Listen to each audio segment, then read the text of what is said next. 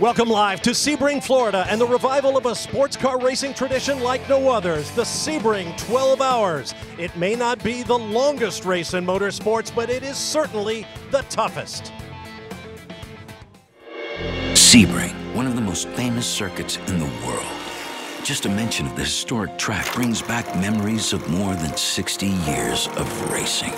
Legends of the past, like Fangio, Gurney, Andretti, and Phil Hill, were some of the first to conquer one of the toughest tracks in all of motorsport. But Sebring is more than a race. It's an annual pilgrimage for race fans to bask in racing's rich past and embrace the future. Different eras have had their champions. Ferrari, Porsche, Audi, and Corvette have all claimed dominance under the Florida sun.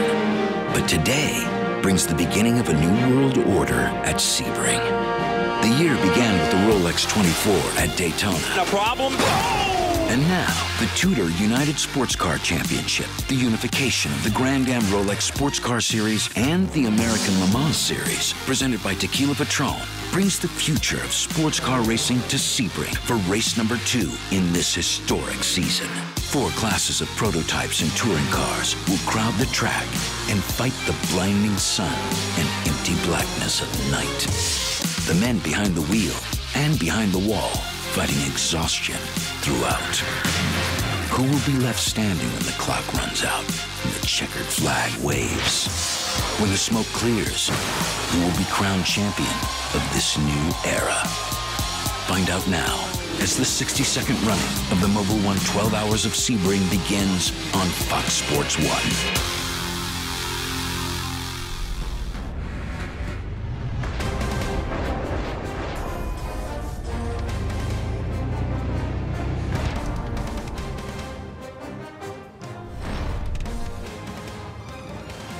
2014 marks the 62nd running of the Mobil 1 12 Hours of Sebring presented by Fresh from Florida.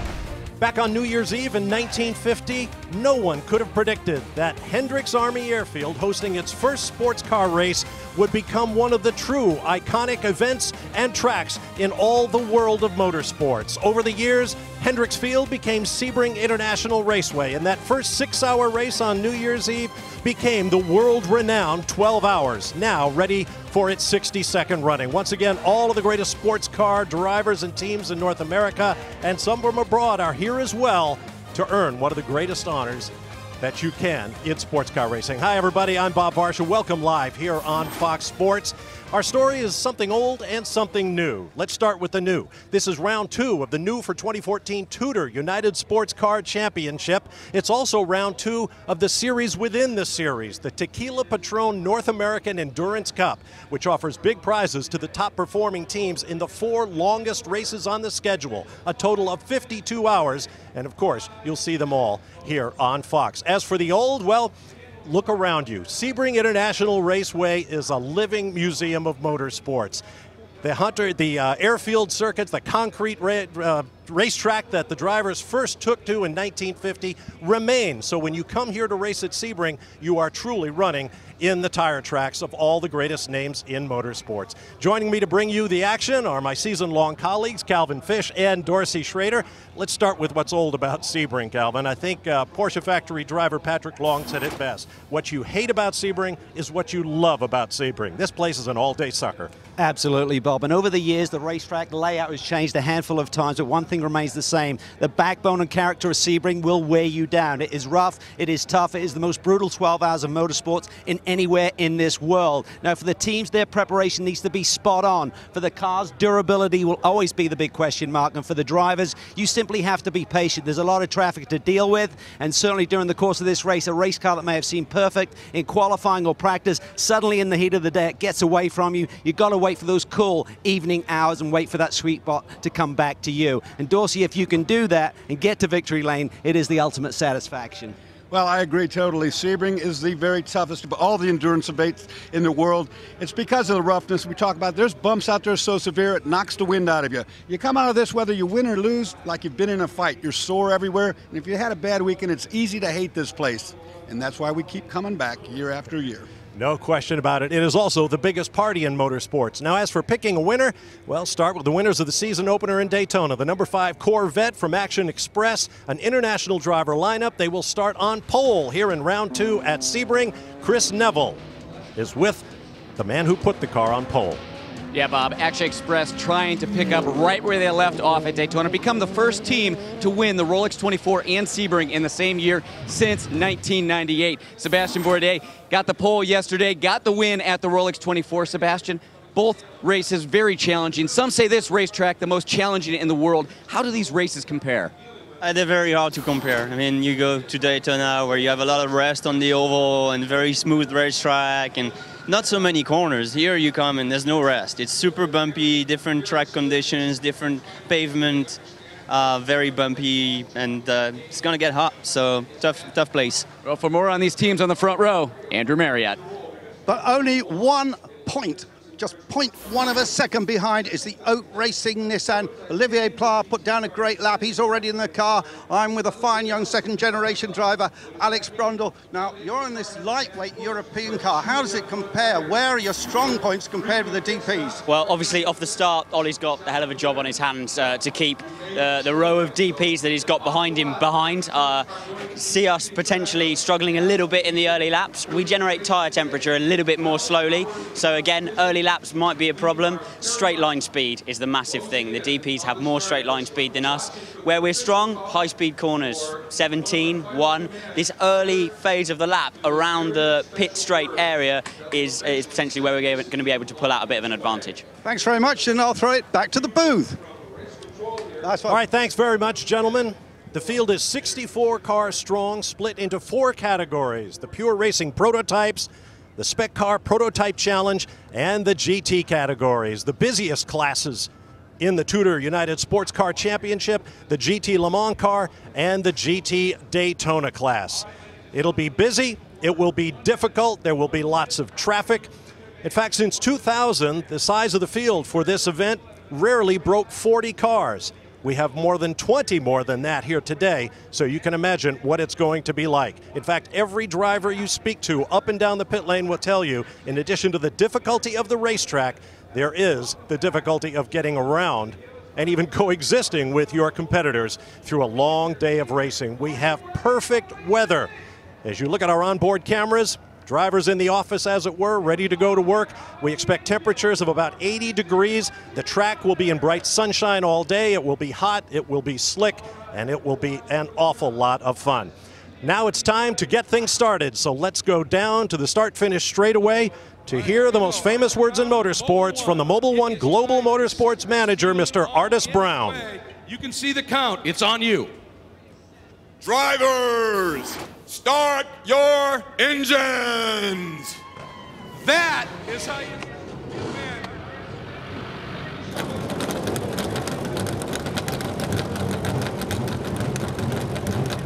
Engines are fired. The cars will shortly be on track. We'll take a break. When we return, you'll meet the rest of our Fox Sports team here at Sebring, and we'll get one of the greatest races on the planet underway. Stay with us.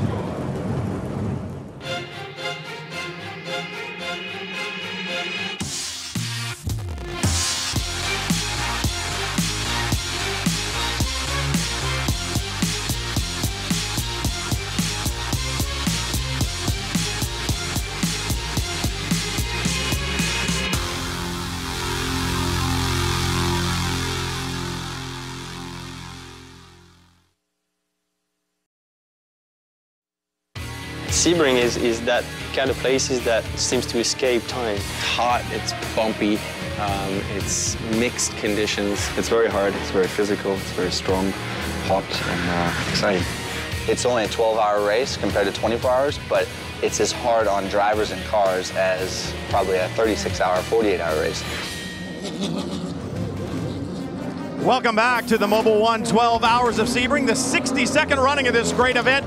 And just a few moments away from the drop of the green flag. I'm Brian Till, along with Tommy Kendall and Justin Bell, part of your broadcast crew. We'll be bringing you the action. Now, the guys talked about prototype cars a little bit earlier, but three other classes also running here at Sebring and in every Tudor United Sports Car Challenge event and that is the Prototype Challenge. Those are a spec category. It's another prototype car. All the chassis are the same, same power plant, same tires. The GT categories, that's where the interest comes in because that's where the manufacturers really are. GT Daytona, though, Tommy, we think about the Rolex 24. Maybe we should have called it the Rolex 28 for the GT, Day- GT Daytona category. Took a little while to get that one sorted out. Well, when we went off the air there, they had just uh, promoted the uh, Flying Lizard Audi into victory lane because of an on-track incident. It since got reversed, and the Turner Motorsports car was restored the win. So it was not terribly elegant, but elegant's not a word that people usually use to describe racers. So the key takeaway, though, was it was an unbelievable finish, and I think most people think they got it right in the end. So uh, that's what I think people remember going forward. Uh, packed field in GT Daytona. Expect more of the same here. Yeah, Level 5 took the victory in the Ferrari, but GT Le Mans, both of you guys have been factory race car drivers. You know what it means to support that factory and do, go to war. It's going to be a war in GT Le Mans here today, Justin. Absolutely. I think all week I've described it as a battle of the giants because, I mean, rear engine, mid-engine, front-engine. You've got Corvettes, you've got BMW, you've got Viper. It's quite extraordinary. Remember, each car just capable, just as capable of a fast lap round here, but they get there in slightly different ways. Uh, and the fastest GT Le Mans category car at the Rolex 24, the one who took the checkered flag, was Porsche. And it's been a while since Porsche has stood on the top of the victory podium here at Sebring in the GT category. It was the last one in 2008 in GT. But Michael Christensen has put his 911 RSR on pole here. And Porsche looking to make it two for two in 2014 with a win here at Sebring. For more, Chris Neville is with our pole sitter in GT Le Mans. Well, that's right, Brian. Between the Rolex 24 and Sebring, Porsche has racked up 143 victories. And yesterday in qualifying, it was Sebring rookie Michael Christensen that put Porsche on pole. And Michael, one thing we hear with endurance racing is it's always take your time with these races. Make sure you have a car underneath you. But we're seeing a little bit more of a sense of urgency this year because of the traffic. Is this race going to change? This race is going to be very difficult. You know, it's uh, a lot of traffic. There's going to be a really tight uh, fight in the end of the race all of all of the GT LM cars is very uh, close together. So obviously, it's not going to be that patient as it used to be, I guess, because we're so tight. We need to need to take the chances on the right time, but also we need to be clever and not do. Uh, do some damage to the car. Well, Porsche hoping for back-to-back victories in the first two rounds of the Tudor Championship. For more on GTD, Andrew Marriott. Well, there's drama for the GTD pole sitter here because I'm with Dane Cameron and uh, we're in the pit lane. So you're not going to make the start. You're going to start from pit lane. What's happened? Yeah, we had a small little uh, mechanical issue in warm-up. Uh, it's all resolved now, no problem. But it's a really tight turnaround between warm-up and getting out of pit lane in time for the recon, and we missed that by about five seconds. So uh, yeah, not a nice feeling to, to give it away when you work so hard to stick it on pole. But uh, so we'll start from pit lane. Long race, 12 hours. Got a great team in uh, Turner Motorsports, some good co-drivers, and uh, great BMW Z4. So we'll be fun. Yeah, well, that means you've got a lot of work to do. So uh, we'll watch how that BMW carves through the field. And uh, let's go now to Darren Law, who has taken part in 12 of these Sebring 12 hours, but now he's in the pit lane for us. Hey guys, first off, I want to say hi to Memo Gidley back home. I know he's watching the broadcast. He was my teammate at Daytona this year. Had a very scary crash, and uh, we're, we're cheering for you, buddy. Have a good recovery. I'm here with Duncan Ende, who is the teammate to Bruno Junqueira. They qualified on pole with a very, very fast time. Duncan, you guys have been fast every single session, top three every session. Uh, Bruno went out, and this is a really tight class, and he put it on pole by eight tenths of a second. Were you surprised at that? I, absolutely. Everybody was surprised about that. You haven't seen a lot of gaps like that in any class, let alone the spec class. Normally, it's really tight fought, really, really close between us, between Colin, between Ringer. Uh, there's the driving talent out there is immense, but Bruno just threw down yesterday, and I haven't seen like anything like that in a long time. No, he did a great job. These guys qualified second last year and finished fourth. They know how to get it done. Definitely a contender for this weekend. All right, thanks very much, Darren. Sebring is the kind of racetrack that can give up that kind of a performance to a particularly inspired driver. Remember back in the 1980s when Hans Stuck took Bob Akin's Porsche 962 around this place and took pole by four seconds. Don't see that much anymore. no, you do not. Uh, The balance of performance has certainly been tightened up. Even since Daytona, there's been some adjustments to try and get all of these cars on a level playing field. And really, hats off to the series. Done a great job under very difficult circumstances with the merger since last year with two different, very different series. There's a look at some of the onboard cameras we'll be showing you during the day. We have a lot of them here, too, so that's going to be some good viewing throughout this 12 hour. The great thing is you'll see, we talked about the rough nature of this racetrack, you'll see it from inside the cockpit for sure. A record crowd is expected as they come down the back straightaway, named for Alec Ulmann, the Florida businessman whose idea it was to create a racetrack out of an Army training base here in the citrus groves of Florida. You see the various class starting grids and our Continental scroll across the top of your screen. We expect the Corvette safety car to pull off and we'll begin the race across the front row.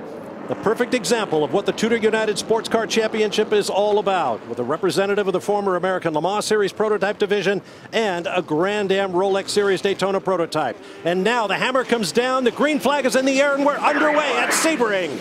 Barbosa takes the lead. Look at Ricky Taylor in the Velocity Worldwide machines. He stuffs it down the inside of Olivier Pla. They're side by side through turn one. Ricky Taylor really timed that perfectly, got to the inside. He knows this track very well. And now the track narrows down. You would expect these Daytona prototype configuration cars, the cars that currently 1-2, they're heavier. Their tires should come in a little bit quicker than the lightweight P2 cars, Dorsey. That's a very good point, Calvin. With that extra weight, they do come in quicker. The lighter weight cars take about another half a lap longer before they can really get maximum grip. Through Gurney Bend and down towards one of the signature corners here at Sebring International, the hairpin. Right now, you just want to keep it clean. You want to get those tires, pressures up, temperatures up. There we see a little bit of side-by-side -side action. I think that's Pruett going through. First gear hairpin down there. You come all the way up through into fourth gear right here. They break for turn 10.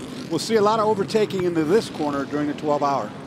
Scott Dixon looking pretty racy in the 0-2 car. Two Chip Ganassi racing entries here once again, just like we saw at Daytona. It was a rough road at Daytona for the Chip Ganassi squad running that new Ford EcoBoost engine, but they've come back strong, look very good in practice here this week. Barbosa trying to stretch a lead now, make it a little more comfortable for himself. Nobody breathing down his neck into the Lamar corner. Very important because it sends you on to that long back straightaway. Good idea right there. Good view of how rough this racetrack is. That's all concrete. It was laid in 1942. Yep, it's a little bumpy.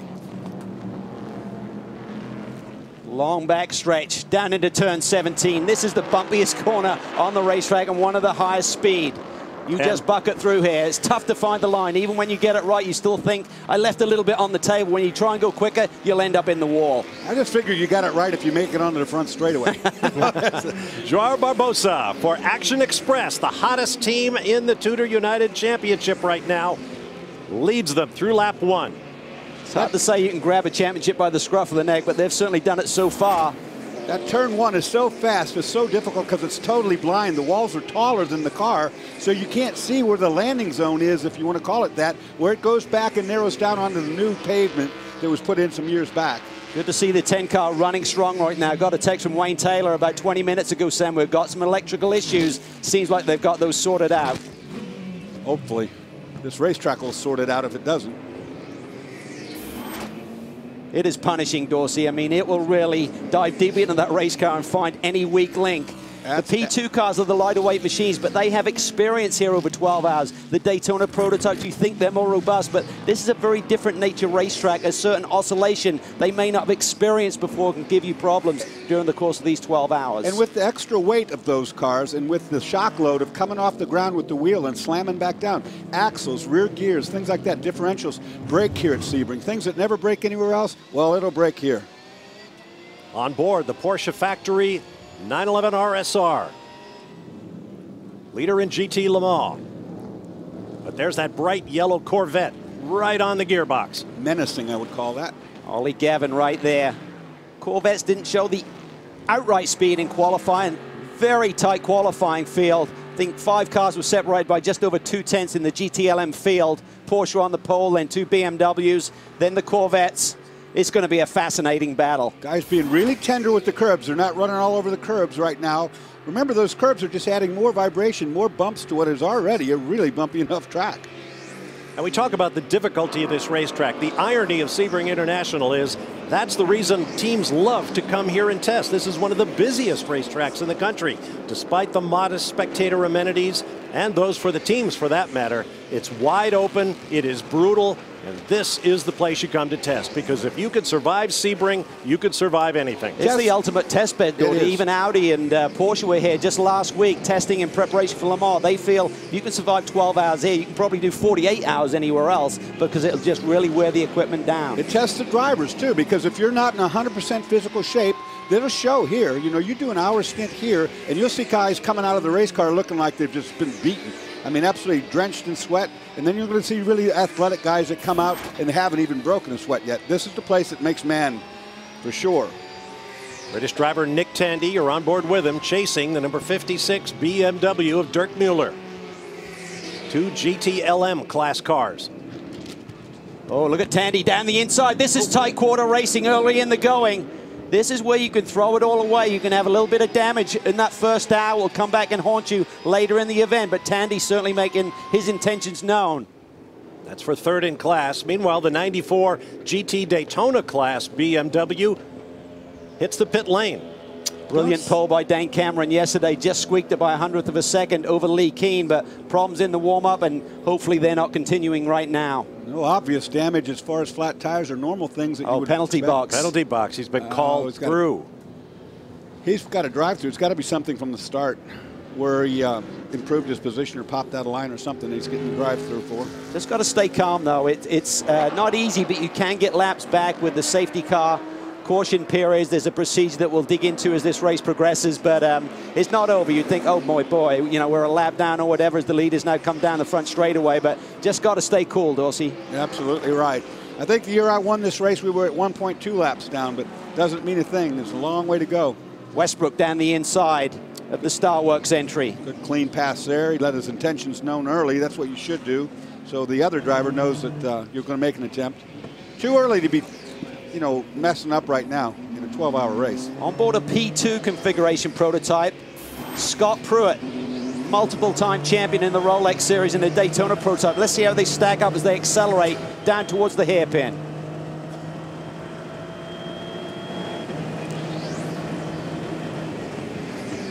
We've seen throughout the weekend there's a new bump down there on the entrance to the hairpin. You may have your opponent all lined up.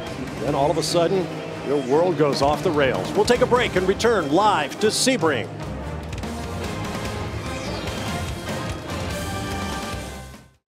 Welcome back to the Mobil One 12 Hours of Sebring here on Fox Sports. There you see the race and championship leader, the number five Corvette from Action Express in the hands of Brazilian uh, Portuguese driver Joao Barbosa, who took it to the checkered flag in Daytona seven long weeks ago. Well, we talked about Sebring International, the racing surface basically unmolested since 1950. The track itself, though, the configuration has changed, Dorsey. Well, the town of Sebring, Florida, and the racetrack is exactly in the middle of Florida, right north of Lake Okeechobee. Sits the old airport, and it's still active on some of the runways. The unique thing about this, of course, is it's eight. This is the eighth configuration, 17 turns, 13.74 miles. But all of this part of the racetrack is concrete that was laid in 1942. In fact, in the original configuration of about five miles, the cars would go all the way out to the actual airport runways. The place would shut down for the weekend. That's the reason that the track originally changed configuration was so that airplanes could fly in and out. An absolutely calendar perfect day here at Sebring. Temperature about 63, expected to gain about perhaps 15 degrees under bright, sunny, sunny skies and a light Florida breeze. Yeah, you couldn't ask for better. It's good for the drivers. Nice cool wind today. The engines will be making good horsepower. Let's have a look at our Rolex keys to victory. Not that those guys in the five car need to know, Cal. Well, bumps in the road, Bob. That can mean the rough surface that you're going to deal with, and also any problems. Can you recover from those? Play nice. Traffic, four classes, 63 cars. It's going to be tough out there today. And the unknown. How will the DP and the P2 stack up here this weekend with the balance of performance changes? And will that DP configuration car survive 12 hours here at Sebring. That is the key to the Tudor United Sports Car Championship. For all of the cars in the former Grand Am Rolex Series, they have not raced here. So all of the information they're gathering is brand new. To Chris Neville. Well, we've got 60 drivers going toe-to-toe on the racetrack and another 120 down here in pit lane enjoying the broadcast. Tony Kanaan down here trying to get some rest, some relaxation. You guys didn't have the Daytona that you were hoping to. Brought the new Ford EcoBoost engine out. Didn't go the way that it typically does for Ganassi, but you guys have had some time to test now. You guys ready for this race? Oh, for sure. I think, uh, you know, uh, just just the team and Ford, they did a lot of work since since then. You know, it's a new engine, and uh, I think we're ready. We're ready to do it. The car is much better here, I think, and uh, you know, the field though, it's so much tighter than it was in Daytona. I think it's going to be a, a, great race. Yeah, it seems like at Daytona, none of the drivers were really happy with how the car was performing. Have you guys kind of finally got the car tuned up the way you wanted? Well, we're always going to complain about something, but uh, I think here we have a you know a better car than we had at Daytona for sure. We have, there's a lot more downforce in these cars we have with the you know the under trail and the, the, the different nose. So uh, I'm happier here than I was at Daytona for sure. And you're also feeling a little bit under the weather. You're gonna be okay to drive?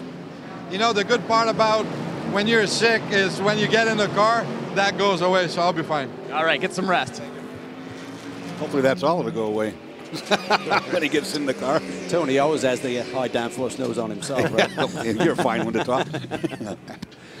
that three and a half liter Ford EcoBoost twin turbo six cylinder engine is quite the project It's fun to go by. The two teams that are running it, the Ganassi boys and the uh, Mike Shank Racing with Curb Agajanian. They have it, been working relentlessly on that uh, package. The engine bay changes with every race. Yeah, it's not the engine itself. I mean, there's a lot of cooling issues that go along with the, trying to package that in the back in one of these cars. There's not a lot of air going in the backside of one of these cars. They're, they're void of air, if you will, and uh, the engine suffers. It gets hot from all that. Checking the action of the GT Daytona class. There's the 007 TRG AMR Aston Martin Vantage. Qualified fourth, and James Davison certainly making a statement here for himself and TRG in that Aston Martin V12 Vantage. I mean, Kevin Feltley had a really good car. They showed their pace early in the week, and uh, everyone said, what are you doing? Because there's always the threat of a uh, balance of a performance change. But uh, he knew what they had, and eventually everyone puts their cards on the table come qualifying, and it was very, very tight in GTD. Here we're on board with Leh Keen in the WeatherTech Porsche. Hear the drivetrain whine, typical Porsche noise there down into the hairpin. See the number on the side of the car that was lit up there, the number three. That's something that's new. It's really cool too because tonight, no matter if you can see the car or not, you'll see that number three. It means that the car is running third in its class at this point in the race. All the cars carry those numbers in different colors depending upon which class the car runs in. You see it, it's called the leader light system. It's a great innovation for all the fans around the racetrack. Right now it shows third, but timing and scoring shows that car second. Perhaps it'll adjust when he gets around to start finish. And not far behind is Ben Keating in the 1 GTD class Viper in the field. Ben Keating, one of the biggest Viper dealers in the world. And there it is from Riley Technologies. This is a tremendous performance by Ben Keating. Two of the classes out there today, GTD and LMPC, are what we call Pro-Am categories, where half of your driver lineup at least has to be made up of what we call a silver grading or bronze grading, which these are guys who typically aren't making their living from driving race cars. Ben is one of those guys, but he's certainly been through the ranks, had great success in Vipers, and was really itching to get in this series driving a Viper. He went to Riley, they've built this car, and the fact that he, as a Pro-Am driver, is running up in the top three really is uh, showing when you get Bleekumholen behind the wheel, what is that car's potential? Ben Keating, a two-time champion in the Spec Viper series here in the United States. So don't confuse a non-professional with a non-skilled driver. Battle for the lead here in PC, and these are a couple professional grade drivers, Bruno Junqueira, Tom Kimber Smith, giving him a good run. This is pretty cool. Junqueira, what a lap he laid down in qualifying. Typically, we see the field split by hundreds. He was seven, eight tenths clear of the rest of the field in LMPC. He found something, found the sweet spot. Just the tires came in perfectly. And Bruno, as we know, is so talented. We've watched him for many years. Was on the verge of an F1 career, Bob, and had great success in the Champ Car Series. But when you look at him being out there, that really shows the class of this uh, category in terms of the drivers that it attracts. Former pole sitter for the Indianapolis 500. Closest battle on the racetrack in class right now, and that's no surprise. Oh. Prototype Challenge is a spec series. All the cars are the same chassis, engine, and tires. Now And here's a at this. dilemma. This. is exactly what I want to talk about. Look at the back of that, and you've got the prototype cars much faster, who have caught a gaggle of GT cars, different classes there. And this is what you have to deal with. You cannot pass them because there's nowhere to go. There's too many. You'll lose a handful of seconds. Barbosa, the leader, is cleared. Look, he's all the way down in the hairpin, and Ricky Taylor's right in the middle of this mess. And right behind him comes Olivier Pla, and then one of the Extreme Motorsport. I think a Scott Sharp there right in the mix as well. And this is playing well together, Calvin, what you were talking about right there. It'd be very easy to get over anxious and start bumping and banging and knocking off some of the bits of your car that you don't want to do that this early in a 12-hour race. You can't do it, and you've got to think about the big picture. There will be a reset. When you get a caution, everyone comes back to the leader, so there's no point. So we see a quick spin there coming out of turn four. Really slippery right there. The eight car there, driven by David Chang. Just got to be careful. Even when you get back on the racetrack, don't break a half shaft by giving it too much welly here. Just try and ease back on the track. This is usually caused by jumping on the throttle a little too hard, which I think is exactly what's about to happen. Yeah, breaks the rear end free when he got on Oh, the he got tagged a little bit there by the wheel and DP. Yes, barely got it. That's covered by a local yellow. He'll get that going, and that's no real big drama for anyone, but it's a wake-up call. And it's another element of the whole traffic situation. If you do have to go off for some reason, it can be tough to find a hole in the traffic to get back on. Well, there's sand. It, it's, it's Florida after a while. You know, you, you go off the racetrack, and there's sand, and some of those sand pits are deep, and you're not going to get out of there without a tow truck. Look at those carbon brakes on the prototype machines, how deep they can go in. The brake zones are really, really short. Talking to Memo Rojas, who co-drives with Scott Pruett, I said, what is the raceability? He said, it's tough. It's tough to pass because the brake zones are now so much shorter. The carbon brakes performance just minimizes when you have to get on the brake until the apex of the corner. Oh, Yes. this is not good. He could have high-sided himself here. That's the ne- other thing I was going to say. You have to watch out for those curbs. If you get on that top of that curb with the chassis, it'll lift the wheels off the ground, and you will not be going anywhere. I suspect that's the case. Yeah, if he's stuck. So we have a local yellow right now. Turn marshals will call in. See if he spins the rear wheels trying to get it back on. It'd be better to try to go backwards. Well, I was just thinking that. Reverse and take a good run at it. Well, one way or another, if he cannot move for whatever reason, I feel likely he to may have stalled the engine, Bob, because I don't see anything. Oh, there, There we he go. goes. He's fired it again now. Yep, he's stuck. Well, so much for reverse. Yeah, it's not even beginning to try to rock the front wheel. There's our full course. And here it comes, our first full course caution of the 12 hours. Field to be neutralized. We'll see who decides to take a pit stop. We're just getting started here at the 62nd running of the Mobil One 12 Hours of Sebring. As you can see, a huge crowd on hand. They all have their favorites, if they're paying attention at all.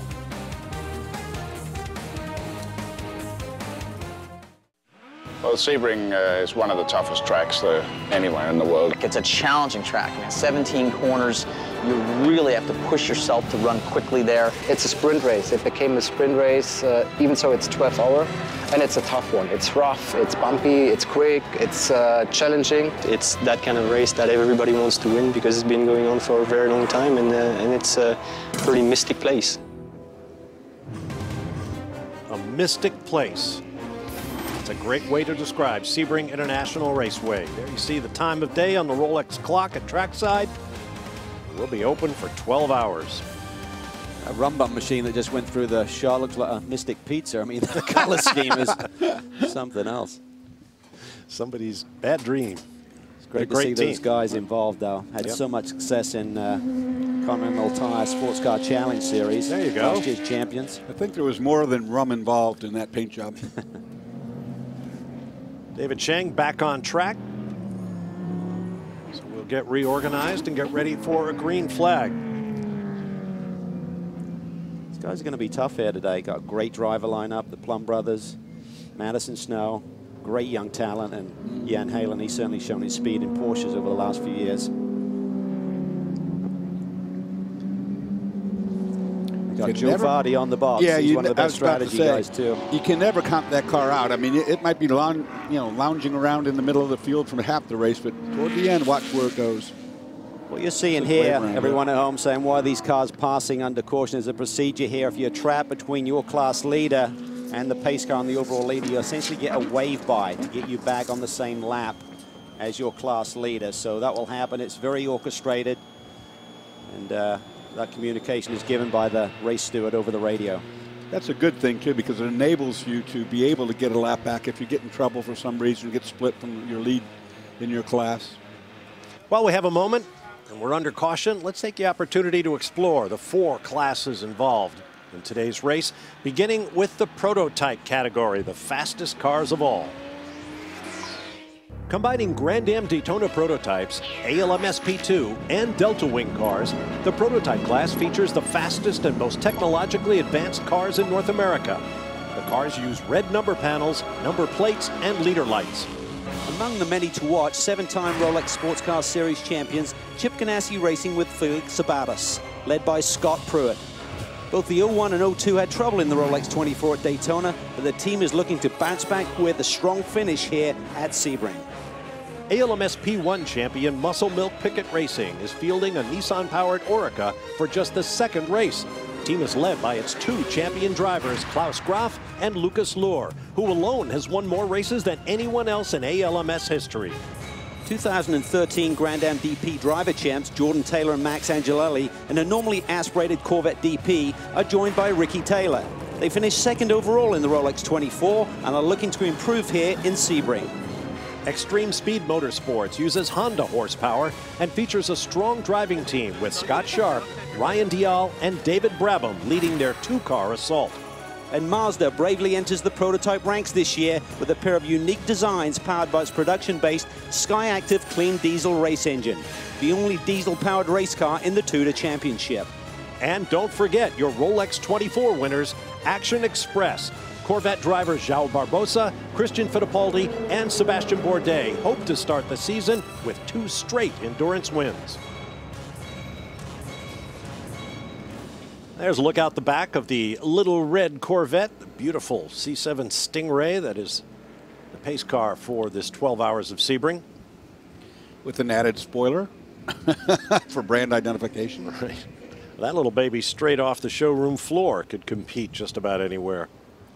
Just over 25 minutes into this opening stint. Uh, the Daytona prototypes talking to the crews as much information as they'll give you. Say they'll go about 43 to 46 minutes on fuel, so they're about halfway through that fuel load. So be interesting to see who stays out, maybe trying to gain some track position early in the going and get a little bit off schedule with the rest of the groups.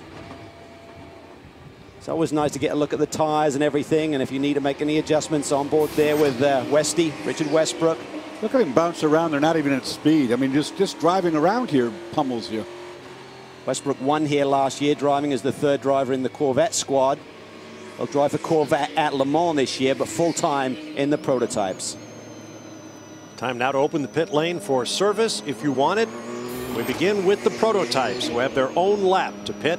The GT cars will have their own lap to follow. On board with Oz Negri, Brazilian by birth, Oz is going to go back and race in the most popular form of motorsports in his native country, stock car racing. And I was amazed to find out it'll be the first time in 23 years that Oz has raced back in Brazil.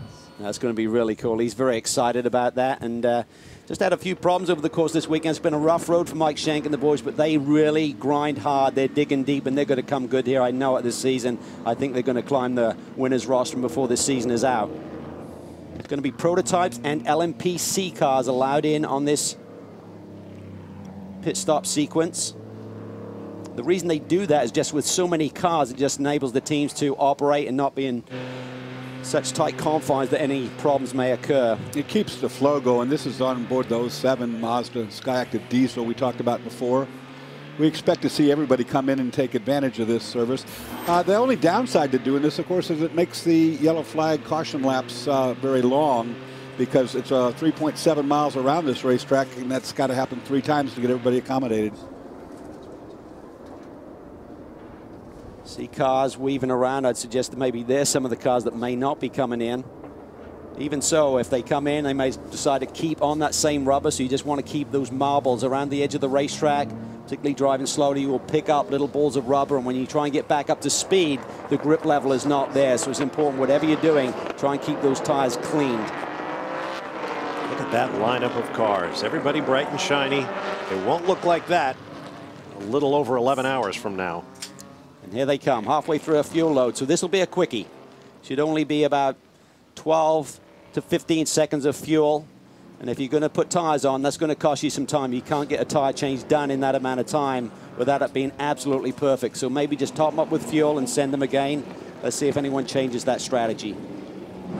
Scott Pruett and Scott Dixon coming to stop in pit lane here. Going to be fuel and tires, four Continental tires for both cars. Checked in with both teams. Don't anticipate any chassis changes on this stop. When we look at these cars back at Daytona, they were running low downforce. Here at Sebring, they're high downforce configuration. So you, when you look at these Fords, you see these four big dive planes on the front. Talking to these teams, they say the drivers really have to take care of those dive planes. Very easy to lose those if they get into some traffic. Andrew? I've got both Action Express cars here. The Action Express of the Chevy V8 is the uh, lead car going out. And out the uh, second of the Action Express as well. They didn't take any tyres, they just topped up with fuel. And uh, yes, some drink went into João Barbosa as well. He just took a quick sip of uh, the drink bottle. And I think I just saw out of the corner of my eye that Action Express was uh, beaten away by one of the LMP2 cars.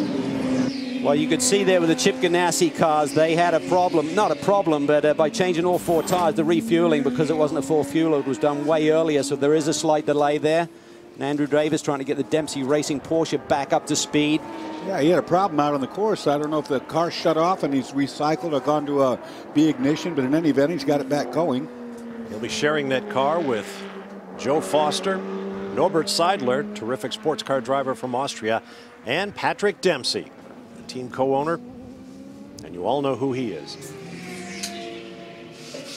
On this next lap, it'll be GTLM and GTD will be making their pit stops.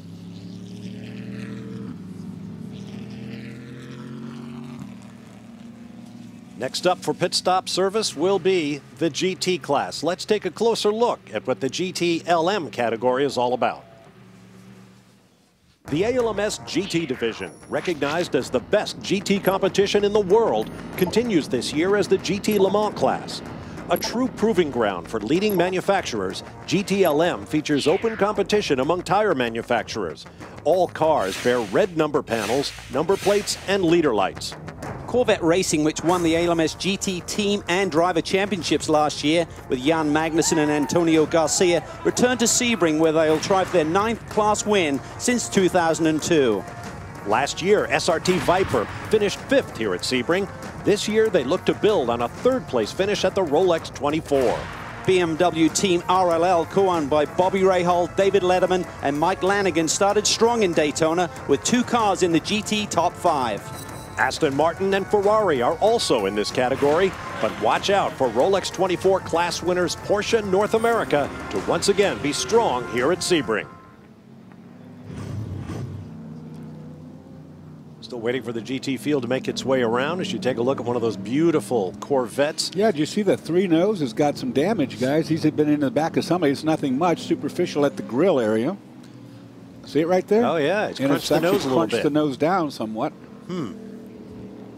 You know, when they were lined up and coming around before the pits opened the first time, I saw little puffs of tire smoke here and there, lock up from some of the cars who perhaps closed the gap quicker than they anticipated. I wonder if anybody got into anybody during that lineup. It's easy to have happen. I remember Jörg Bergmeister had major damage here at Sebring on that warm-up lap uh, a few years ago with the Porsche, and uh, you suddenly get that stack-up effect. You're not expecting the guy in front of you to try, suddenly try and get heat into the brakes, and uh, he jumps on the brake pedal. You have relatively cold tires, and you can't stop. So it's a dangerous part of the, the race, even before you've seen the green flag. Let's see what the Corvette team chooses to do for Antonio Garcia when he reaches the pit.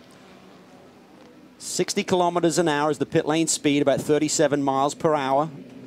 And uh, if you come down pit road versus staying out on the racetrack under green conditions, about a 36 second loss plus the service. Ollie Gavin in the four, Antonio Garcia in the three. I just checked in with Danny Binks, crew chief on the three car. He said this nose is pretty smashed up, so they're going to take a look at it, see if they have to repair this. I talked to Danny Binks before the race. He said this is a race where we're going to have to be perfect. So this first hour of the race, not going the way that they wanted. Andrew? Well, both the Porsche North America entries are in, and they are putting new Michelins on. Remember, most of the uh, competitors here are running on the Continental tyres, but, they decided actually not to take the uh, tyres that were out there, but they didn't take them. So uh, they're both back on the racetrack, uh, just in front of the uh, Corvettes, I see.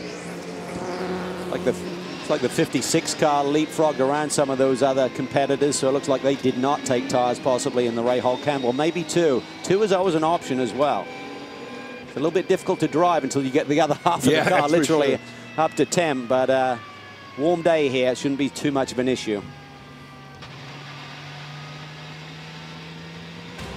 And back up to speed they come. We anticipate a green flag, so we'll take a quick break and return one of the great racing events in all the world, the Mobil One 12 Hours of Sebring, presented by Fresh from Florida here on Fox Sports 1.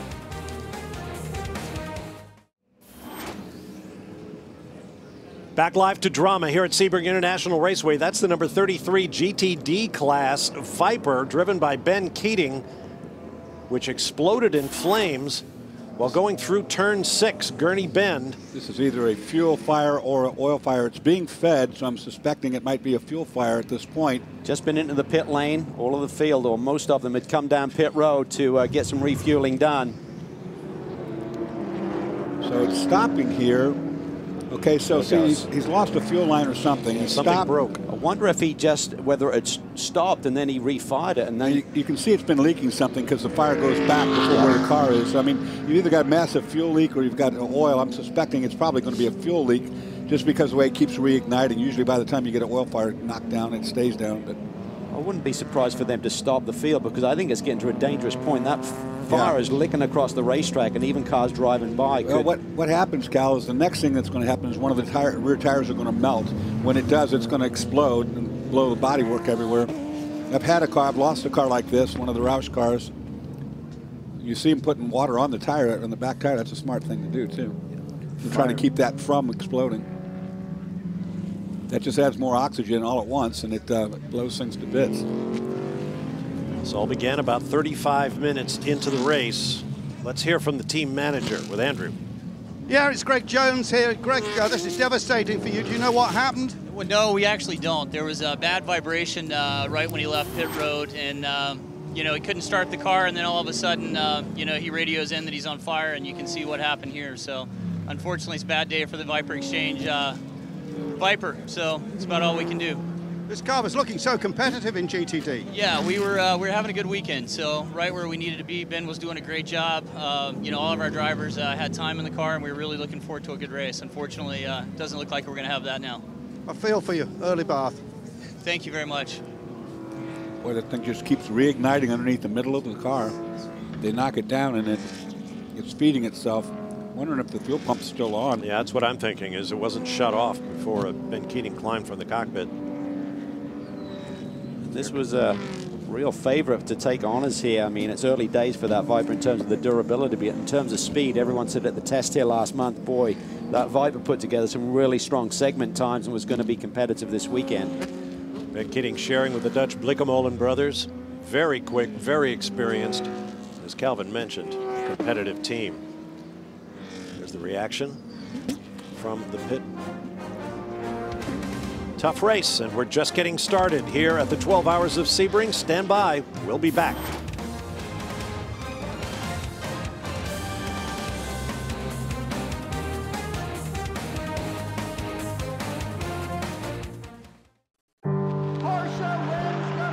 There's a difference. Something that separates first place from second and pushes some to excellence over and over. What compels this hunger, this need to be the best? For most, winning is all there is. For a few, competition serves a deeper purpose. What began over 60 years ago has become an obsession. Because after the fight and the thrill of the hunt, there's much to be learned. Winning more auto races than any other company in history didn't come easy. And it's not an accident. It's a testament. A testament to a lifelong commitment to automotive perfection. Decade after decade, we've combined passion and discipline in a relentless quest to never settle and never rest on our laurels. Here's to excellence. The Names synonymous with endurance racing around the world. Porsche certainly had their own chapter here at Sebring International Raceway. As you can see, the battle against that burning number 333 Viper continues. On board with Patrick Long, one of the factory 911 RSRs. The first Porsche factory racing team dedicated to North American sports car racing. Now there's the number three Corvette. We saw earlier that it had crunched the nose. Now it's in for more extensive repair. Chris Neville. Yeah, Bob Antonio Garcia has been sitting here for about two and a half minutes. Hasn't gone down a lap, but the team trying to take advantage of this extended caution to get this car fixed up. The nose looked pretty bad on the three car, but I didn't think they needed to bring it in just because of the nose. But talking to Dan Binks, the crew chief on this car, his biggest concern was because of that hit on the nose, the left front fender was shoved back in front of the driver's side door. So he was very concerned that driver changes were going to be difficult. So when they saw the fire with the Viper, they decided at this point in time, great time to get this car fixed up and hopefully not go down a lap. Well, last year they won the class, not this car, but uh, the four car, and they did it from two laps down. So you can rebound. Certainly with these safety car procedures, you can get away by, get that lap back. And I think they're making the right choice, Dorsey. Some of that ducting could have been messed up in terms of the brakes and uh, the radiator and stuff. So I think this is the right call, even though it is painful. Dan Binks is one of the best. I mean, what he looked at right there was not just the integrity of the car, but he realized there was going to be a trouble. Every time they did a driver change, that door was going to come into play. And nothing's fitting quite exactly the way it should. So don't do this to your Corvette at home, but it's always interesting They are to- remarkable how good they do on this car. They to watch how the cars come apart and go back together because certainly that's a part of the design yes mission statement is to make a car that's easily fixable when Yeah. things go wrong because they will They were close. You could see the work was pretty much complete. Now they'll probably spend a bit more time making sure everything is absolutely buttoned up. But if they would have been in a position to, they'd probably send him with a bit more work to be done to stay on that lead lap, get him back in and finish it off. But uh, the pace car was already there, so they could, didn't have that option. this corvette team many time champions here at sebring when it was a part of the american le mans series. Of course that means when you're building your car during the off season you had all the way to mid-march to be ready to go racing. But now as a part of the tudor united sports car championship their first event was the rolex 24 at daytona back at the end of january. That shortens up the old timeline It really does. It really puts an enormous amount of pressure on the teams to be ready to go. And uh, as we saw at Daytona, some of the teams were not ready. It was too early in their development process. Looks like they finally won the war with the fire. They've got that. You see, they have the soapy sudsy stuff out there now. That finally took it down. But the car appears to be a complete casualty. Here's how it began. Hopefully it is finally over and we can get back to green flag action here at Sebring. Driver Ben Keating climbed out okay. The car, not so much. Welcome back to Sebring International Raceway. Coming up on 50 minutes into the 12 hours of Sebring here on Fox Sports. The fire has been put out in the Viper. The car has been pushed off the racetrack.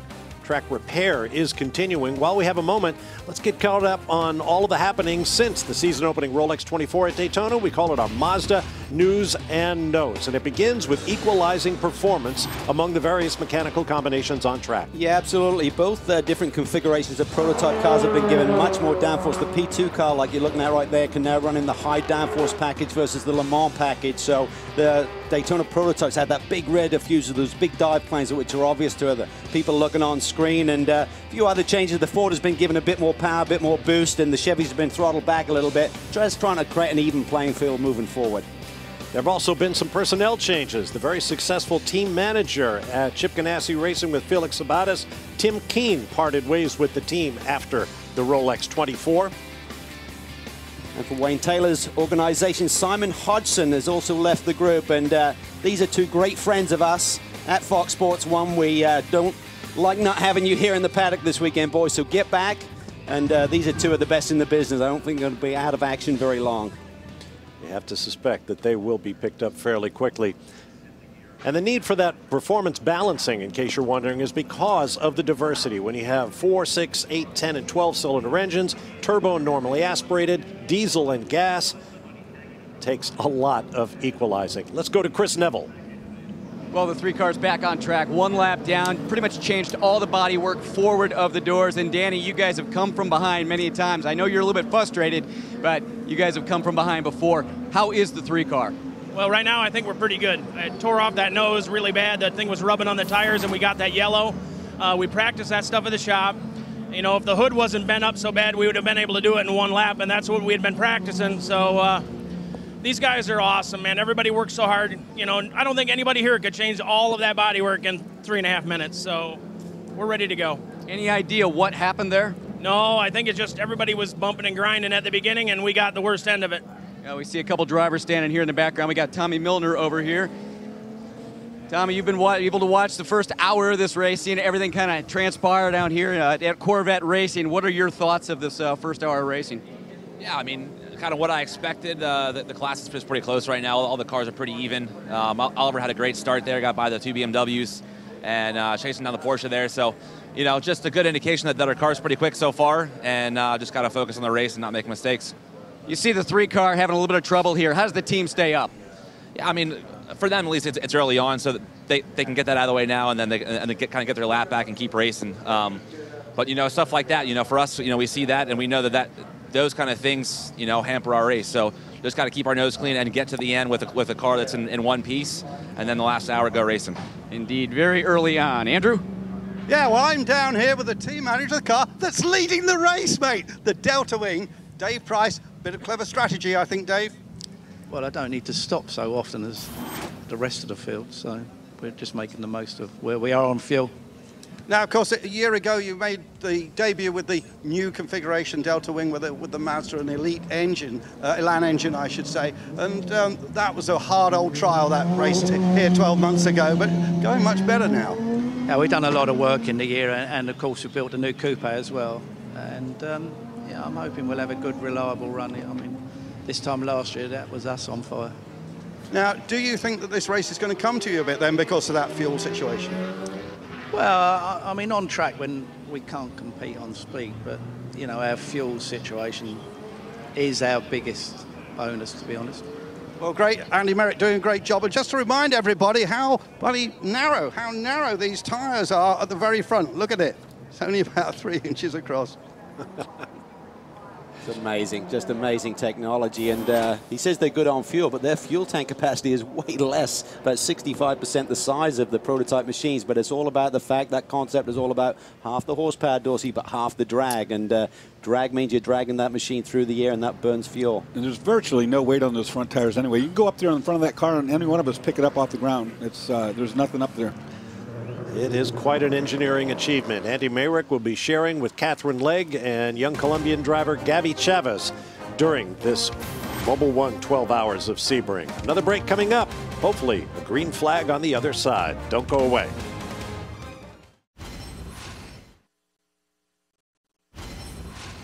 Success in racing can often be judged on the strength of your collaborations. Here at Corvette Racing, of course, it's their technical partnership with Mobil One Lubricants that is without equal. Why, you say? It's only oil. Oh, no, it's so much more than that. On a continual basis, the Mobil One and Corvette engineers work together to enhance performance, durability, heat tolerances, and of course, that extends from the engine to the transmission to the power steering fluid.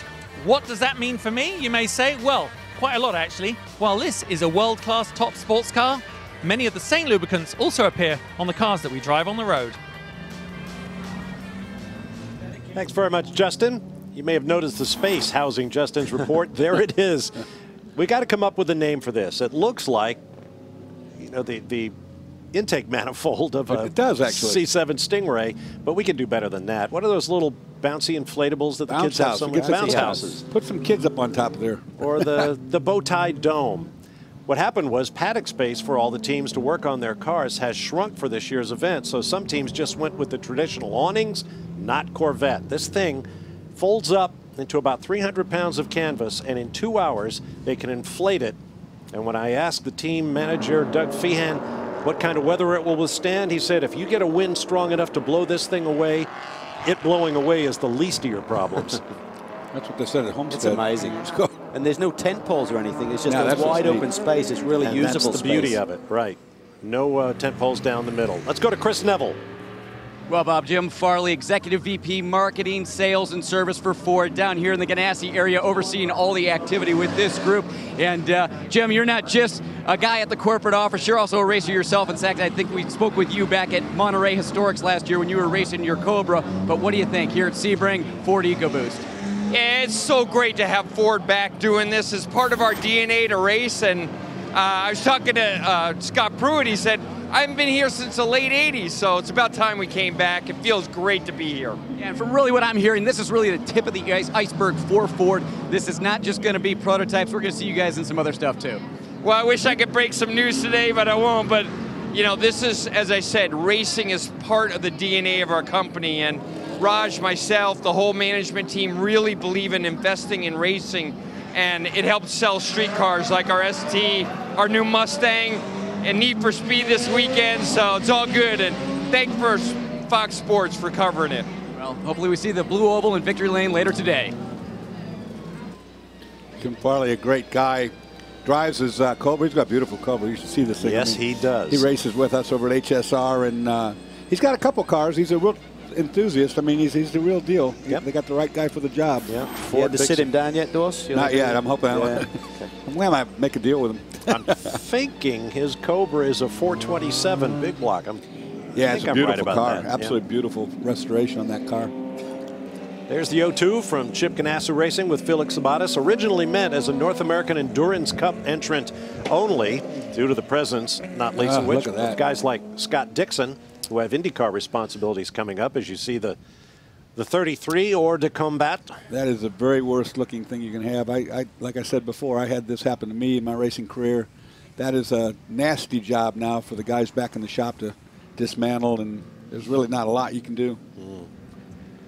It was a one of one car, if I'm not mistaken, from Yeah, Riley. You can't use much anything when it's gotten that hot. You know, inside there, the gearbox has been hot now. The engine, there's, you know, there's so many composite pieces to these cars nowadays to keep the light weight of it, uh, and all of that stuff is hugely flammable. It doesn't take much. If there's any good news is that the next round of the championship at Long Beach is uh, not going to have GTD category racing there, so they have to Mazda Raceway Laguna Seca in May, but uh, still a lot of work to be done to get that car rebuilt. Well, while we're on the subject of the GT Daytona category, let's take a little closer look at the makeup of the class. Made up primarily of cars from the Grand Am GT, GX, and ALMS GTC classes, GT Daytona machines are enhanced but not defined by technology. Like their PC counterparts, all GTD class cars utilize blue number panels, rear end plates, and all are on Continental tires.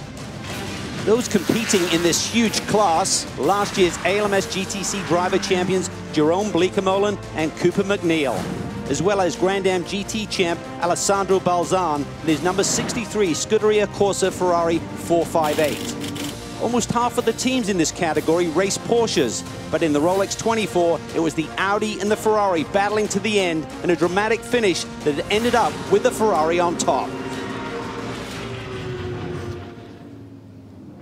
Let's pick up the GTD class leader. There it is, the Porsche number 30 in Momo colors.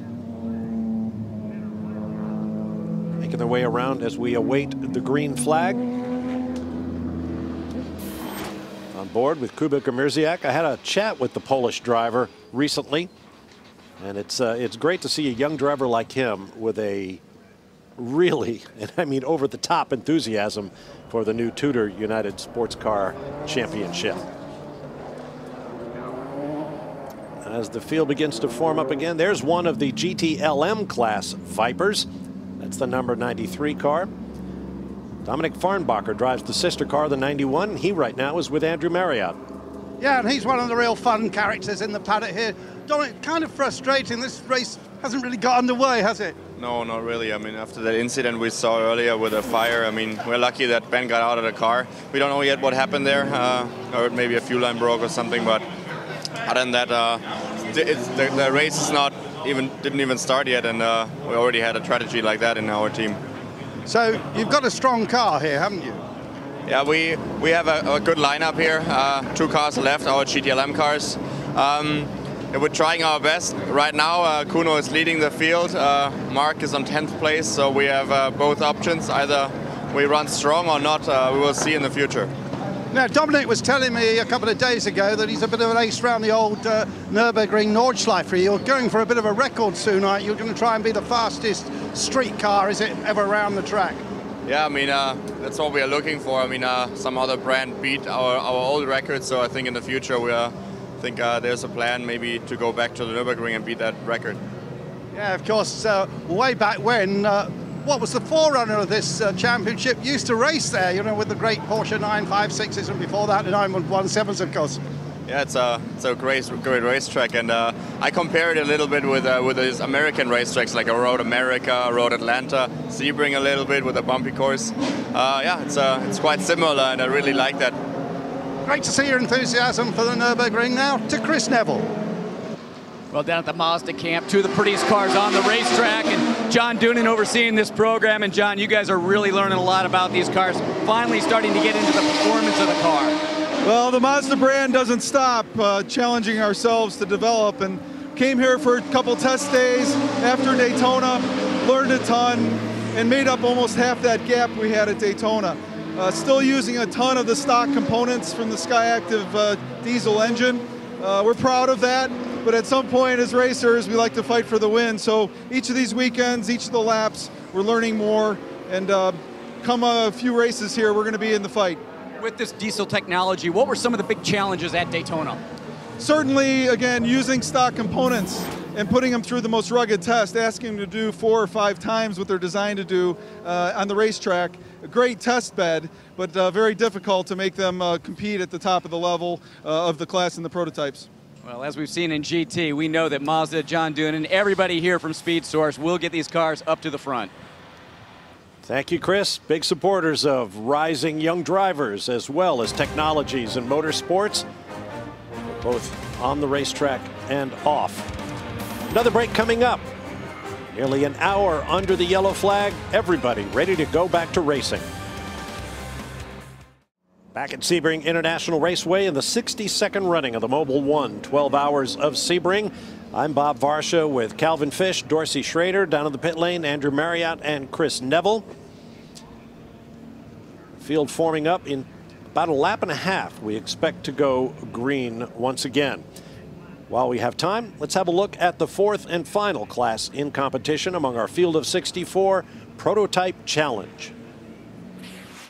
A class retained from the ALMS is Prototype Challenge, a spec class featuring open cockpit race cars and technologies such as carbon fiber chassis, carbon brakes, and a sequential gearbox. All PC cars utilize blue number panels, rear end plates, and all run on Continental tires. Those competing include 2013 driver champion Mike Guasch and 2013 team champs Core Autosport with drivers John Bennett, Colin Braun, and James Gue. In Daytona, it was Core Autosport taking the win, but here in Sebring, it seems to be anyone's game. Back to live pictures. Coming down from the scene of the fire that brought out the yellow flag that has now reached over 50 minutes in length. But it looks like things are cleaning up quickly. This is turn six, Gurney Bend. Of the 17 corners on this track, eight bear the names of some of the legends who raced here. The Fangio chicane, the Cunningham corner, the Collier curve, the Gendebien bend. There are still a few that could use the name of another racing legend. To Chris Neville. Ryan Dalziel tasted champagne here back in 2012. And Ryan, back at Daytona, we were blending these two series, Daytona Prototype P2 cars together. And really the long straights there really lended themselves to the Daytona prototypes. But here, a little bit different story. What are you seeing in this first hour? Yeah, I mean, I think our pace at Daytona was actually pretty good. We just obviously had some uh, mechanical issues, but uh, we felt going into the race we were strong. Uh, and then coming here, we definitely felt that we would be on a little bit more of an even playing field. Uh, obviously, there's been a couple of changes on the rules, um, but it's definitely benefiting us. Uh, it's great to see, uh, you know, not just us, but the old car and the muscle milk car being competitive. And, you know, I don't think anybody wants to see a dominant car, but it's nice to see cars running equal lap times and doing it in very different ways. But you know, for us, obviously, we're the, the title sponsors with uh, Tequila Patron for the North American Endurance Cup. So we're we're trying hard to kind of get ourselves back on track here and uh, keep all the sponsors happy. But so far, it's been a great weekend. You know, it's a hard race to win. Um, I enjoyed winning a couple of years ago and, and the HPD actually, so hopefully we can win it again today. You know, one thing we heard at Daytona is it takes a little bit longer for the P2 cars because they're lighter for the tire temps and tire pressures to come up. We see that this weekend too? Definitely not anywhere near as bad. I mean, the the road course tire, which is what this is, and also the road course aero that we get to run now, makes a big difference for us. I think the combination of the, the hard oval tire with the Le Mans aero kit uh, and also cold temperatures at Daytona was, was not great for us. Uh, but here, you know, it would be nice if we did have a difference with the rules so that, you know, you could gamble on not doing tires and, and get an advantage on it. Because I definitely think one of the strengths, especially with our car, is tire wear. But um, hey, so far we're out front and we're, we're happy about that. And uh, also a good friend, Ben Keating, so I'm glad to see uh, he's out there and bummed for the Viper guys. Thanks, Brian. Thank you. It's a home game for Ryan Dalziel, who lives in Orlando, about an hour, hour and a half drive from Sebring International Raceway. The town of Sebring has a population between 15 and 20,000, I would guess. Five times that many people have rushed to Sebring International this weekend for the 62nd running of this great race to Ryan Dalziel's team manager, Robin Hill, this morning about their progress this weekend. He said, we had a really good test here, but he said we came back and we suddenly lost the balance on the race car. And that's been a common thread up and down pit lane this weekend when you talk to the teams. This racetrack changes so much, Dorsey, day to day, session to session, and particularly month to month. There's a lot of IndyCar testing that actually occurs here at Sebring, particularly over on the other half of the circuit, puts a lot of rubber down, changes the grip level. Teams set the car up, come back, and they're kind of lost. You really have to be flexible. Don't get locked into that setup. you got to chase the racetrack a little bit. Yeah, it's been that way at Sebring for the longest time. You know, during the daytime, in the morning, it's usually really quick, and then come afternoon sunlight, you lose all the grip. And then if you start chasing the car, then the next morning you've got it all wrong again. GT Daytona leader Kuba Giermaziak in that Porsche. Late splash. Looks like it's going to take four Continental tires as well. That's a smart call right now. They just ran an hour behind the pace car, so um, get those tires on there in case the other ones picked up debris or anything because we've been slow behind that pace car. I think they were working a strategy there that they still had plenty of fuel on board they could afford to go, but this yellow has been so long. Yeah. They're kind of running out of fuel, and uh, if we go back to green, they'd be in shortly thereafter, so it doesn't make sense to stay out. I'd like as a team manager to you know pull those tires off and put fresh ones on because of just what we've seen. You know, so much uh, behind the pace car stuff, picking up debris, and you know that all that uh, fire and fire dust and all that stuff that was out there.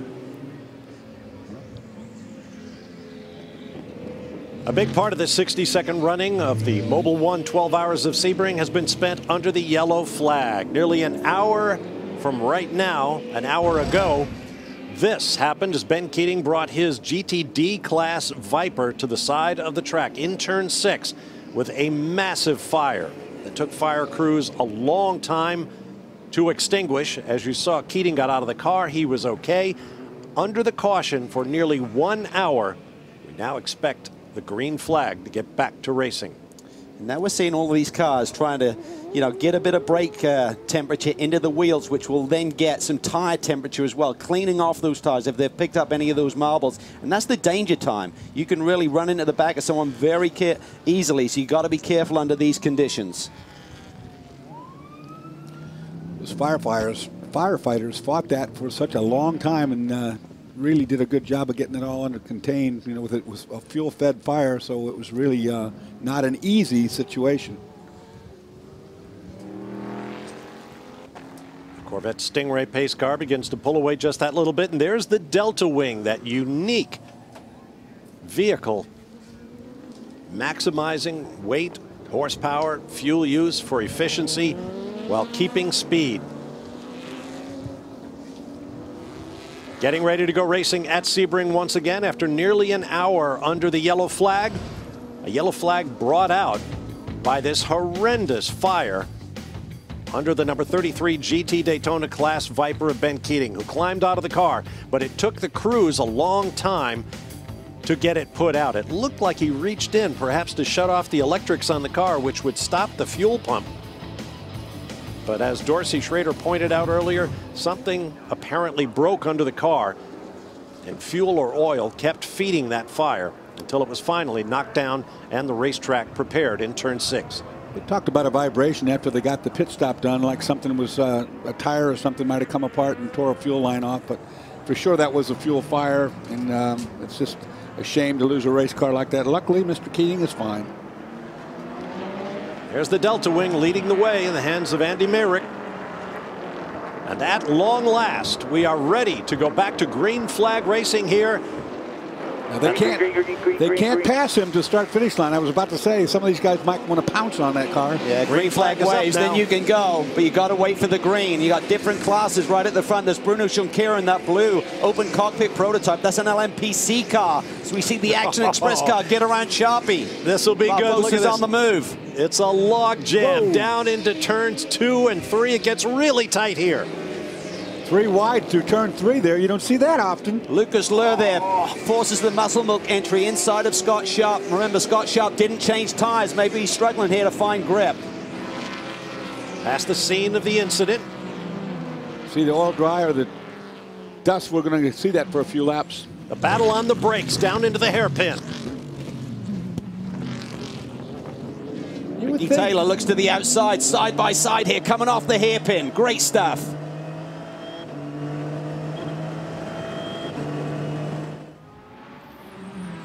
And right now it appears there's no catching Andy Meyrick in that Delta Wing. Boy, he's got got it going, doesn't he? Yes, That he was does. very Speed. impressive at Daytona. Had decent speed here. This isn't probably the best configuration of racetrack to take advantage of that low drag machine like Daytona and the high speed nature of that circuit. Official numbers on the caution flag 15 laps of caution, 59 total minutes under yellow. Lucas Luhr pushing hard in the muscle milk entry. He's up to third now.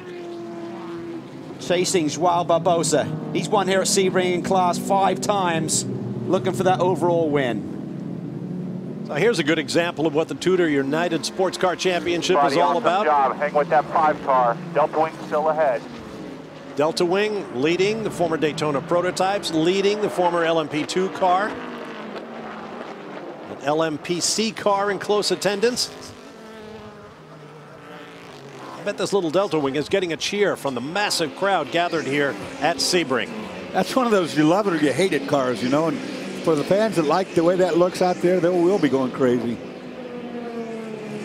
So unique. There we see the Mike Shank racing entry, the need for speed. Ford Riley. The movie opened last night. They'd love to celebrate that with a win here today. Saw that uh, car in the movie at the Detroit Auto Show while I was up there. Shelby GT, nice car. Riding with one of the best, Scott Pruett just never seems to lose a step as he moves from race victory to series championship. One of the truly glittering resumes among active drivers in American motorsports. A little defensive posture there by the Corvette. Yeah, Burt Frisselle behind the wheel of the second of the Action Express racing entries made his intentions known. Don't think about the inside lane. Now, this is the part of the racetrack I was talking about, or trying to at the top of the show. Those concrete blocks were there on New Year's Eve in 1950. Look at this. Look at that yellow Corvette. That's a GTLM machine, which will have more speed, but he's just trapped in amongst the GTT, GTD category right now. Got to be careful. Got to be patient. Remember, that three car is trying to come from behind. Don't cause more damage to the race car. I was here when they removed some of those concrete um, blocks, if you will, to make the racetrack on the backside more like a real racetrack. And those things are over two feet thick per, per chunk. Just a tremendous amount of concrete around this place. Look how close these classes are. A lot of the GTLM drivers say we can't compete with these GTD machines on the straightaways. The reason being is the GTD car doesn't have all of the high downforce bodywork, which slows you down. Yes, it gives you grip, but uh, causes drag down the straightaway. Look at this action, the 30 car. Oh, he got turned. No damage there if he doesn't get stuck in that in that sand. GB Autosport Tully's racing entry here. Took down some sponsorship signs, though. You might have to pay for that. Nope, he's good. He's going to get going. Local yellow only, and they'll take that away. Mike Avenatti behind the wheel. GB stands for Global Baristas. Nice marketing touch. Last thing on his mind right now. Clean them up. And now the Delta Wing has been caught and is being passed. Uh, they pounced on him. I figured they would sooner or later. Tell you what, Ricky Taylor is looking strong here in this uh, opening couple of hours, showing a lot of pace. Qualified very well yesterday. This is a team that struggled at the test. They couldn't keep the car on the ground, just over the bumps. Really struggled with their shock package, but they've gone away, done some work, and the car is much improved, looking competitive here this weekend.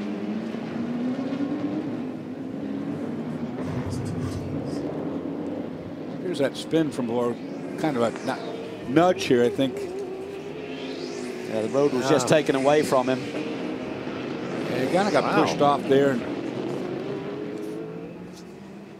I don't know if they ever actually touched or not, but just didn't have any road there. It's a difficult place to hang as a driver attempting an overtake. It's a tricky corner, believe it or not. You're going into 10 and you're coming off of that S turn, and the car's not really flat yet. You got to try to be cognizant of getting the, the chassis back to square before you get hard on the brakes. Look at Oz Negri. He is looking really racy, boys. Putting the pressure on Ricky Taylor right now.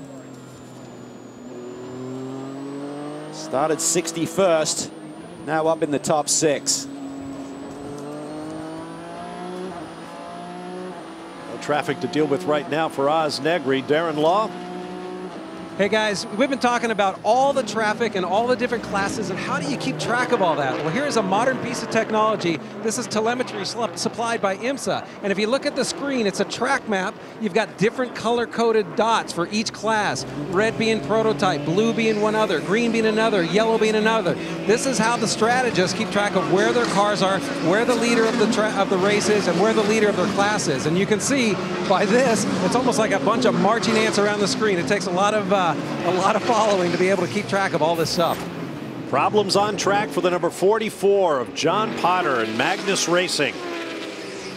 He had a difficult Rolex 24 at Daytona, finishing 12th in class Oh, he with gets- lots oh, of man, he got collected. Yeah, he had nothing to do with that. He got a nudge. I think that's turn 13, and that is one of those areas of the racetrack. If the car in front of you brakes a little bit harder, you're kind of committed, Dorsey, and there's nothing you can do. We saw it last year with some of the different categories racing together over in turn 13.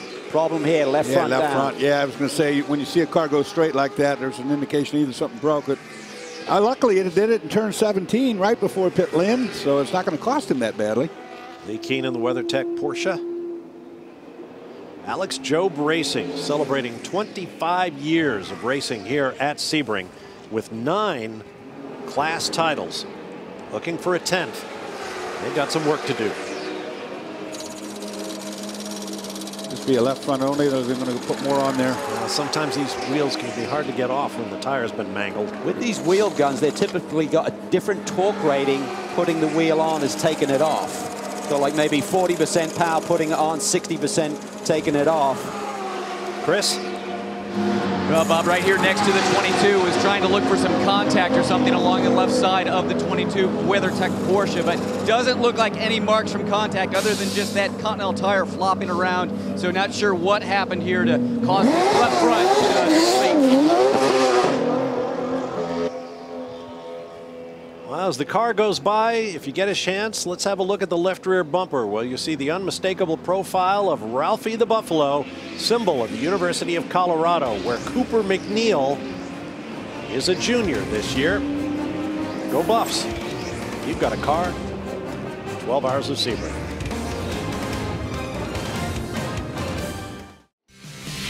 Welcome back to a big weekend of racing here on Fox. This week, NASCAR heads to Bristol for our first short track of the year. Kasey Kahne looks to defend his victory a year ago. Coverage begins 12:30 p.m. Eastern on Sunday only on Fox and streaming live on Fox Sports Go.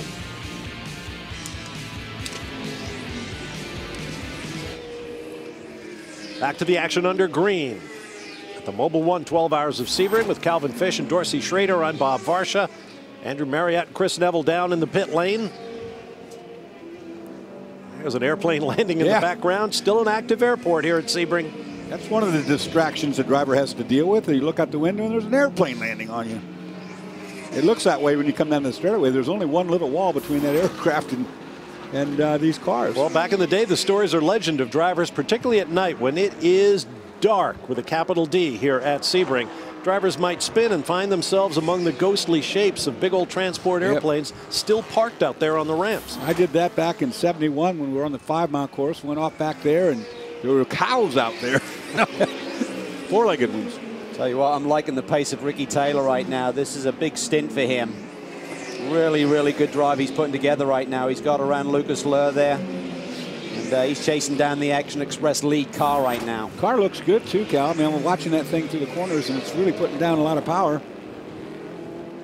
This is the Muscle Milk team under team owner Greg Pickett. It really comes off the corners well. Won a couple of championships in the prototype division of the American Le Mans Series. Look at Ricky Taylor. He Yep. is right in the wheel tracks of João Barbosa. Will he think about a move down in the hairpin? Thinks better of it. Black and orange, number 10. Really getting good launches, guys. When he gets off that corner, he really gets power down. It's all about getting that shock package right and hoping that the track conditions meet the setup that you put on the race car for this 12-hour event. They can make minor changes during the race, but changing the shock package is something that you can't do quickly, certainly. So they seem to have got it right.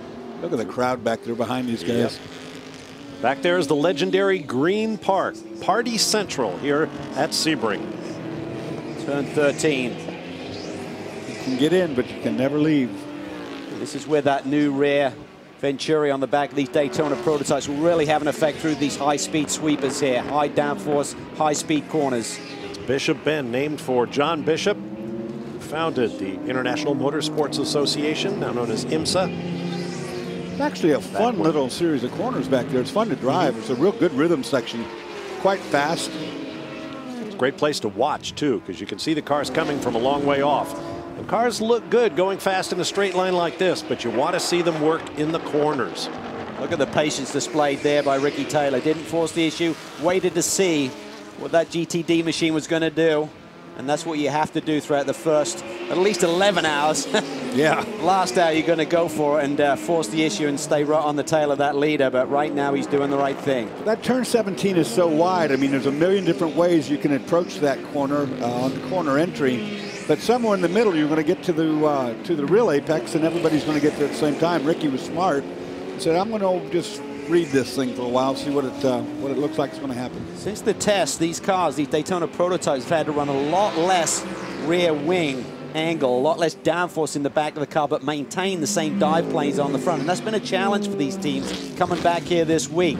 Essentially, you're really creating the car to be loose, kind of oversteering through the corners, and uh, you really have to work with the rest of the chassis setup to get that dialed out, Dorsey. You know, and, and it's going to get worse. Is that about 3 o'clock in the afternoon when we really have the sun beating down and it warms up another 10 degrees or so, this racetrack will get slippery, and you might start seeing guys putting wickers on or adding a little bit of downforce because this racetrack is notorious when it gets hot for just getting greasy.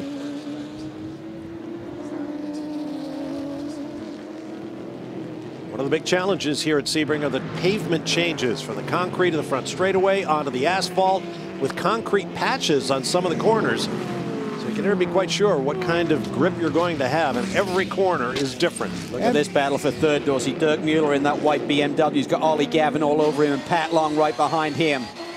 They added uh, sealer to the asphalt parts of the racetrack about a year ago, and that sealer then presented another problem when it got wet in particular. Oh, look at this. Gavin stuffs it down the inside. Locks up a little bit. Locked the rear brakes as he turned in. Great stuff.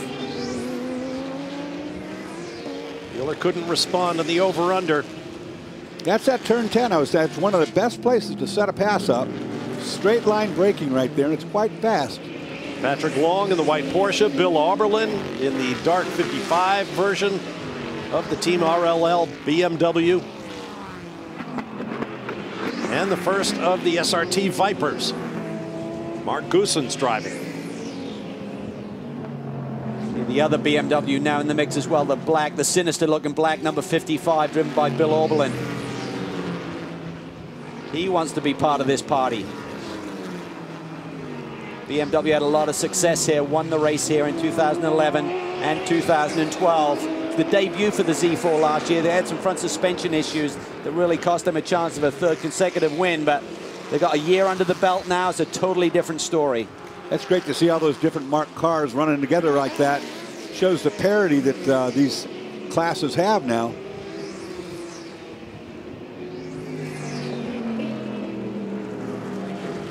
Corvette, BMW, Porsche, Bimmer, Viper.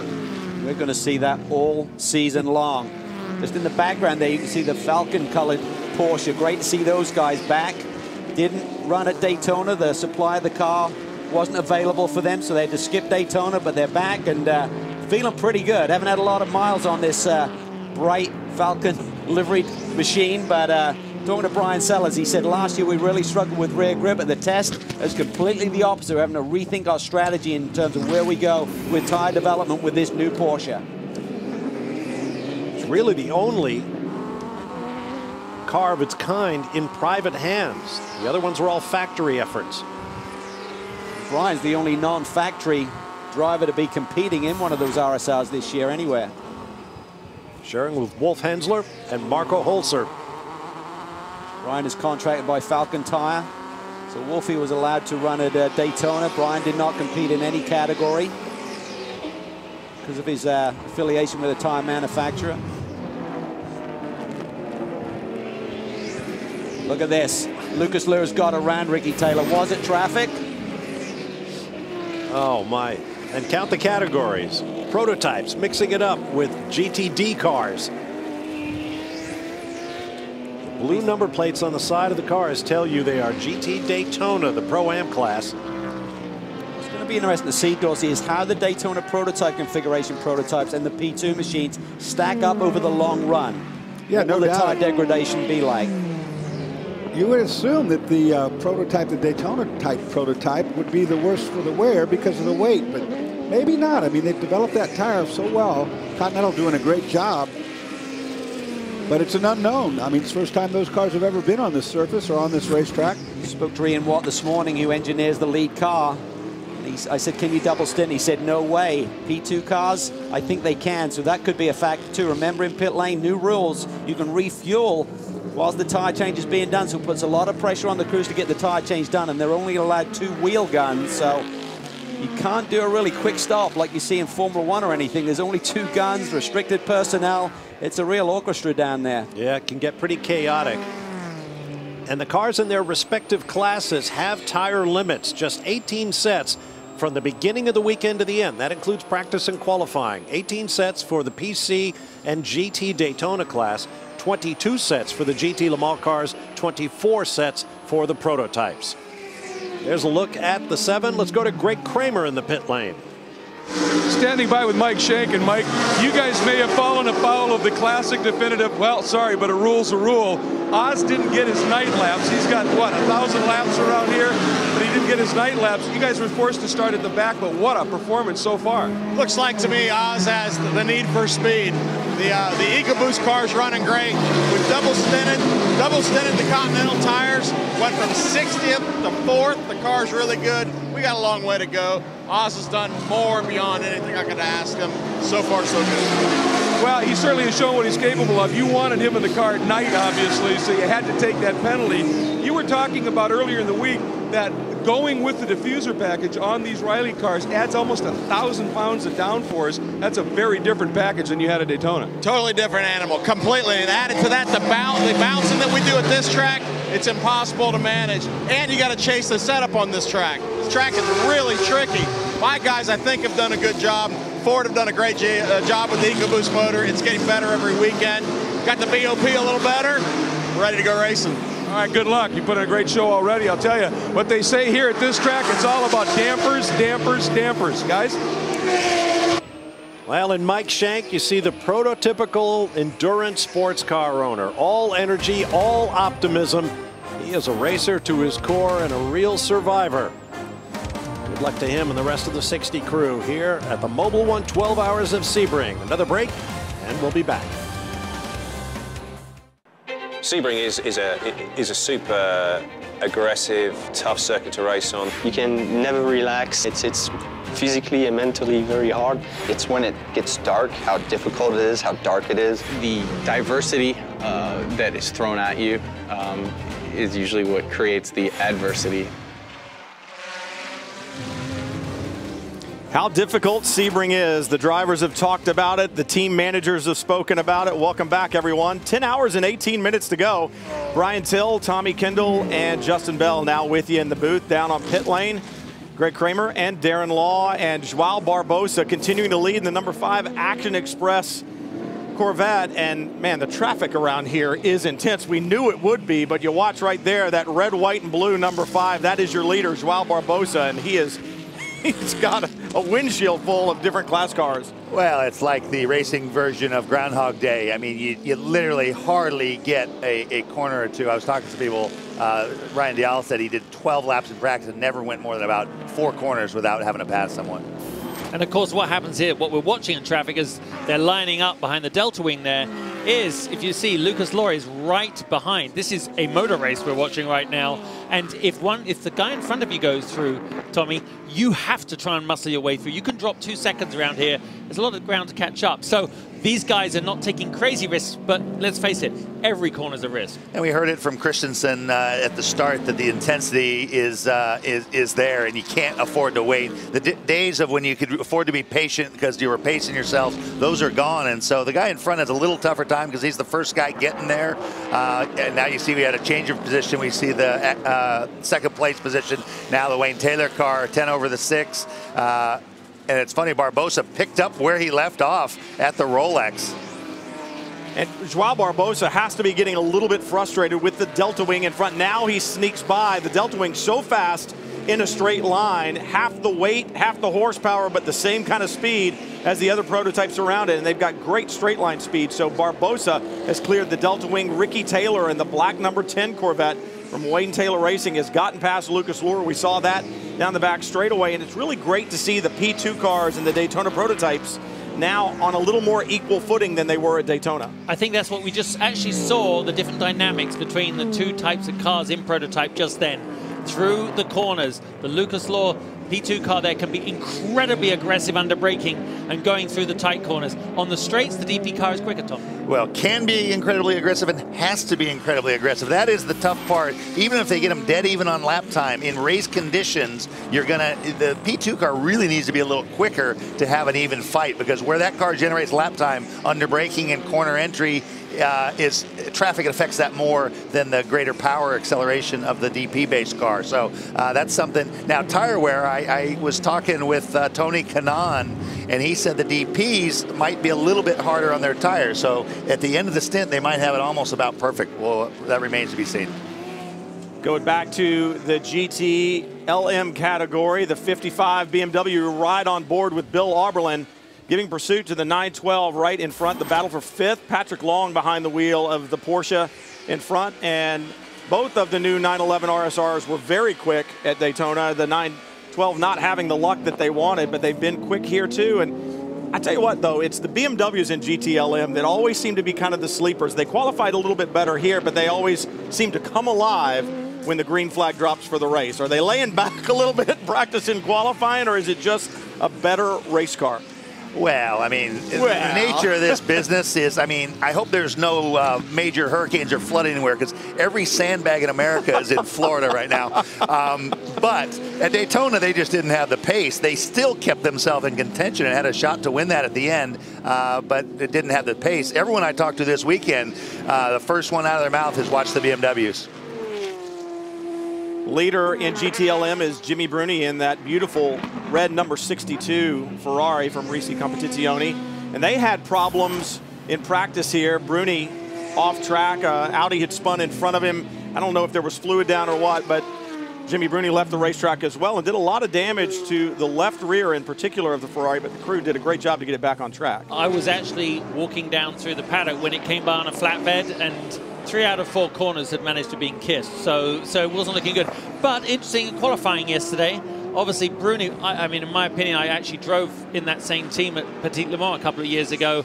He is extraordinarily capable in qualifying, but he was told to dial it back by Giuseppe Risi saying, you know what, you kind of lost your privilege, not that it was your fault. The privilege to get pole is now gone. Let's just get this race, because remember what happened to them at Daytona and you know, millions of dollars on the line in this kind of racing and this equipment. And they're in the race. And you know what? Good call by the team management because they qualified sixth or seventh, I believe, and now they're, well, they're leading the class. Well, and, and that's a group when you walk around the paddock and you pull who you got your eyes on. The, the Ferrari in this exact spec has won every time out. It won Petit a few years ago and so forth in this exact spec with the BOP adjustments. Uh, but they said the wild card there is those guys have one speed.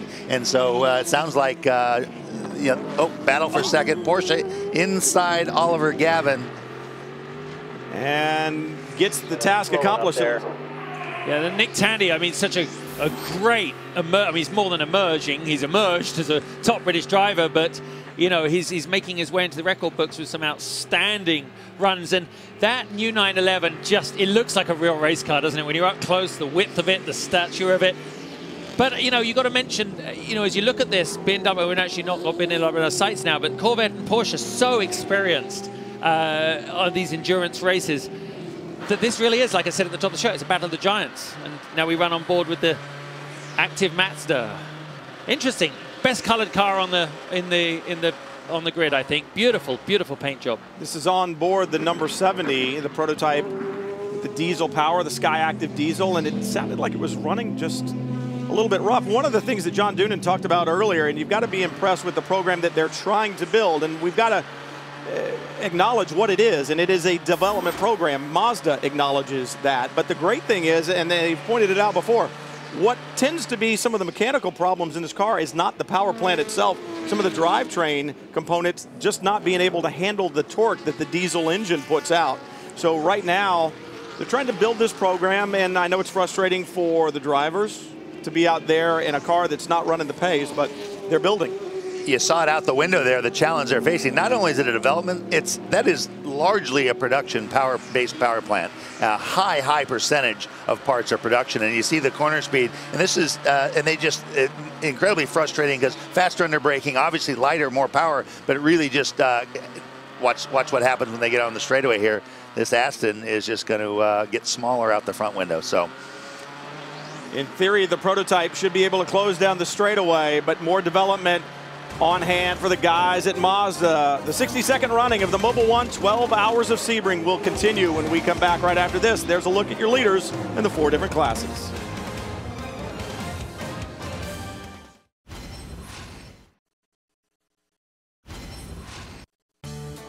Over years of endurance racing, Michelin has regularly shown us that tires can be double, triple, and in some cases quadruple stinted.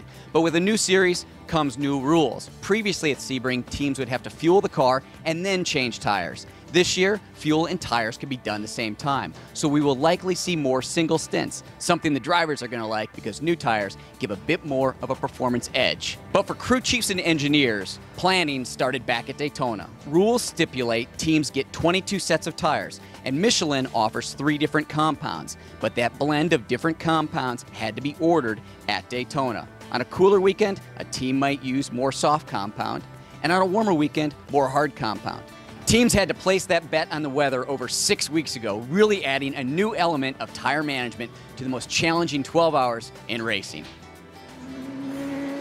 And it is a challenge. I mean, and you guys know it. When you show up at a racetrack and the team goes, well, we don't have the compound that you wanted, Tommy. It's not at all what you want as a driver. Now, the number six Muscle Milk prototype is in. Darren? Yeah, they're riding for a regular stop, driver change. Lucas is getting out. They're doing a full-blown stop with tires, fuel, everything, and a lot of cars are coming in right now. One of the issues that I was talking with with some of the teams, and we found this yesterday, is that it's getting hot. They're coming into the heat of the day, and tires are becoming an issue. Things are getting greasy, so... talking about how hard, how hard those guys are pushing, but they're going to have to monitor what they're doing or they're going to burn the tires up. You look down pit lane, you can see the number nine Action Express is in. This is on board the 90 from Spirit of Daytona. Michael Valiante getting behind the wheel. And you heard Darren say it's getting hot. We'll go back to tire compounds that the GTLM teams have a choice of. Everybody else running on Continental tires, but for the GTLM teams, we were talking about tire compounds. How big of a difference does it make, Tommy?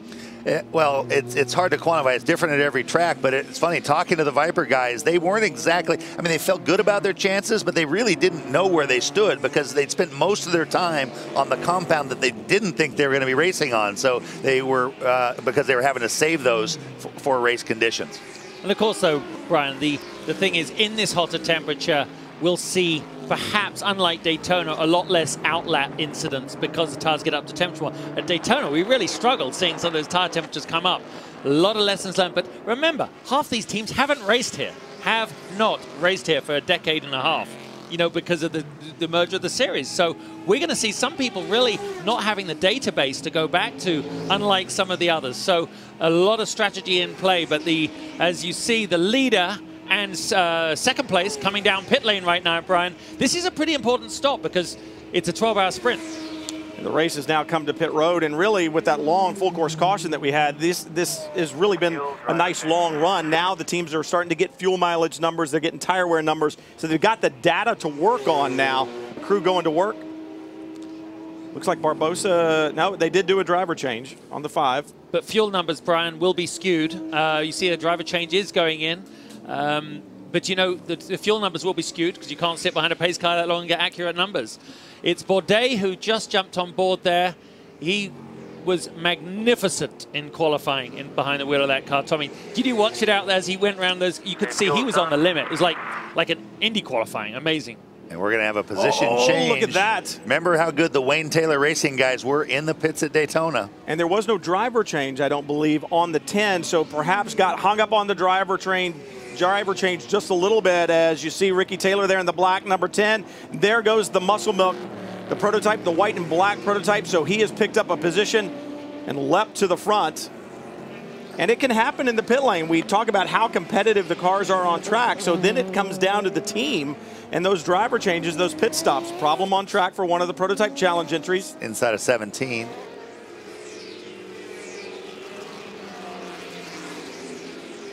Easy to have a problem down in 17 when the car's not on the ground half the time that's, because that's, of the bumps. Yep, that big, big uh, jump virtually. Let's go to Greg Kramer in pit lane. Down here in the wheel of number 31, and this is a stop that's taking a lot longer than they planned. They're putting some tape inside of the cockpit. When I asked them about what was going on in the stop, I wasn't uh, told this was going to be happening.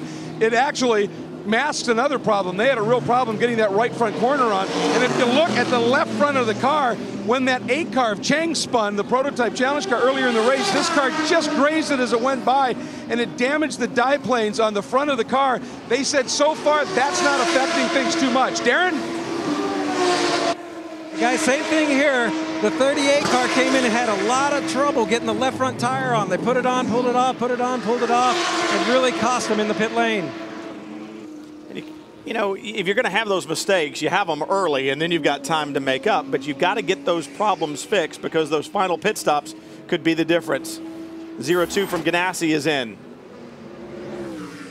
Car looks so different with that big machine record sponsorship down the side of it from what we saw it at really the Rolex 24. You, it is. It? Takes a little bit of getting used to it. Great livery though. See, he's clearing out the the air vents there because you get a lot of grass. If people are starting to go off and make mistakes, so there's a lot of dirt and dust and grass. You need to keep that clear. Clear, clear. So Scott Dixon stays behind the wheel and heads back out in the 0-2. So pit stops beginning to cycle through, and you look down the racetrack. There is the number 10 of Ricky Taylor. And the timing and scoring will cycle through as well. We saw Klaus Graf ahead of the 10 after that last pit stop. And we're actually showing Max Angelelli in the car now on timing and scoring. So perhaps Wayne Taylor Racing Crew did do a driver change. They just got it done better. Well, and even better than them was the muscle milk yep. guys. And, the, with now that they're allowed to do fuel and tires together, the driver change really wasn't under much pressure before. If you were, especially if you were changing tires, and they were, there was more of an incentive to double stint tires. Now that's not the case. So everybody says the driver changes are likely the limiting factor, and so there's going to be a ton of pressure on that. So if you're doing a driver change, which car do you want to be getting in? The uh, Daytona prototype with a door and a roof, or the prototype that's open top? For, for me, two things. One is uh, in 80 degrees, I quite like an open top car too. So I think it's, you know, remember that your teammate can really assist you. But as we watch coming through the notorious turn 17, that the turn of BMW was pretty out of shape there, and I'm not sure that the number eight got unsighted and hit bumps and and just spun it round. Of course, then we heard on the radio the starter motor wasn't working. And often, when you're watching at home, you get very frustrated. Why isn't he moving? Why doesn't he get going? The starter motor was just obviously not allowing him to get going. He did, and uh, had a rather adventurous pull into pit lane.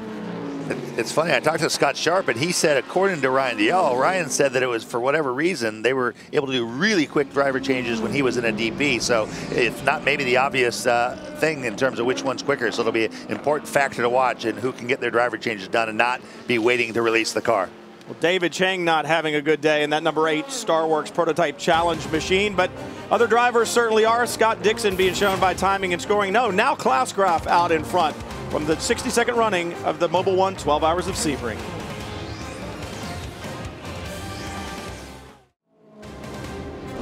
Just under 10 hours to go from the Mobil 1 12 Hours of Sebring, the 62nd running of this great event. Right now, Klaus Graf out in front in his Oreca Nissan, but Max Angelelli, his Wayne Taylor Racing team, Sebastian Bourdais, his Action Express team and their Corvettes have been fast all day long, and there's nothing that Chevy would like to do more than to take a victory here. They won at the Rolex 24. They want to win here again. Let's take a little bit of history lesson here from the Mobil 1 12 Hours of Sebring. When was the last time that a Chevrolet won here overall? Well, it was back in 1965, and you may recognize the car, the Chaparral and you'll certainly recognize the name, Jim Hall. What cool cars. Listening to Vic Elford last night talk about his first trip to Chaparral Raceway testing for Jim Hall, and they said, whatever you do, if the car stops on course, do not get out of the car. It's not called Rattlesnake Raceway for no for reason. Nothing. That's Look exactly at this right. battle here. It's reversed between uh, Action Express and Wayne Taylor Racing. That battle for second place. But you're seeing what the what the prototype drivers have to deal with as far as the different classes right now. Max Angelelli trying to get around the prototype challenge car in front of him. He's got Sebastian Bourdais, one of the best in the business, right behind him, and then they had a GT Daytona car mixed in there as well. So with the traffic, it's going to be there for all 12 hours, and that's going to be the thing. You got to be patient, but you got to be aggressive. How do you how do you balance the two? Uh, everyone's got their own plan for that. But it's very fluid. I think we should point that out. To it's not an anomaly that there's traffic at Sebring. It is Sebring. It is Daytona. It is multi-class sports car racing. And in 1950, I'm sure they complained about the traffic. So you know, it's it just what happens is now is that all these cars have their different strong points. I mean, the PC car can be so quick under braking compared to a GT, but not as fast on the straight. So we, I mean, right now is a great example. We've got the Viper there on the left, the new 911 on the right, and you see he's squeezed. He didn't know he couldn't do much there against the Taylor, uh, against um, the the action uh, velocity Toshiba car, but he couldn't do much with him there because he has to use all the road. He's a GT car committed to his line. There's a lot of dynamics. So remember, by this point of the race, a lot of the world's top drivers are in each car. We're at that point of the race that some of the best drivers in the world are behind the wheel. So I think there's a lot of synergy between what they're doing. Things change a little later.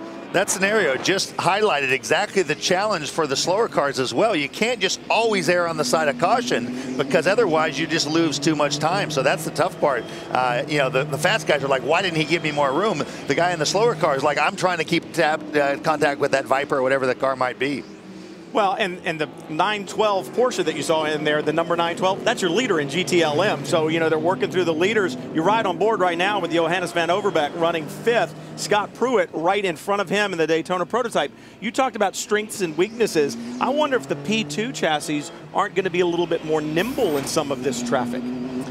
Yeah, well, for sure. I mean, it's, but again, it's, I mean, they, uh, pluses and minuses. You know, they, they again they generate their lap time under braking and corner entry, which if there's a you're behind a car, and so you really have to come from a long ways back. You have to commit, but sometimes when you commit back there, to and you can't. It, you have so much momentum, it, you're making a taking a huge risk because you commit back there, and then you only find out at the apex whether the guy saw you or not. Yeah. Yeah, if you're going to ask me how I'd like to have a fast car, sitting there with my right foot planted to the floor down the straight is a nice way to gain some time. Yeah, if you can get her to handle on the straightaway, that's uh, that's really good. hard to hard to. Uh, it doesn't go away. Van Overbeek slid a little wide off the corner. His teammate, one of the best sports car racers in the world, David Brabham, right behind him in the number one from Extreme Speed Motorsports. Bourdais got a got a, but he, uh, Max is uh, that's not his first rodeo, so he's uh, taking the inside there, and Bourdais again uh, not willing to push the issue just yet.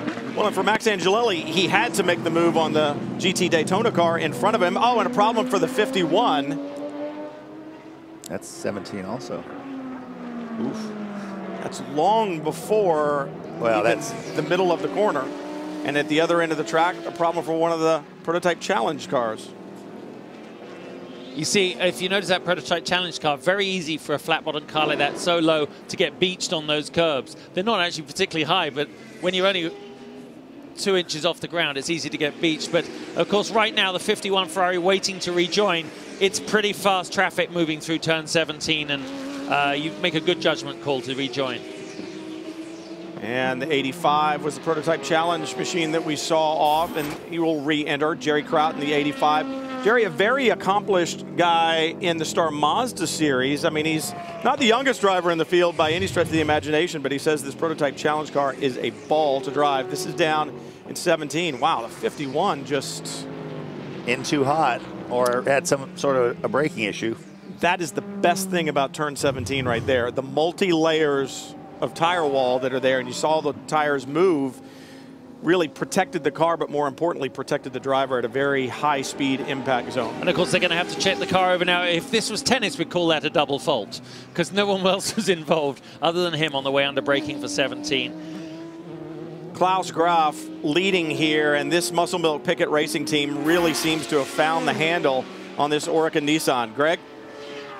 Well, that's maybe a great way to put it. All that great battling you're calling happening behind the number six Muscle Milk Pickett racing car. Greg Pickett, obviously you guys struggled at Daytona in, in terms of speed. Now it's a different setup on the DP package here, but they seem to have got it pretty right. You guys are out front. It's come alive for you.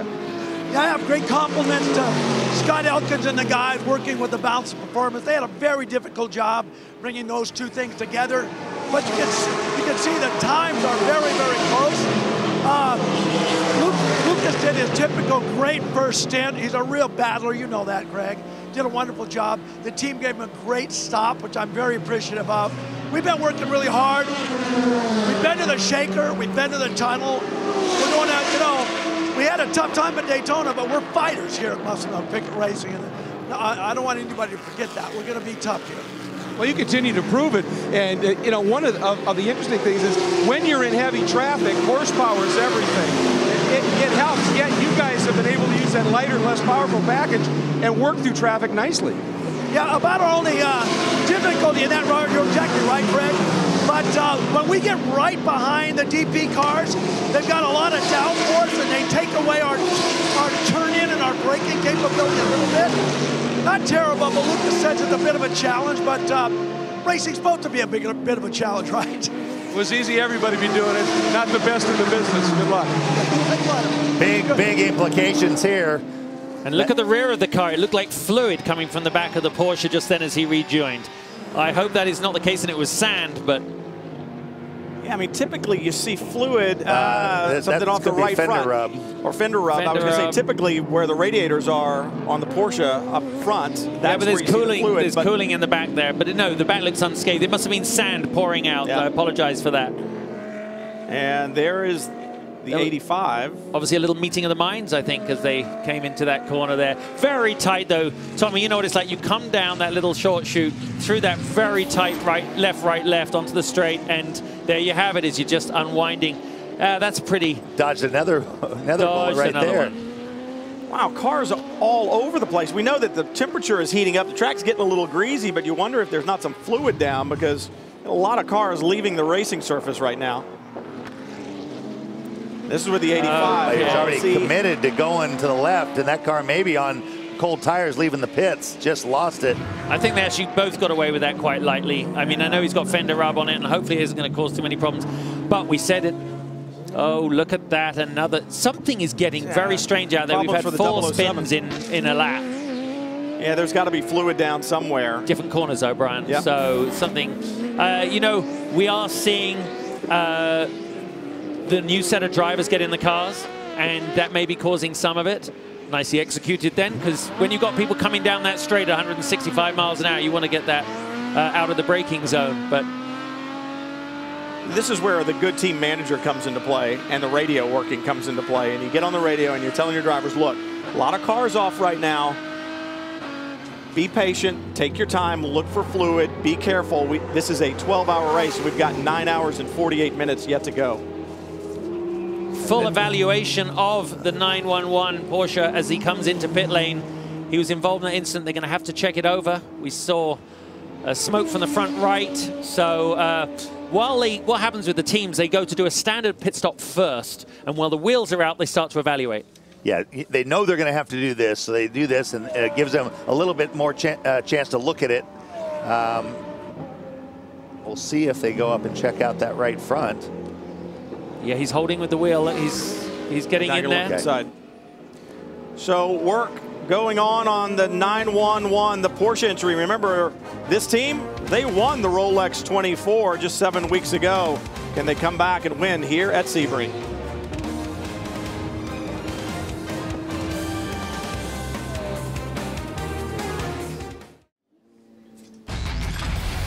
Tonight, the UFC returns to Fox Sports with UFC 171 prelims as the Ultimate Fighter se Season 17 winner, Kelvin Gastelum, takes on Rick Story plus other epic bouts. It all begins with the pre-fight show at 7 p.m. Eastern on Fox Sports 2 and streaming live on Fox Sports Go. Welcome back to Sebring. I think we've seen some Ultimate Fighter stuff going on here on the racetrack. A little bit of argy-bargy, but certainly lots of cars with problems is now the 87 around on track with Bruce Hamilton behind the wheel. We'll get you up to speed. Nine hours and 44 minutes remaining here in the 62nd running of the Mobil One 12 Hours of Sebring. But let's catch up on how it all began with our race recap. At the drop of the green, the number five Action Express Corvette out in front. And really, the first couple of laps were pretty clean. We thought there might be some action with 63 cars starting. But uh, then the action started. Things heated up, and not the way we wanted them to, as Ben Keating has a fire in his number three Viper. That is one of one. Uh, heartbreaking. Significant damage. And then damage to the number three. That happened in the very opening laps, and this was going to be a long stop on pit lane. Long stop, but Corvette always prepared for these eventualities. They train harder than anyone at this. But however, in the first opening minutes of a 12-hour race, you don't want to be stay in the pit lane for this long. But if you're going to have a problem, have it early so you can come back. And then a problem for Michael Avenatti. he nailed you.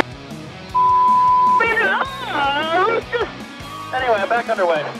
Copy that. There's some stuff on the back, but I'm not sure that it has any meaning. It was showing pictures of you. We'll see you when you come by. Copy. As far as I can tell, I should stay out. Ah, gosh, I've got so much dust in my eyes. but I can see. but I can see. Off we go.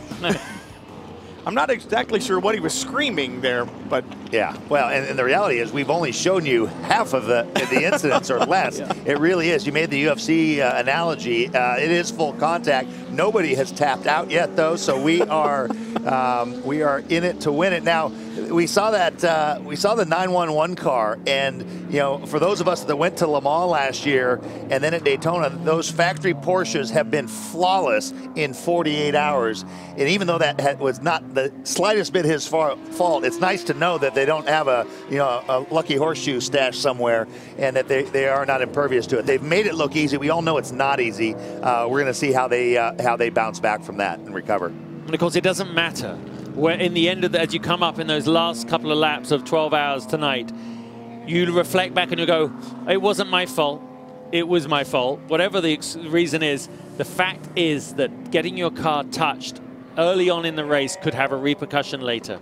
And that is the same. We said every 24 and every 12 hour and every 10 hour race, you need to keep your car clean to have the best shot of winning at this race. Well, remember, one of the keys to winning here is the unknown how do you deal with the unknown when that that unexpected mechanical issue comes up when somebody spins into you how ready is your crew to repair it the spare parts that they have on hand how quickly can they react and that's why the teams with so much experience always seem to be the ones who do well but right now like you said no lucky horseshoe well, and this yellow is helping them because the yep. average speed is way down. So the amount of ground they're losing is, I mean, it, they're still going to have to come back. Uh, and it, the car didn't look that bad, but obviously something underneath was damaged to the point support structure or something. They're actually putting in look a new inner fender, uh, inner fender there. So let's hope Darren Law is down there, and perhaps Darren, you got an update on exactly what the damage is.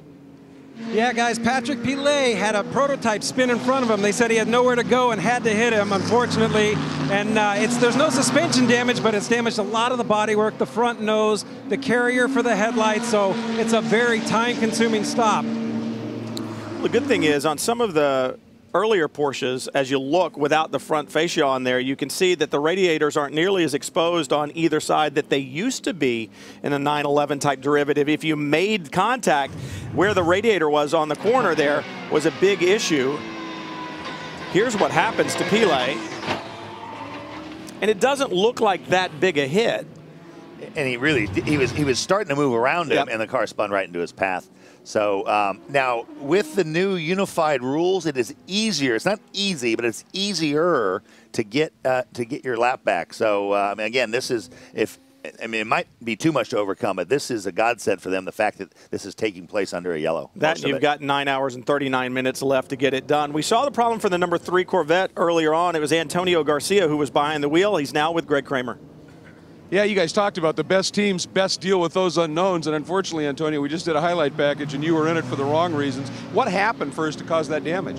I mean, it was a big, big hit for sure. I mean, from the cameras, I think all the guys didn't know that what happened really there, but I got really, I got hit really, really big time by Nick Tandy in the back. So I was saving a little bit some distance with the 56, and he just launched me into the into the BMW basically. So I couldn't do anything, and I don't know. I mean, he, he probably got hit the same way. So I don't know where it started really, but I mean, we all know we need to park the car there. I mean, it's a traffic jam into turn three usually, and basically I tried to do, I tried to do the, the, the best thing, just to stay safe with the car in front of me, but he just launched me into the other one. So unfortunately, we we broke the front splitter and the full nose, so decided to change the whole thing, even if if I if I if I was still in contact with them. So then following stint was good. I mean, the car is has the pace for sure. So I think now we just need to find the, the best strategy to to get back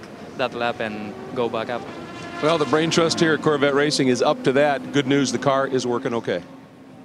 It's interesting, Justin, you said it. I mean, sometimes the damage appears much later, and what we just found is that two other cars were involved in that collision with the number three Corvette. So, what kind of damage on the 911? Well, maybe they're taking care of that right now, but you heard him say the BMW was involved as well. We still have a long way to go from the Mobil One 12 Hours of Sebring.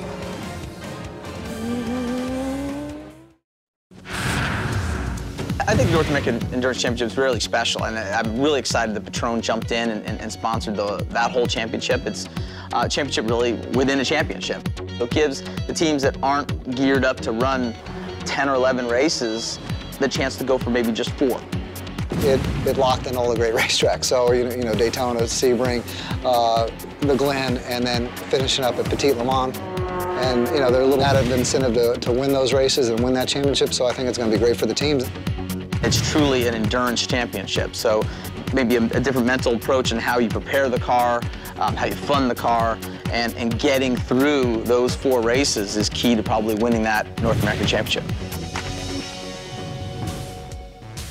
The Tequila Patron North America Endurance Championship. And there's a look at the four different class leaders. These are the teams right now. And if you look down to GT Daytona, down at the bottom, level five motorsports, well, they've withdrawn. They're not going to be running anymore this year. But the points that they scored at Daytona, that has them right now in the lead for the North American Endurance Cup. So uh, that's going to change today. That one's going to change for sure. But you know, it's interesting. Scott Sharp said it. It's it's a, a true endurance championship.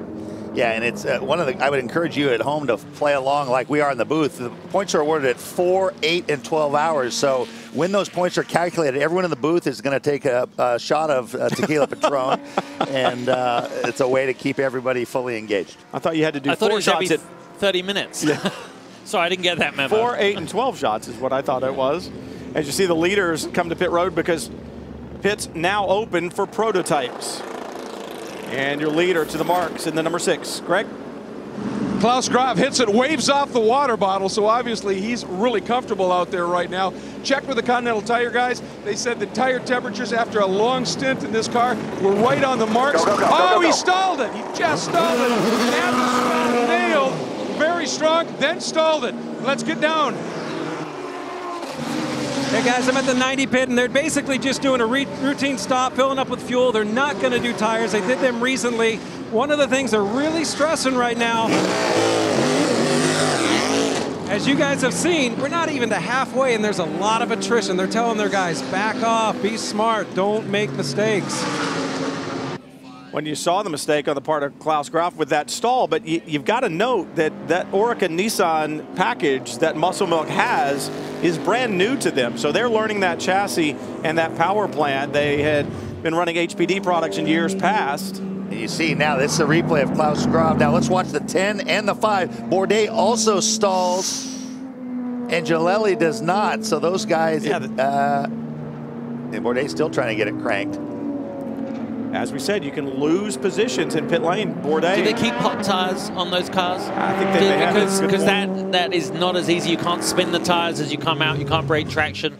And uh, no excuse, but it is harder to get out of the pit lane. Well, and usually that if if that is the case, they usually remind you on the radio for a couple reasons. Not only is it harder to get the car going, it's also much harder on the drive line. So with cold tires that don't have a grip, you can just blaze them and it doesn't hurt anything. If they're hot, they don't want you to put that huge shock through the drive line and they're going to tell you, hey, ease out of the pits if they did not change tires. And you saw how busy it was on pit road, and that is why the officials have split prototypes from GT. Can you imagine the 63 cars coming in there with those pit stalls trying to get pit stops done? So a good call for the Tudor United Sports Car Championship.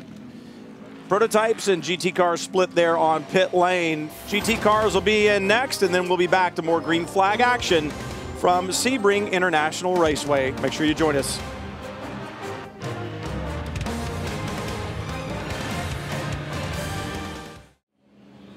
Remember, you can enter for a chance to win the industry's most awarded car of the year, the 2014 Corvette Stingray Convertible. Visit racetowincorvette.com now for your chance to win. And Tommy, you need to read all that fine print down there at the bottom of that graphic. Purchase not required. and there you have it.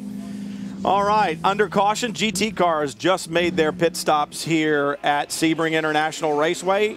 You see the clock at the top of the screen, 9 hours, 28 minutes yet to go. And Klaus Graf out in front in his Oreca Nissan. Hopefully the uh, that Magnus car does not jump into the Chevy Open House event. It's great as we uh, look up on here, you uh, to see David Brabham back here. was chatting with him. You know, David's he really had a little sabbatical over the last couple of years, focusing on other things and business. And we were talking yesterday. He he said I had to step away just to to to kind of refocus my mind. And he came back last year just as fa faster than ever.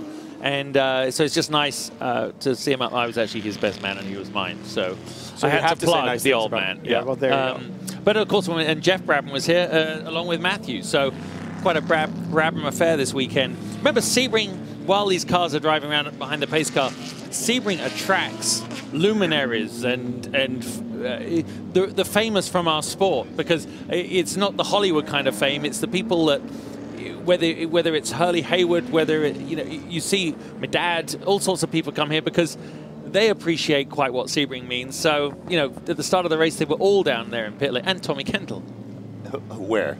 Yeah. Scott Dixon now to the top as things have cycled through after pit stops. But there's a look at the number five, Sebastian Bourdais. Remember, he had problems leaving the pit stall just a few minutes ago. Let's take a listen to some of the radio traffic. I think I know what it is. There must be something in the TC settings or something which should be turned off when the you're on pit lane cruise, but I don't think we got to that point yet, so I bet that's what it was.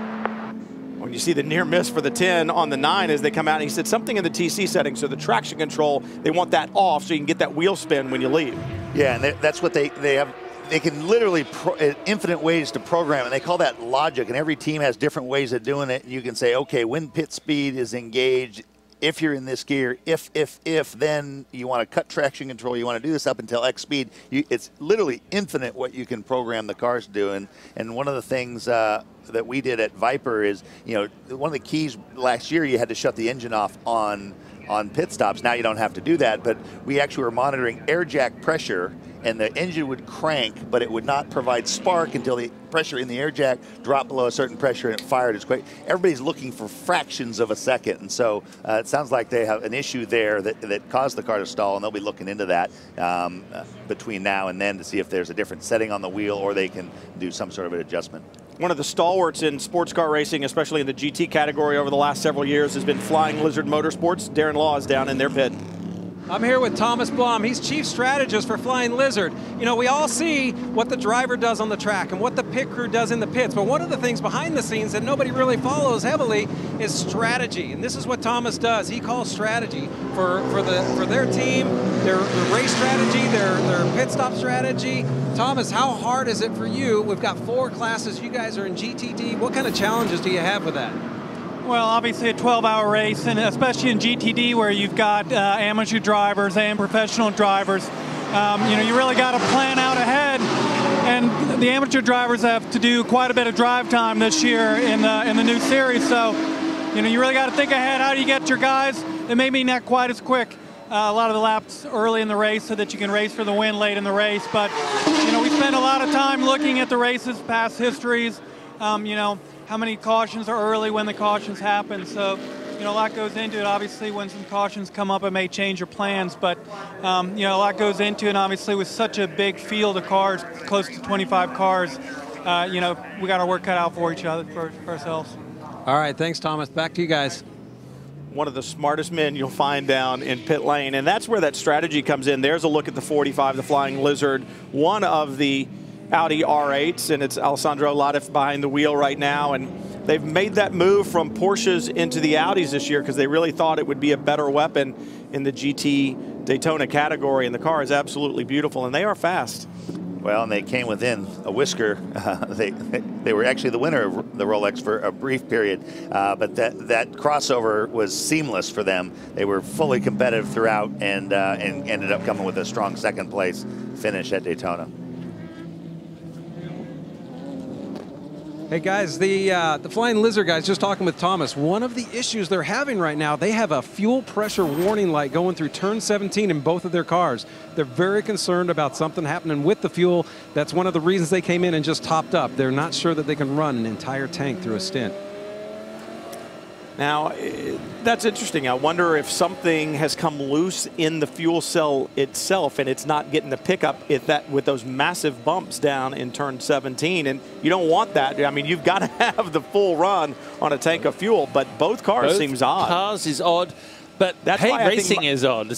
that's why you wonder if mechanically it's not a part. The same part is broken in there. I mean, the bumps here at Sebring, I, I know you see them on television and they look big, but seeing them is one thing. Riding Yeah. over them is something entirely different. Well, right now, as they come down that back, state, uh, back straight, of course, turn 17 you're just talking about is perhaps the most dynamic in terms of car suspension corner, almost probably in North American road racing. Um, but the cars, of course, at the front there. Scott Dixon in the O2 car. It's he has the run of the track right now. He controls the pace as they come through 17. The pace car has just pulled off to the right, and everyone getting very racy behind because there's four different categories in the first probably 10 cars, and it is a green flag. And Scott has a nice clean start. And unlike the initial start where you have to wait until you've cross start finish to improve position, the minute you hear green on the radio or you, you watch for the yellows to drop at the individual corners, race is on, you can pass anywhere. Scott Dixon with a big leap at the drop of the green has begun to pull away because you look back through the field, the next prototype entry that he's racing with is mired back in this gaggle of cars. Saw some uh, action there. The Viper losing two spots to the Porsches. Christensen just blasted past there on the inside of 17 there because he has to, because up in front of him are first and second place. Corvette, the number four, Tommy Milner, all over the back of that red Ferrari, Matteo Malucelli for Risi Competizione. So great to see Malucelli back after the huge impact that he took in that crash with Memo Gidley at the Rolex 24. Back and still very quick. And, and remember the finish last year where Tommy Milner put in that unbelievable final stint and was able to track down that Ferrari and get around him uh, to win the, the Rolex last year. And that was one where I think Tommy Milner really kind of came into his own. Uh, we talk about who you want in the car at the end. It's always been Ollie Gavin, but last year they wanted Tommy Milner in at the end, and he uh, he delivered the goods. And I think we're seeing him set him up now for the back straight as he comes through onto turn 15. He's going to be going onto the back straight there, but the Corvette looked like it has the edge in handling through the infield. So let's see if he's got the pace down the straight coming into 17. Bad news for Klaus Graf and his Muscle Pickett Racing team. They'll have to come down pit road for a speeding violation during that last stop, and he'll have to serve it under green. That's not what they wanted to see. And you saw him go off the road in 13. That might be when they delivered the news to him. Honestly. Yeah. What? He had several penalties last year that he didn't want to hear, and now a problem between two prototype challenge cars. 87. It looks like the 87 is and one 48. of them. It's Scott Dixon continuing to lead. Here, the 62nd running of the Mobil 1 12 Hours of Sebring will be right back after this quick break because there is plenty of action yet to come.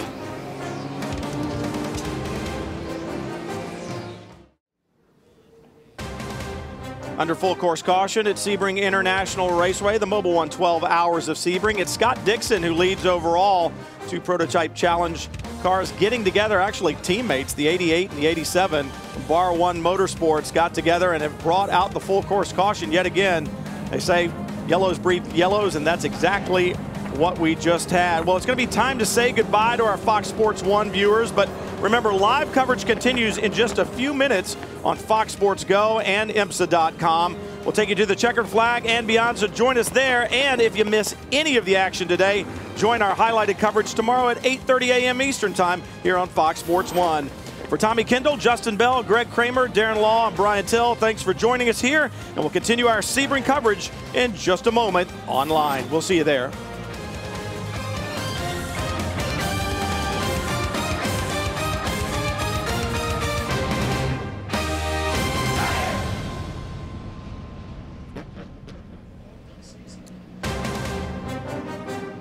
Full course caution yet again. Welcome to streaming coverage of the Tudor United Sports Car Championship. The Mobil 1 12 hours of Sebring from Sebring International Raceway. Nine hours, 16 minutes to go in this 12 hour event. 62 years. It's pretty amazing the history that we've seen here over all those years, the different champions, the different drivers that have come through. And, you know, they said at the beginning of the show, this is hallowed ground. You walk some of that same pavement, some of the best sports car drivers in history have ever walked down before, and it, it's uh, it's pretty sobering. It's a special place.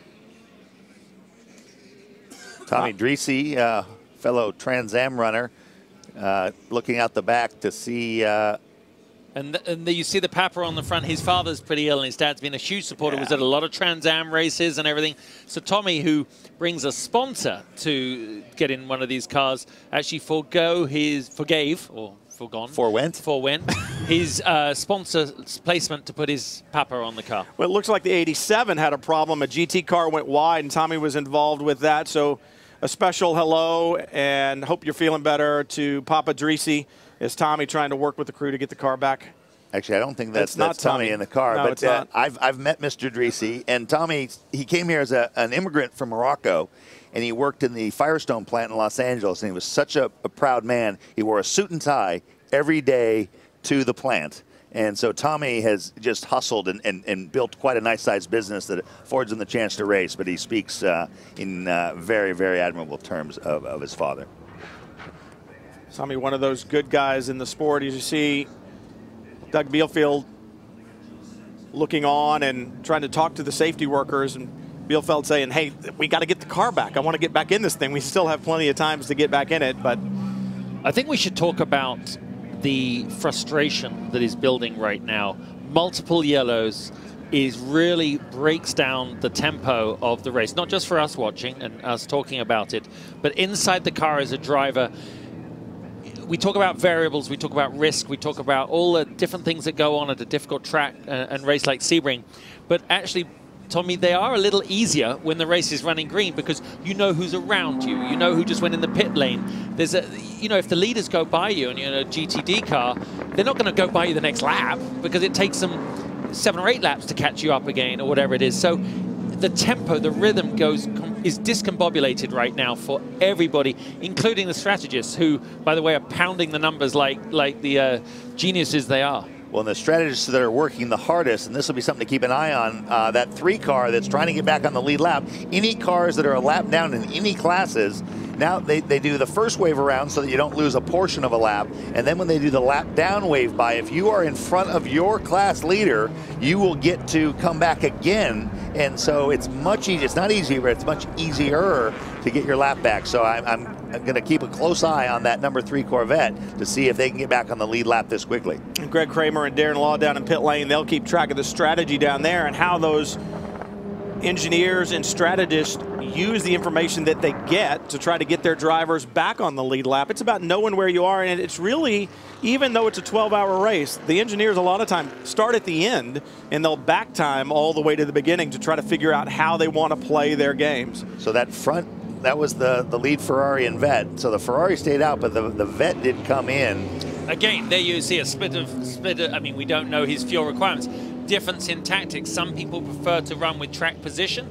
Others are making the most of refueling right then. Now, we talked earlier about prototypes and GT cars on pit lane at different time, but we just had a full course caution. They had just gone back to green. So if you have another one within a few minutes afterwards, the pit lane's open for everyone. Let's check back in with Greg. Well, the pit lane's open for everyone, and because it's a short yellow, a lot of these teams electing to not do tires. They just topped off the vet. He's gone. When I was talking to Dave Sims and Risi, they were looking at coming in, doing the math, and they said, you know what? We think we're going to stay out. We're still okay, but if they were coming in, tires only. This is such a short yellow period. Well, and whether this was a factor or not, that will keep the three car from getting back on the lead lap. And I heard afterwards, in terms of how closely these guys think about things that even us in the booth don't think about. Action Express at Daytona split their two cars, the five and the nine, and they had them. They were actively trying to keep the Ganassi car from getting their lap back. So one car would pit, but only one would pit on each yellow, so that there was always a car in front of uh, that Ganassi car, you know, basically blocking that move. Well, and that's where the strategy really comes in, and that's where the, the advantage of having two cars comes in. You think about Risi Competizione, they've got their one Ferrari up against two Porsches and two Corvettes, so that's where having that extra bullet in the gun sometimes really helps. Hey guys, down here with a muscle milk car, you talk about strategy. These guys were at the back of the pack. Uh, they had really just they really said there was no there was no need to worry about tires, fuel, or anything. We're at the back anyway. Let's do everything. So they did a complete stop. They're started from the back. They're going back to the back, but now they have fresh tires and a full load of fuel. And of course, a pit lane that wasn't chaotic, and that, that, that counts for a lot as well. That remember the, the yellow flag before mayhem. Right now, they could maybe take care of some business that uh, in a very calm way. And, and he has a pretty clear track to the back of the field. But as they're preparing to go green, I hope in the next couple of laps, you the lights have just gone out on top of the pace car there. Once again, they've got to get themselves spooled back up, Tommy, going down the back straight. And it's, it's you know what, it's like the start of a new race every single time. Now, watching the Ganassi cars this weekend, and I know the guys talked about some personnel changes within that team, and we've not seen the performance that you typically expect out of Ganassi. And you wonder, it is a team sport, and you guys know it so well. That chemistry, that camaraderie, when you change one ingredient in the mix, it can change the recipe, it can change the outcome. And maybe that team working to try to find their way again, get that chemistry back now that there have been some personnel changes. And guys, there's a little bit of development going on. Some of the engineers down here for the GTLM teams really starting to study the weather. It's warming up. It's cool and breezy, but we're still starting to get more temp in the track, and they're starting to look at the tires. Do we want to make a compound change or at least make a pressure change in those tires to keep these cars running at the optimum? They're starting to do some of that strategizing and some of the math on the numbers right now. Well, I, I live in Columbus, Ohio, so I think it's been really warm down here the entire time I'm here because we've had the most brutal winter up there. I, have enjoyed it. And right now, Scott Dixon enjoying a clear racetrack in front of him as the green flag falls. We're back to racing, and you see the number 10 Corvette, that black and orange number 10 Corvette, get bottled up on the inside and around the outside The number five of Sebastian Bourdais from Action Express sweeps high around the outside, and Max Angelelli disappears back to third. He got caught in traffic. And it, it's worth pointing out, you know, that Ganassi car commented how it doesn't, uh, the new paint job, that Big Machine Records. Uh, Scott Dixon is the big machine. He's been in that car almost three hours on this hot day. There is a maximum drive time. You cannot drive more than four hours. I suspect that uh, they'll they'll run this tank out and then they'll switch him out. But uh, he's earned his uh, earned his keep already. Think the other thing to note is history plays a lot here at Sebring, and Calvin talked about it earlier. The Daytona prototype teams they don't have a lot of data from here. And a lot of the teams that came from the American Le Mans Series who have run here for years and years have that data. So you look back on it, if you've not had any experience here or much experience in a Daytona prototype-based prototype, um, you might be missing some of those little magic tweaks that you need to get around this very bumpy circuit. Not only have data here, in this configuration with the, the big wing and the diffuser, they, they don't have very much data anywhere other than a little bit of testing, and the spec has changed continuously. So it's putting more load through all of those parts. Uh, so a big question mark. What we think of as a proven package uh, is maybe not as proven, especially on this uh, the roughest circuit that we go to. When you look at what we have here in terms of the driver lineup we're staring at in that car, I mean, João Barbosa, Max Angelelli, there we know them. They're our sports car heroes. But this is like the good old days. To have a, an IndyCar champion like Scott Dixon out front and, and Tony Kanaan just waiting to get in, it's amazing to me because the fans are really responding because it's almost like we're hosting such a good party that they want to come to it. And I think, I mean, you've got to thank Chip Ganassi for, for doing that um, because he brings great talent to the field. Brian Frisselle and the other Corvette from Action Express rolling down pit road. You see that in the box on the left as you watch the action and a big crash. It's the oh, 62 no. running third in GT. Matteo Malucelli off in turn one. Extensive damage to the left side of that Ferrari. Oh, I think I just could hear Giuseppe Risi from up in the tower here. Oh my God, this team is just, I mean. Wow, that's a big Having hit. a hard. Oh, oh no. That is. That was the 30 Momo entry in the GT Daytona category. Rejoining the track, oh. he got right into the middle of that oncoming traffic. Turn 17, the X of it is so committed. You are in a GT car, truly committed. And last thing is probably looking in your mirror for a fraction yeah. of a second. You don't expect someone to pull in from the right. Whatever damage was on the 62 is now being compounded into real damage. The 56 BMW with a problem as well. You see the damage to the bodywork on the front there, and that's more than just bodywork, I think. Looked like suspension damage. You, you just you can't re-enter like that. You just can't do it. Well, it's funny because when I was talking to people about traffic, the obvious traffic that people talk about is the inexperienced guys. Hugely experienced guy here, and that is just a, a you know that's you just don't do that. You know, there's nothing, the, the, risk reward, there's no upside to that. He's already had an incident. He's already going to the pits. To wait until it's it's truly clear. Let's focus on BMW here, Tommy, because I really hope that that is, you know, the obviously hard on the left. Oh, look, as he rejoins here. And you he see the car get out of the air. He's looking. That, it's not turning well, and he pulls literally into the middle of the racetrack. Yeah. At the exit to one of the highest speed corners door exposed. on the track. Door exposed. Yep, door exposed. And yeah. Dirk Werner in the BMW, in the 56 BMW, he was running in fifth. You see the Momo GTD entry.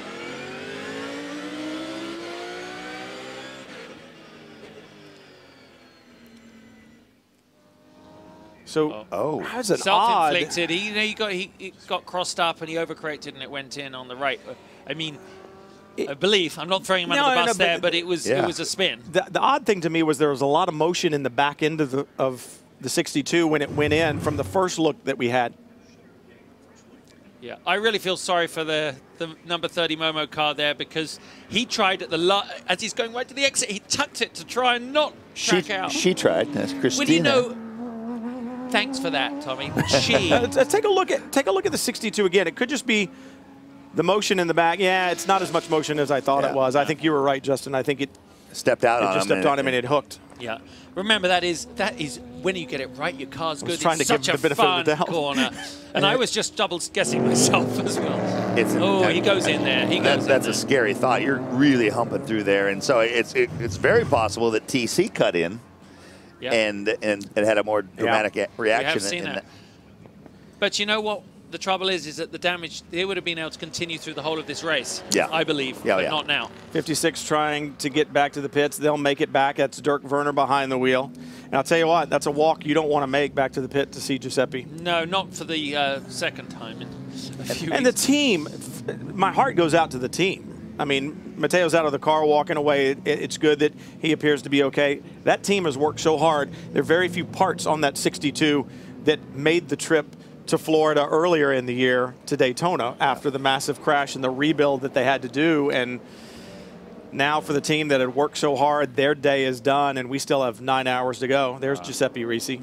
Yeah, what a wonderful man. What he has contributed to Ferrari's race presence in North America is is without parallel any in the world, anywhere in the world. He does it off his own back, really, in terms of his momentum and energy and, and funding. And but let's just hopefully one of our colleagues is down in the pit lane to check on how that BMW is doing because uh, these guys look at them at Daytona.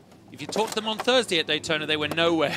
By race day, they were right there. And I think we were in position here to see some the same sort of thing happening here. But you could see that wheel was completely buckled there, Tommy. You look at it; he's wheeling it away. That is that's a hard impact to rip one of those alloy wheels in in half almost. Darren, forged. Yeah, guys, this is this is a similar hit to uh, to the Porsche, the 911 Porsche. It's it, luckily it's isolated to just the the left front corner. It looks more bodywork than anything. It doesn't look like there's any suspension damage. The only reason it came in on the ground like it did was because it had a flat. But they're going to have to repair the bumper. The headlights are busted out. They've got supports broken up underneath, but there's no radiator fluid or anything else leaking. The whole front splitter's bust, busted off as well. So it, it's going to be a time-consuming repair as well, mainly bodywork though. Well, as they go to work on the BMW, let's check in at Risi Competizione with Greg Kramer. Yeah, standing here with Dave Sims and Dave. Uh, boy, I'll tell you, the last couple of years, you guys, if you didn't have bad luck, you wouldn't have any luck.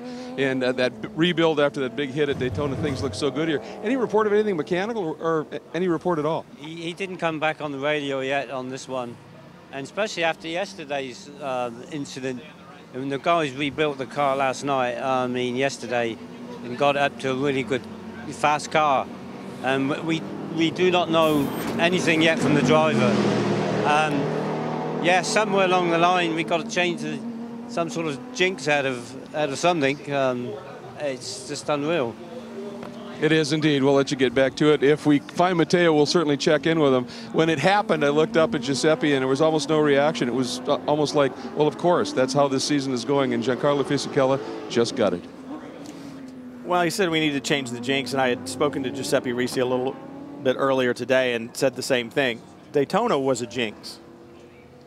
This one appears to be self-inflicted. Oh, no question. You know, and uh, that doesn't make it any easier to take. No, um, no. And in fact, I think it makes it more difficult. Hey guys, uh, I, I don't have uh, view to any of the monitors. I would keep an eye on the 56 BMW. They they taped it back together and they threw a couple pieces of the of, of the big strips on there, but it didn't look like all the bodywork was hanging on. So if they don't come back in, I don't know that that thing is going to continue on for very long before they have to come back in. Well, this is also one of the ways we'll see. We'll monitor how you how you manage situations like this. You keep track of the safety car, and you do as much work as you can. Another view of the incident itself.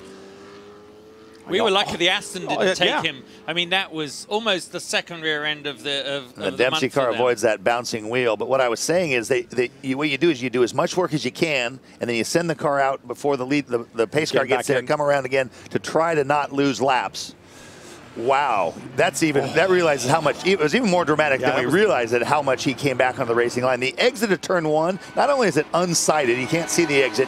You have so much momentum going. Even like even when you're by yourself, if you're about to run off the road, you can jerk, jump out of the gas. You can't change your line. There's so much speed and momentum carrying you to the right there that you know you just can't change course. Just gutted. The Risi team is, and I know Giuseppe Risi will not be pleased with this result. You saw the 30 also with the problem. And the Or right Christina. Nielsen. Yeah. I believe she's the daughter of John Nielsen, the uh, the factory jag racer from back in the day. I talked to Beaux Barfield, who uh, has a pretty big day job as the uh, race director for IndyCar. He's here as the the uh, technician strategist on that 30 car. He said, "I am having such a ball where."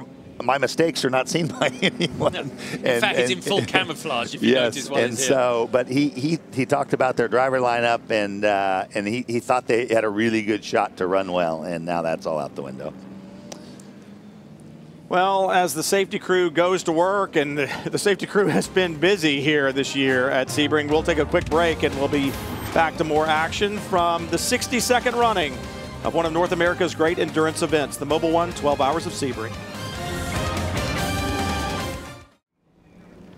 You look down the long back straightaway here at Sebring, the safety car with the lights on. This is our fourth caution. We only had four cautions in 12 hours last year. So you add 63 cars out here, you put 63 cars, I should say, and uh, things get just a little bit busy. Just under nine hours to go. And you look at the big concrete squares. Remember, this is a B 17 training base. That's what this airport facility was originally designed for, and then became a racetrack. And when you've seen some of the shots, you see the airplanes in the background. It is still very much uh, an operational airport, and you can see those big square patches of concrete down the front straightaway. And it's one of the things that, one of the reasons why this racetrack is as rough as it is. Let's check down in the pits while we have a chance with Greg. Well, Tommy, you were talking about Beaux Barfield having sort of an off weekend from his full-time job and being team strategist here. This couldn't have been part of the strategy. Uh, at this point, do you know at this stage what the status of the car is? No, they're just getting it back to the uh, back to our camp right now. We're going to assess it, see what we can do to stay in. But uh, I'm sure there's going to be some lengthy repairs. We'll get back going.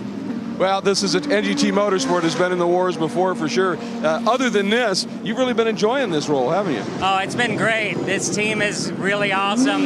Momo, NGT, the partners they have, awesome drivers. It's been good for me to get back on the competitor side of things and uh, just had really a great time. Very quickly, I want to move over. Enrique is here, Cisneros, who's team principal and, of course, very involved with the Momo program. 50 years for Momo. This isn't how you wanted that celebration at Sebring to end up, but uh, you've got to be very happy with how things are going, other than the incident. And, and, and Momo's resurgent in the marketplace. It's largely your guys doing. Yeah, obviously, man, this is our proving ground for, for all the accessories and products we keep coming out with. And, uh, you know, the team we were running strong. We were running in first place for, for a good part of it. And, um, you know, obviously the team's disappointed. It's not the ending we wanted. Uh, it's frustrating to see that kind of impatience from a driver so early on. You know, all the field was whizzing by. He had no place trying to, you know, rejoin the pack, and, and he caused two accidents. So, um, you know, it, it, it's too early in the race for that. But um, again, you know, team's done a great job, and uh, we'll be back next race. Absolutely, and of course, uh, right here, 1964, 2014, 50 years of Momo. Gentlemen? He was talking to Beaux Barfield. I was wondering if Beaux Barfield wanted to call a penalty. You know, I mean, since the race director. Well, he was Was nice he- not was he- getting into yeah. trouble.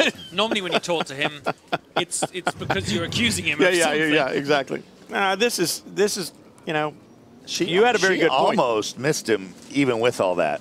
You know, really uh, heads up, heads up job trying to, to avoid. And but- you had a good point, Justin, when we were in break. You were questioning whether there, in, in all seriousness, whether there will be some type of penalty going forward. Every other sport, you get a yellow card before you get a red card in soccer and things. And and I'm not. I don't think as a driver it's very easy to drive with a penalty with with probation hanging over your head. We have seen it in the last couple of years, if without naming names. But we, I think it's just that uh, it's so easy in the heat of the moment. Only a few lucky ones of us have been in that heat of the battle moment but again, and, and had to live this, Tommy, like these guys do instant decisions. But also, we're professionals, so our instant decisions should be based in in uh, sound judgment. So uh, that was just a bad decision to pull onto the track. Uh, it was a decision to pull onto the track. Therefore, it was, maybe it was different than driving on the limit in the first mistake, which is the guy's trying. He's leading the race and he's trying to maintain that lead, and he's getting after it, makes a mistake. But this one was uh, unforced error that you know. Just a mistake on top of it, so it's uh, it's a real shame because uh, it affected people other than just him. Well, and the answer is going to be, well, he couldn't see back around the corner, and that's when you rely on corner workers who will direct you when it is safe to move back onto the racetrack. So all the more reason. Any way you look at it, not to pull out yeah, onto any the, way you look at it, it's the one of the you know more pucker puckered up corners uh, you go through. It's Yep. it's thrilling, but it's also dangerous. So it looks like uh, letting the pace car get a little bit ahead. Pull now. It's uh, the discretion. There's a zone, a restart zone that Dixon can decide where he wants to go. It does not have near the gap because he does not have cars between him like on the last restart. I was going to say he doesn't have the luxury that he had the last time the green flag flew because right behind him, the number five, Sebastian Bourdais. Then behind him, the black number 10, Max Angelelli, Michael Valiante in the blue 90 Corvette. And then the 01 of Memo Rojas. So it's prototypes filling the top six spots on track, at least the top six spots, and maybe the top seven or so. So this is going to be a battle on board the 01 with Memo Rojas. And those guys up front know each other. Uh, Dixon and Bourdais will be going after each other in two weeks on the, the streets of St. Petersburg in their Indy cars. And if you don't think that they give 110% here the way they would in the IndyCar, you are wrong. These guys are competitors, and they are digging every moment. Rojas just a little wide at the exit of the hairpin. And they're all over each other right now. So one slip up, one mistake, one inch, and the, and the guy behind's going to try and force his hand. But uh, it's interesting, isn't it? As we watch these DPs, they, they, with the prototype right, right up his chuff there as he goes into this very complex sequence. It's uh, this for me is all about setting up the guy. This whole sequence, you, you can't really go by anyone here, but it's all about where is the guy fast. I mean, coming down this little straight into this left-right combination before you go down the back straight is very dynamically tough on the car and the driver. So these guys are on the limit here as they come round. But look, Dixon has pulled out a nice little gap. It really gives you a view of where the different type of prototype is strong and where it suffers a little bit. It's David Brabham in the one all over that rear wing of Memo Rojas in front as they come down the long straightaway. You'll get an idea of top speed here. And then right behind them, Gustavo Yacamán in that black and pink number 42 on board the number 90 Corvette. The other thing that we should talk about is in the Corvette ranks, there are different chassis underneath those Corvette skins. The number 90 is a Coyote chassis. That is the 5 and the 9 as well from Action Express, or Coyote chassis. The number 10 Corvette from Wayne Taylor Racing has a Dallara chassis underneath it. And the Gainsco car, which is not here after that massive impact at Daytona at the Rolex 24, it was a Riley chassis. So when we talk about Corvettes, still different mechanical grip packages underneath because different chassis underneath that Corvette bodywork. A very smooth part of the racetrack actually just here. It's nice, settled down. But the braking zone here is so short going into the very tight hairpin. And until they catch traffic, it's going to give us a good indication of what the relative speeds of these cars are, uh, where their advantages are, and so forth. It's really hard to glean that once they get into traffic because lap time is uh, is usually influenced by how clear their lap was. But the you know the P2 car of Brabham there, he cannot hold on the back uh, of Rojas. It's it's these DPs are working very well everywhere, and you know I think that's as we're seeing it in the lineup, the top five cars there before before you get to the P2 car, but And working very hard. There's the GTLM cars working their way through, sorting themselves out. And in GT Daytona, where we understand that the 22 from Alex Job Racing will have a stop and hold for 20 seconds for leaving the pit with equipment attached. So for Cooper MacNeil, who won in the GTD category last year, they're going to have to work their way back up from a penalty. This GTLM battle, the Corvettes out in front, they had problems. Both cars had problems at the Rolex 24.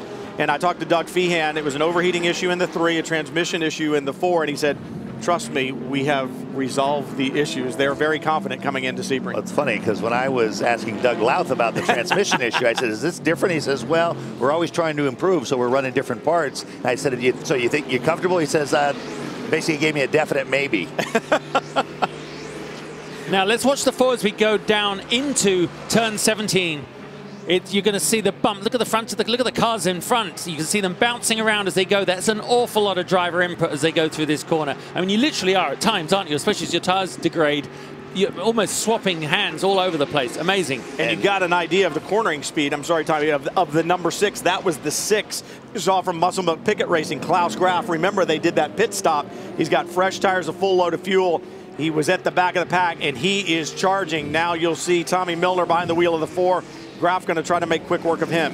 I talked to Ryan Dalziel, and he said with the cornering speed of the P2 car, he said the outside of 17 is actually a passing zone for him. It's a li little bit sketchy, but again, that's such a long corner. If you wait for someone, uh, you lose too much time. So you see, obviously, Muscle Milk employing the, the same strategy you notice that the three now, with the demise of that Ferrari, has uh, th that he is now in front of the four car. So he is back on the lead lap. So uh, unless the three car really can't maintain pace, I expect you'll see that four car hold station. So next time we get a yellow, the three will be at the, will get to make that up, be at the tail end. Corvette would end up with both of their cars back on the lead lap, and you get a good idea of the different speeds there. There's the 31 Corvette, the white and red number 31 Corvette in front of the GTLM Ferrari from Krohn Racing and then a, a, prototype challenge car right behind them. So you get an idea of how those classes mix together here at Sebring. 63 cars took the green flag. And I, I, I, don't think we've seen the full potential of this Corvette. And I don't say that because they're holding back. I want to clarify or add to my, my sandbag comments. The reason people, everyone sandbags is because it works. And so, but I, the Corvettes, when before it got real serious at Daytona, both the cars had the problems. The one car was looking pretty good until that late race problem. So I don't think we've seen the full potential of this uh, new C7 Corvette. Gorgeous, gorgeous car. Check in on the prototype challenge leader, Klaus Graf, now working around the 09. Duncan Ende is the leader in the category. And when you look at the pole lap that Bruno Junqueira did in that 09 car from RSR Racing, it was spectacular, like eight tenths of a second in hand. And Bruno obviously uh, you know, used to be with Ganassi, top, top IndyCar guy, found a spot in sports cars, but still a hugely proud, focused individual. And so to be able to throw that kind of a gap on everyone at a track like this, I sent him a congrats message, and uh, he was he was reveling in that. Uh, it doesn't mean a whole lot, other than on that day he was head and shoulders above everybody else. Chris Cumming in the team car, the 08 running right behind, so RSR entries running first and second. And then the 38 in the prototype challenge class is right behind them, just behind the Corvette. So the top three in prototype challenge running very close together as that 31 Corvette, the prototype, stuck in between. This for me is the most potentially uh, stressful dynamic of overtaking in, in traffic because you have the PC car that is incredibly nimble and good under brakes. You've got the GT car, LM cars that are actually faster in so many places on this track. And then you have a DP that isn't running as fast as the front runners, uh, slowly going through them. And all you wish for when you're in a traffic situation is that the people around you make a decision, they make it hard, and they go through. That was well negotiated by them all, but it's it's a very it's it's not it's not as as dynamic and quick as we see at the front end. Well, and when you see, like, when, when Junqueira is in that car, Junqueira is going to be quite a bit quicker than the Corvette. So the fastest, but now when you have guys that maybe aren't quite as quick, you see a part dragging on that 08, one of the uh, the fences on the front splitter. But you, and so it's hard because, you know, the, the Brian Briscoe here in the three, oh. and now we cut away to a, an issue with the 46 Audi. It's Looks like it's down in the hairpin. That's okay. No harm, no foul. It's easy to do there. You just miss your braking by two feet and and uh, you think you're going to brake later, and then you realize that there wasn't. That was late. Well, and for all us old guys, it's nice to see that runoff at the hairpin because I think we all drove or tested or raced here when there was no runoff no. because that runoff was actually the racetrack. Yeah, one of the fastest entries, hardest brake zones, and the runoff was was about 10 feet in a wall because there's a road behind that. And so uh, when they changed it, I wasn't. I'm like, oh, it's not old Sebring, but now I'm like, well, that was stupid that was the smart, way we used yeah. to do it. I think the same person decorated that car that did the villa I'm staying in. Um, you can certainly, that is a Florida style car. Madison Snow, he's really come on song, especially last year, winning so many races. And now he is the new leader in GTD. We'll also add that Bill Sweedler there, you know, they, they ended up winning Daytona and uh, along with Townsend Bell. And now uh, they're right up at the sharp end of, of the results right here at, uh, at Sebring. So Madison really pushing his way through traffic. And there's the 555 Ferrari winner in the GTD category at the Rolex 24. And you were talking about Madison Snow. He won at Petit Le Mans last year, and then he joined Jan Heylen in this team, and they had a great finish at the Rolex 24. They joined forces with Matt Plumb, put it under the Rum Bum banner, and what else would you expect other than to run up front? Bill Sweedler having a great run. He's taken to this Ferrari and this class like gangbusters. He and Townsend Bell having a ball running in this Ferrari now under the AIM banner. And it's happy to see him because a couple years when he was trying to run, he ran that Lotus first and Yep. then the privateer Ferrari against the factories in GTLM last year. And uh, it's nice to see him kind of find his level. And he and Townsend, I mean, every session they've been up towards the sharp end of it. Townsend, I went up to Townsend and said, let me see that watch. He says, ah, I'm keeping it in the box, keeping it nice and tidy. So, uh, but for Sweedler, who's invested a lot to actually have a shot to run up front for wins, is, is uh, he deserves that for as much as he's uh, contributed to the sport. And the 63 Ferrari there running third in class right now out of the Scuderia Corsa stable. And, and the Ferraris seem to work so well around this racetrack, both in GTD trim and in GT Le Mans trim. Well balanced mid engine, easy on tires, always quick in a straight line. They've got the full package. Well, in, in these classes where you have to have the different ratings of drivers, the key, the pros are all gold. The key is how good are your silvers? And uh, there's a lot of uh, effort goes. So Bill Sweedler, who's paying the bills, is uh, is a silver driver. So really, the race in in Madison Snow is also a silver driver. So it's uh, the battle amongst the silvers is arguably uh, where where the race is won or lost. And remember when you wanted to be ranked really high? Yeah. Because it made you feel good? Well, now there are guys who haven't been driving for a while who go, well, I know I won some championships, but I think I should be a silver driver because there is a market for quality your- silver drivers. Your ego gets involved. Last year, I was filling out the form, and, and it talks about championships, and I'm like this and this and this. And I, when I got my platinum ranking, I was like, oh, awesome. And then I'm like, wait a second, I I'm can't drive unemployable. if you were a little more humble, you'd be better off. So. You saw how that went for you, Tommy, really. Yeah. Um, so here we are following the 81. Damien Faulkner in that car. He's a really good driver. I've really enjoyed watching him. He's, you know, and of course in this this whole GTD car, the cars are so close. These guys are really going at it. Very important for our viewers to know that doesn't matter what category you're in, you are all everyone's in as hard a race as they can, and and winning at Sebring in whatever class is, is as much. We, as we see on the left-hand side of the screen, the 56 BMW, you absolutely called it right from the pits there, Darren, in the fact that it is they were just patching it up to get it out and patching it up to get it out but right now they're having to address a slightly more severe problem you can always tell by the body language when the mechanics start moving slowly it's not a good sign and now they're working on the opposite side that was not the obviously damaged one. So, um, you know, it's funny. We always talk about. Um, Hey, well, actually, we're going to go back down to Darren. Hey guys, you're right. This thing, they, they just patched it up to try and get it around for a couple laps and try and buy some time, but this thing was destroyed. The front end, the splitter, the bodywork. Again, all the suspension was fine, but it was rubbing on the tire. Um, it's going to take them a while. And then I look around, I'm coming around to the back of the car, and the back of the bumper's been bashed in. Both of the exhaust pipes are hit. I mean, this thing's been hit front and rear. And you guys know as far as anybody, again, we're not even halfway, and uh, you just got to stay out of trouble. Unfortunately for Dirk, uh, he wasn't even caught up in the accident. He was trying to avoid the accident. And remember, we talked about it when we listened to Antonio Garcia. It's the 56 that I think he was pushed into after he was hit by the Porsche from behind. So Darren was just talking about the damage to the back of the car, and those little things over time will come back to haunt you. Now, obviously, what haunted the 56 was the problem with Malucelli down in turn one, but that damage, who knows what it would have done um, if they'd stayed out on track and not been repairing the front end of the car right now. And we see that Oak racing car, Gustavo Yacamán behind the wheel, has pulled himself up to the tail end of this battle between Rojas and Brabham.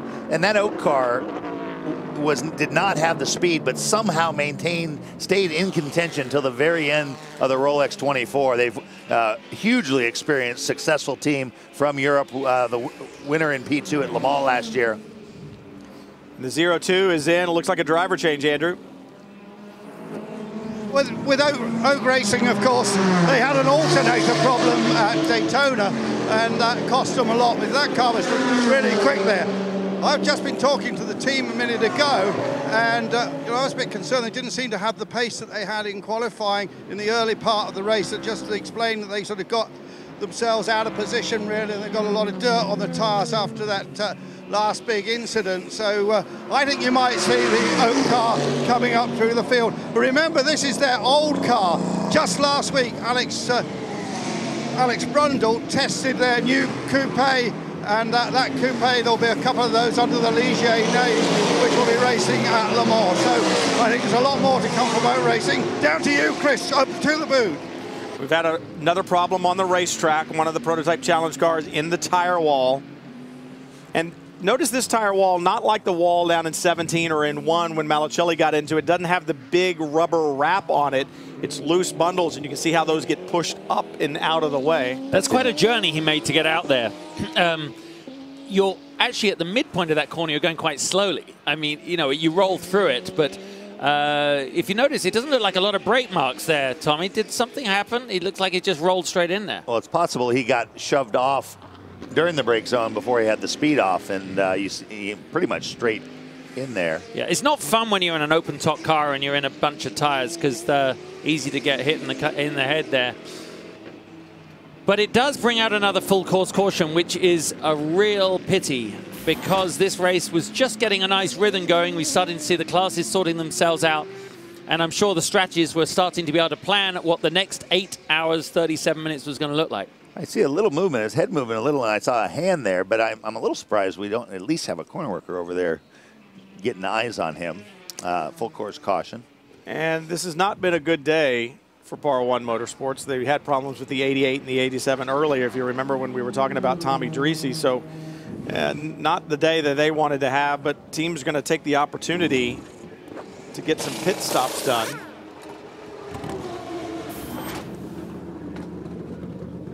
These cars obviously, uh, well, hopefully committed uh, long Well, pit lane. say, Hopefully I- they committed before.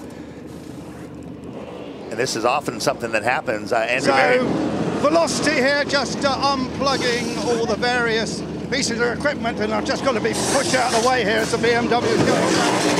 Uh, you hear that? Look at that. Got the smoke up my nose again, that rubber smoke. I told you it's a drug before. So, good pit stop there from the uh, Wayne Taylor boys. And uh, just going to try and uh, catch up with Bobby Rahal in a minute to find out what's been going on with that BMW. I think they've got it sorted now. Well, To- Tommy just pointed it out, and I I sounded a little confused when they were rolling down pit lane because the caution was out, and uh, it'll be interesting to see if they came down pit road.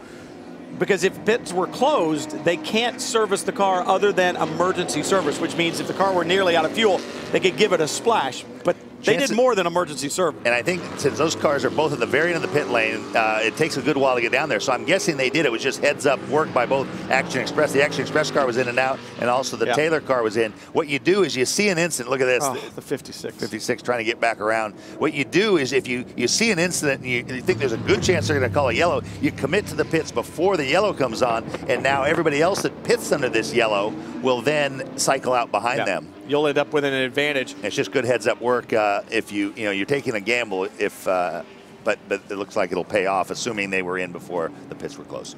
While we're full course caution, let's check in with Chris Neville, who's down at Corvette.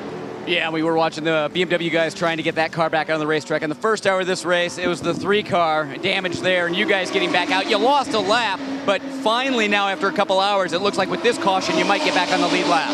Yeah, it looks like uh, we'll see. I'm not sure that it, uh, enough time has passed since the last yellow, but it looks like we'll get it back, which is good. Car is good after after we fixed it. It seems uh, it's a fast car, so. Is it 100%? I think so. I think it's back to 100%.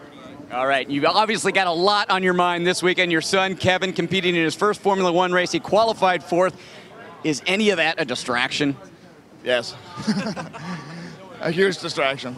But uh, no, you know, all his stuff is when I'm not doing my stuff, so that's good. I can concentrate on my own, and then when we're done here tonight, go back to the to the condo and watch his race. Do you wish you were there and you could give him any advice? Yes, of course I wish I was there, but uh, that's how it is. Uh, I'll go to the next one, and uh, I'm, I'm so happy for Kevin. Uh, his performance yesterday was absolutely fantastic. Yeah, everybody down here at Corvette says this weekend Jan is just going to be known as Kevin's dad. Well, he says he wishes he was there, but he told me that he went to a race last year and had never been so nervous in his life. Never got that scared in a race car. I guess sitting watching your son drive something of, of that caliber is just a little bit nerve wracking. They've gotten the 87 out of the tire wall, and he'll make his way back around. Bruce Hamilton, as I said, not the day they wanted to have down at bar one. The good thing is they, I mean, they should replace those tires pretty quickly and, and get this thing back underway. Um, but, you know, he's. Look at the front of the car; it's clean. Yeah, it really is. He, so I said, I don't think his impact was very hard, but They do, by regulation, have to put that tire wall back in, in proper shape. Um, and uh, as we as we know, this is the second race of the year. So, I mean, that's what we have to remember, guys. Think about it. When people go back and talk about racing history, this is the second race of the Tudor Sports Yeah, Car Series. second race second in race history. In history. So it's, it's a pretty big one. You add that to 62 years of history. Uh, so it's new in, in the old. Well, I think too. You know, I, I, there are, you know, the line is haters going to hate. You know, and and I know that there was times after the Rolex 24 when people complained about this, that, or the other. But when I look at what the series has done, taking two separate entities, putting them together, and what they've built, it's pretty impressive. Especially when you look at the balance of performance of the cars here this weekend. Impressive stuff. Let's check back down in the pits with Darren. Hey guys, you might want to check in at some point uh, throughout the, the rest of the race here with the nine car from Action Express. Brian Frisselle got sick in the car. They had to pull him out and they're checking him out. They don't know if it's food poisoning or heat or what. Uh, and it's a possibility they might be down to just two drivers if he can't make it back. Hey, you don't want that because you got to make sure that you've got some fresh drivers in the car. And, and, it's one of those things that, you know, people talk about what a driver goes through.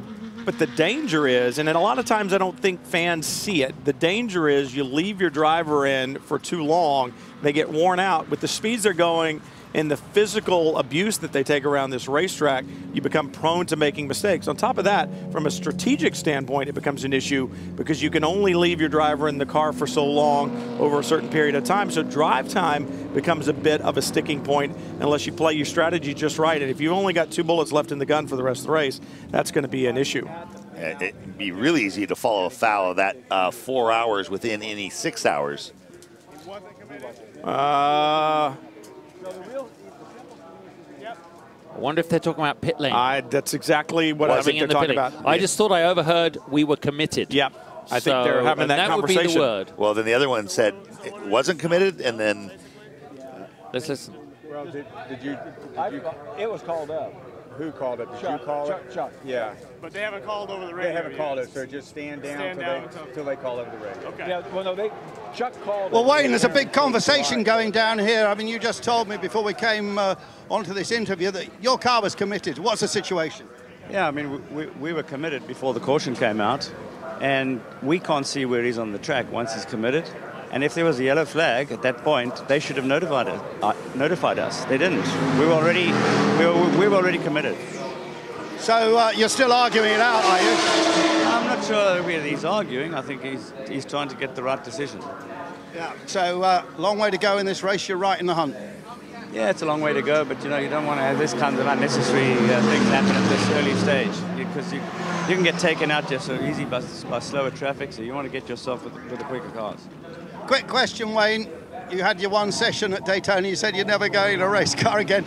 Have you put put the crash helmet and the race suit in the museum? In my home museum, all hung up, ready to go, all ready for photographs. Thanks very much. So, well, the controversy rages down here at the Wayne Taylor pit. Not for the first time, mates. You hear him continuing to talk to the officials. They were talking about being committed. If he was already at pit in and there was no way to stay out, that's committed.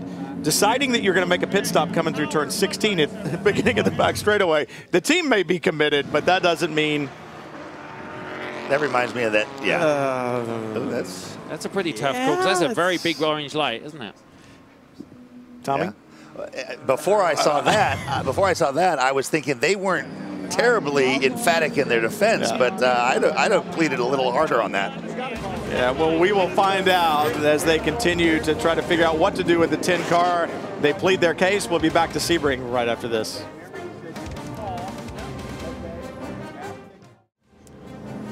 Back at Sebring International Raceway, still under full course caution, and a little bit of controversy on pit lane as uh, the number 10 car from Wayne Taylor Racing, Max Angelelli behind the wheel. Discussion about whether he came to pit lane after the pit lane was closed.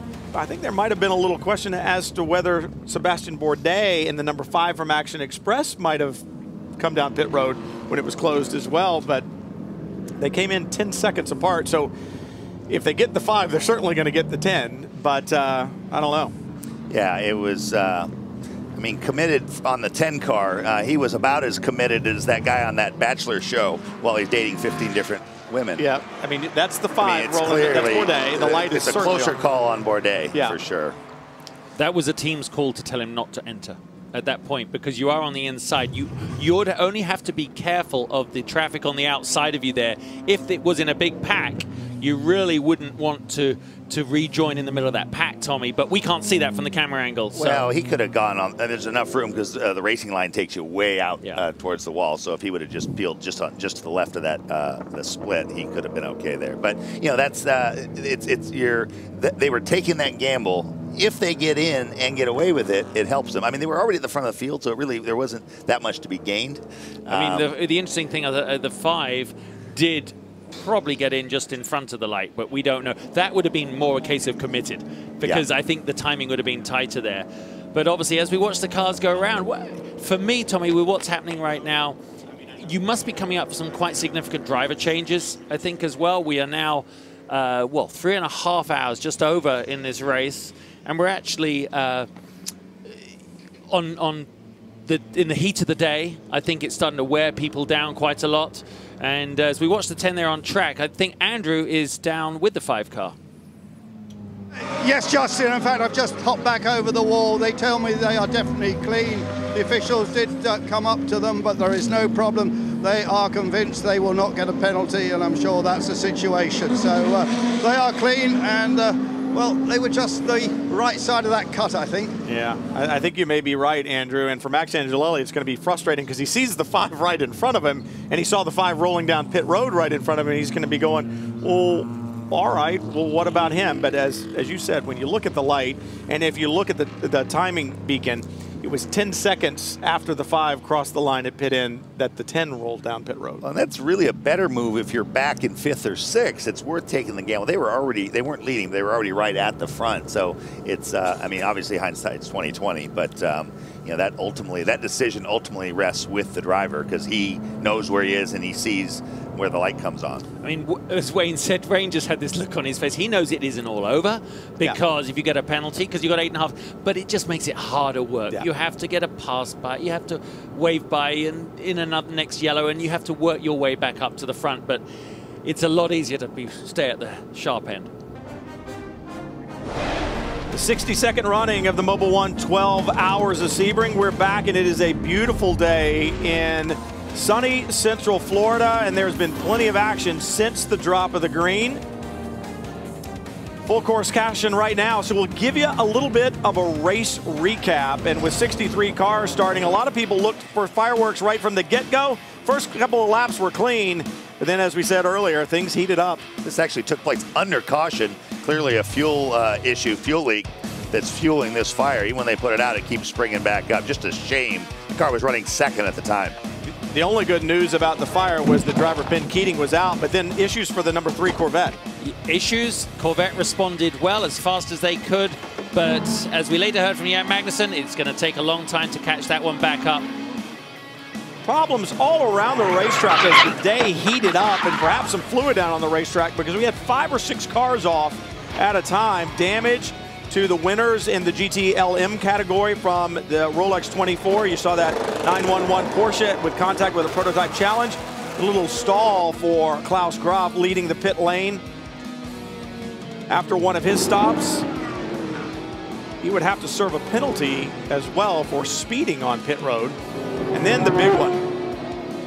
Yeah, that was an initially, yeah, he went in hard. The car's still movable, but this next move, pulling into the direct line of traffic, resulted in two cars being taken out of this race for the rest of it. A very, very disappointing move by the driver. And of course, then the BMW, the 56 BMW, that front left-hand corner, absolutely wiped out. Now that I see that again, we never saw where that car got No, damaged. it happened at the same time, so um, we're going to maybe have to investigate that a little bit further to see where that damage suffered. Its that uh, BMW suffered its damage. But Matteo Malucelli in that number 62 Ferrari pulling back out on track, it could have been much worse than it was, and that was just such a dangerous spot. So that's the race recap. Here is a look at the unofficial prototype class standings.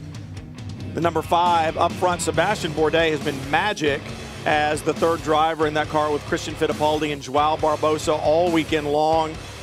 Great job in qualifying. Just behind him, the number 10 from Wayne Taylor Racing, Jordan Taylor, Max Angelelli, and Ricky Taylor. But there is a potential penalty that might be coming their way for coming to pit road during this full course caution when pit lane was closed. GT Le Mans category is one that we always talk about where the manufacturers like to play. And right now, Corvette trying to make up for the problems that they had the Rolex 24. They lead in category. Well, but you know, just the endless problems, and you hear people talk about how Sebring 12 hours here is like 36 elsewhere, and you're like, is that a hyperbole? Look at what's happened between that Ferrari going out, the the flawless uh, factory Porsche having trouble, one of the Corvettes, BMW, et cetera, and, and that's just in one class. And here we go to GT Daytona. Rum Bum up front. Jan Heylen, Matt Plumb, Madison Snow, Hugh Plumb. Remember, Jan Heylen, Madison Snow drove together at the Rolex 24, finished third. They joined forces with Rum Bum, Matt Plumb, and Hugh Plumb here at Sebring. And you know what? They haven't skipped a beat, just been rocket ship fast all week long. And in the prototype challenge category, number 25 from 8 Star Motorsports running up front right now, but that's been a seesaw battle back and forth. And the way a lot of this comes down to pit stops yep. and so forth. Uh, this class, you can always you can throw a blanket over the top cars, uh, almost virtually in every class. But uh, that one seems to be. It's hard to even begin to handicap it until you get well closer to the end of this one. 63 cars took the green flag, so it is definitely congested here on the Sebring International Racetrack, and that has made for some great racing. There is plenty more to come from the 62nd running of the Mobil One 12 Hours of Sebring. Welcome back live to Sebring International Raceway as we continue with our Fox Sports coverage here, live streaming at IMSA.com and Fox Sports Go. And thanks to Brian Till, Justin Bell, and Tommy Kendall. Now on the mic in the booth, I'm Bob Varsha along with Calvin Fish and Dorsey Schroeder. We are under our fifth caution flag. We've already broken last year's mark for caution with the number of laps and number of yellow flags. And what has been a fairly bizarre race, even by Sebring standards, to this point, Dorsey. Well, we turned the microphone over to our cohorts, and look what they do. It tore everything up. Yeah, this is pretty amazing that they uh, we've had this many cautions and and the degree of which we've had them too, for that matter. I mean, that big fire to start the things off. You can't do much about that, but you know, the Risi Competizione Ferrari, another huge wreck for those guys mm -hmm. after the thing that they went through at Daytona. You know, it's just it's saddening. Yeah, I mean, uh, Giuseppe Risi just can't catch a break. I mean, the poor guy just keeps digging deep and coming back, but um, they need to uh, get out of this jinx that they're under. But I think it's really tough for everyone up and down pit lane right now because the race has no rhythm. Mm. They probably don't have really have good fuel mileage numbers yet and things like that. So at this stage of the game, you start to lay out your game plan, but I'm not sure anyone's even got that together yet. It's disjointed for sure. I mean, there's no rhythm to the race. There's no you know that you can't get good numbers on things. We're going into the heat of the day, which is uh, the slipperiest part of the day as far as the racetrack goes. Working the pit lane with us now is Andrew Marriott and the man standing by right now with the boss over at Chip Ganassi Racing with Felix Sabates. Here's Chris Neville. Yeah, Bob. Mike Hull calling the shots on the O2 car this weekend. And Mike, we were just talking about rhythm of this race and all these cautions. Is it kind of tough to pull, pull a strategy together when we keep going under caution? Uh, well, it seems like some days the cautions fall for you, some days they don't. But I think if, if there were 30 minutes to go in the race, we'd be having a different conversation. Uh, but you know, we it, the, it, the balance is maturity and experience. Uh, it's great when you're up front with the experience. It's really good to have maturity when you're not. So uh, a long way to go, but it's great to be racing at Sebring. That's that's really the main thing. You know, in the early part of this race, it looked like the Corvettes were strong. They stayed up front, and then you guys got the lead, and you were able to keep it. Is it just being up front, being able to control that pace? No, I think what you're seeing is a product of a lot of hard work from the Ford people here on this side. Uh, what we've done since the 24 hours at uh, Daytona is equalize ourselves to the Corvettes. And so now I think you're going to see a race here, uh, particularly when it gets late at night. I hope everybody decides to tune us in on Fox tonight because I think they'll see a heck of a show when the headlights come up. Yo, one car pitted right next to you. Lots of communication back and forth. Does that car have the pace of the O2 car? I think they both have pace. The great thing about communication when you have teammates is the fact that you learn from each other and you read the road. That's really what you learn when you're when you're out there on that Gilligan's Island and you don't know what's going on. You can't exactly run down the road and ask the Corvettes what they're doing. So it really helps a lot. Well, Scott Dixon was behind the wheel for quite a few hours since the top drop of the green. Now we've got rookie Sage Karam out there. Andrew? Yeah, well, I'm with Mike Rockenfeller here in the 90 uh, Spirit of Daytona car, and uh, don't quite seem to have the pace rocket at the moment, but the race really hasn't gone away. Yeah, I mean, it's so many yellows so far, you know, it's just uh, you have to be clean and try to stay on track, out of trouble. That's what we are doing so far. We haven't shown uh, the best pace, I would say, today, but we are we are up there. We are P7 currently, and it's still a long race, and uh, I hope the the car will get better, you know, as the track grips up, and uh, it's quite hot now, so we are playing with tire pressures and see what we can do. Rocket reigning DTM champion. I wonder what a DTM car would be like around here. Yeah, I would love to try it, you know, but uh, for sure it would be great fun. And you'll be defending that title, of course. That's uh, always the goal. Very good. Thanks. Doing that with Phoenix Racing. Uh, back to you. All right, thanks very much, Andrew. I'd like that too. DTM cars around here. I bet that would be a show. Yeah, they run those things pretty stiff, though. I mean, Yeah. uh, it would be a rock and roll show through turn 17, that's for sure. That's Michael Valiante. Knock your feelings out. Michael's going to be running full time with Richard Westbrook this year in the sprint races. Obviously, Rocky's just in for Daytona Sebring and Petit. A really strong driver lineup there this year. And uh, struggled a little bit early in the week. Spoke to Westy during the lunch break, and he said the car was not good in qualifying. They made some changes. He said it felt much better in his opening stint. So they put the top down on the Corvette Stingray convertible pace car, exactly what I would do. Now to something that I won't do. Race Corvettes at Sebring. Sebastian Bourdais, Max Angelelli, followed by Sage Karam, David Brabham, Memo Rojas, your top five. Look at Sage Karam. He jinks around the outside of Angelelli and takes back that second position. Boy, oh boy, the Indy Lights champion is on it. Max went to the inside. He got on the brakes, and the car was in the bumps and started hopping up and down. I don't think he realized it was that rough over there. The Ganassi squad have been very impressed with the pace of this young man who's behind the wheel of the O2 right now, and he is showing his stuff. I had a long chat with the man you just heard from, Mike Hull, about Sage Karam at the recent test leading into this year's 12 hours. And you're right, Calvin, they are very impressed with what this kid can do. See how bumpy it is right there going in the hairpin. That was that. This racetrack has settled in, and it's it's created all these bumps. It didn't used to be there when they paved this some years back. Look at this. Look he at him. wants the Man. lead. He wants it now. He is pushing hard. He's down the inside. Bourdais will let him have it. He doesn't want to fight too hard. You see how rough it was when he got offline. He pushed him all the way to the Oh, grass. he is oh, that twitched is, up. Whoa, whoa, whoa, whoa. that was really, really looser there.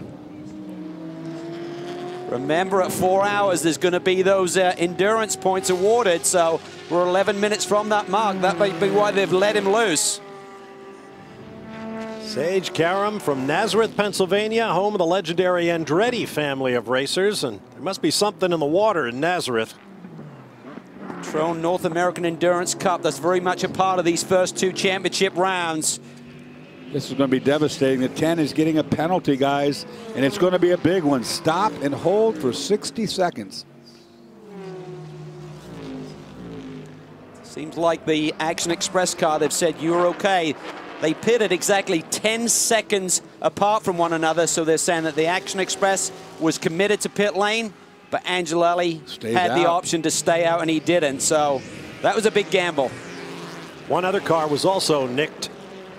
The Bar One Motorsports PC Oreca Chevrolet of Bruce Hamilton, Gaston Kearby, and Tonis Kasemets. They have been off and on the track all day. Oh, trouble here. 38's back 38. into the wall. Not bad. I don't think it's hurt the car. It's David a spin in Estella behind the wheel. Yeah, that's down in 17 right before he come on pit lane. So if he did hurt the car, he's right close to get in. But I think he just had a simple spin and uh, rolled back into the wall the way it looks. So Really surprised at the amount of spins by the LMPC cars. Where you know, I know some of it has been contact and just you know a lot of traffic situations, but there seems to have been some simple spins going on with drivers by themselves. Well, that was a spin early, early in the corner. I think he got caught off by that uh, BMW possibly.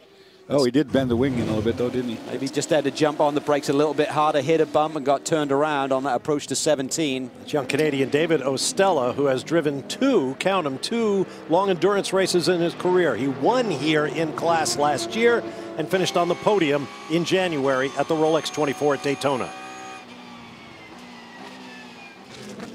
Traffic jam. Sebring. WeatherTech car in white and black trim in the middle of this gaggle. Looks like one of the Porsches dragging something off the left rear, unless it's just some loose bodywork possibly. The blue car there. I don't think it's any problem. Back on board the 22. Rum bum up ahead. Excuse 911. This is the factory GTLM car. It's a car that's kind of trying to bounce back a little bit. Had some uh, problems a couple of hours ago. Car that around. won at Daytona, of course, in that fantastic battle with the BMW car in the last hour. See him flashing the lights. He's trying to make up ground, like you said, Cal. Driving a lot more aggressively than some of these guys around him want to do right now. What you're doing by that, you're just alerting one of those GTD machines who's in the thick of their own battle. They're so focused forward, you sometimes don't look in your rearview mirrors and see that faster GTLM car coming behind you. This is Richard Lietz in the Porsche for the speed differential over the GTT cars on the straightaway. Surprising, it's not that much in straight. It would be a lot more up here in the brake zone. Yeah, the GTLM just has so much more downforce, which creates da drag down the straightaways, but then in the brake zones, Dorsey, as you said, that then gives you grip on the entry to the corner.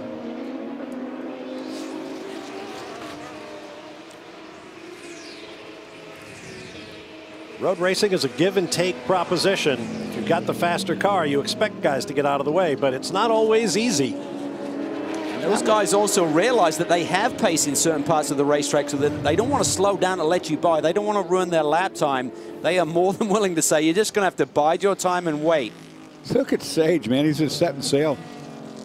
big hop there. And again, those bonus points for the North American Endurance Cup are awarded at the four-hour mark, the eight-hour mark, and at the checkered flag. Here we go. Wow, he's out there no man's land getting around Bourdais. I'm sure Bourdais didn't even expect that. He was almost off the racetrack totally there. You see there, sometimes when you're on a line that you normally don't work on, you suddenly find a big bump you didn't even know was there.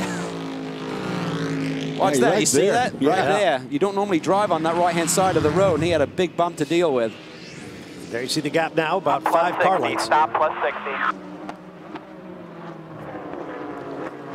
Here comes the penalty. Stop plus Hit this 60. Lap. Talking to the 10.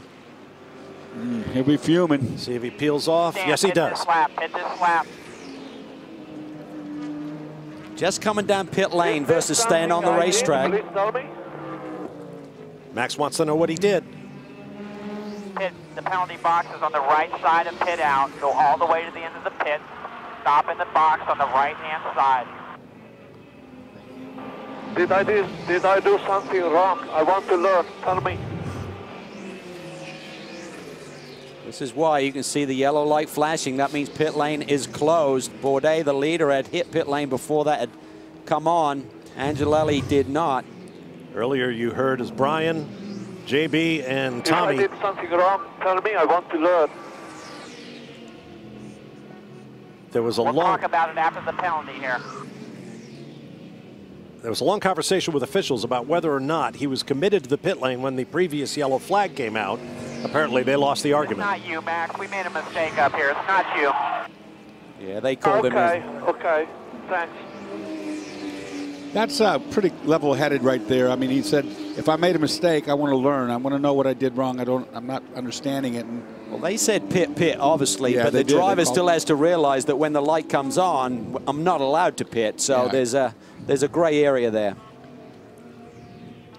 You listen to your pits, though, don't you? I mean, they, they tell you to come in, and you, you're more concentrating on getting getting the pit stop done quickly than that light coming on. Well, the call was the right one. If you can get in and beat that yellow He light, just then you almost get a big it. advantage. But, you know, the driver's the one who's going to see when the light comes on and whether you beat the light, so to speak. But just coming down pit lane alone without serving the penalty costs you about 35, 37 Push 37 hard seconds. Here. Push hard. We need to stay on the lead lap. The leaders will be right on you. Push hard. All right, the damage has been done. The penalty is served. Max the Axe is back in action. Let's go to Chris Neville. Well, Patrick Dempsey finally cooling off after almost two hours behind the wheel. But Patrick, after you did the exchange, the car came back in pit lane and they were adding some fluid. What's going on with the Porsche? Yeah, we- we've been struggling with the power steering pretty much uh, halfway through Andrew's first stint there. And then I got in the car, we put some fluid in it, it helped for like four or five laps, and then that was it. So it's a little bit of a workout. So two hours behind the wheel, no power steering. No, it reminded me of everybody in the old days, you know, that nobody had power steering. I've been training a lot, which made a big difference. And uh, just, you know, it's unfortunate. You know, Beauty Rest has been supporting us and uh, pushing the design and uh, specialize all our sponsors, Motegi Wheels. It's just, it's unfortunate we're not a better result. We, we had a good shot at it. We'll just have to battle back and see. We still got a long, long way to go. We do, and every time we drop back and take a look at GTD, it seems like we just have clusters of cars everywhere, so you're constantly battling. Oh, it's a blast. There's so much going on. It really is situational awareness, managing traffic, you know, understanding what the LMPC guys are going to do, and battling it out in your class. It's, it's just fantastic. There was an incident in one, I didn't know if I was going to make it through. The tire flips up and just hit the front quarter panel, and then we kept going. I was like, I've got by that one. But it's a blast. I'm having a blast. Why don't you go do some curls and really try and burn those arms up? I will. Patrick Dempsey not only enjoys his racing, he's a huge student of the sport, a big respecter of the traditions here at Sebring. I hope you heard his discussion with our Justin Bell during our half hour pre-race show here at IMSA.com. You'll have one of those before every round of the championship this year. Again, you see the clock winding down at the top of the screen. In just over three minutes, there'll be bonus points awarded for the Patrón North American Endurance Cup. And a lot of guys will be strategizing around that, looking at the Viper team that currently leads in GTLM. Looks like they decide to keep Dominik Farnbacher out there. He uh, doesn't have a lot of time left in terms of fuel in his tank, but uh, he may be able to stretch it and get enough to get across the eight-hour mark to go. Battle for second in GTD, the 63 Porsche of Alessandro Balzan. Excuse me, the Ferrari 458 Italia. How could I make that mistake? And Marco Seefried in the number 44 Magnus Racing Porsche. 44 car rebounding. They had a problem early in the race when uh, John Potter got took for a ride over in turn 13, had a little bit of damage, but they've got a really good group on their pit wall as well, and you can strategize, strategize your way back in to the mix. You just got to stay calm, work the rules in terms of the safety cars, and uh, you can be back in the mix very easily. It sure wasn't John Potter's fault either. I mean, he was just innocent bystander who got run through from behind, and they're doing a good job. That team pulling back in.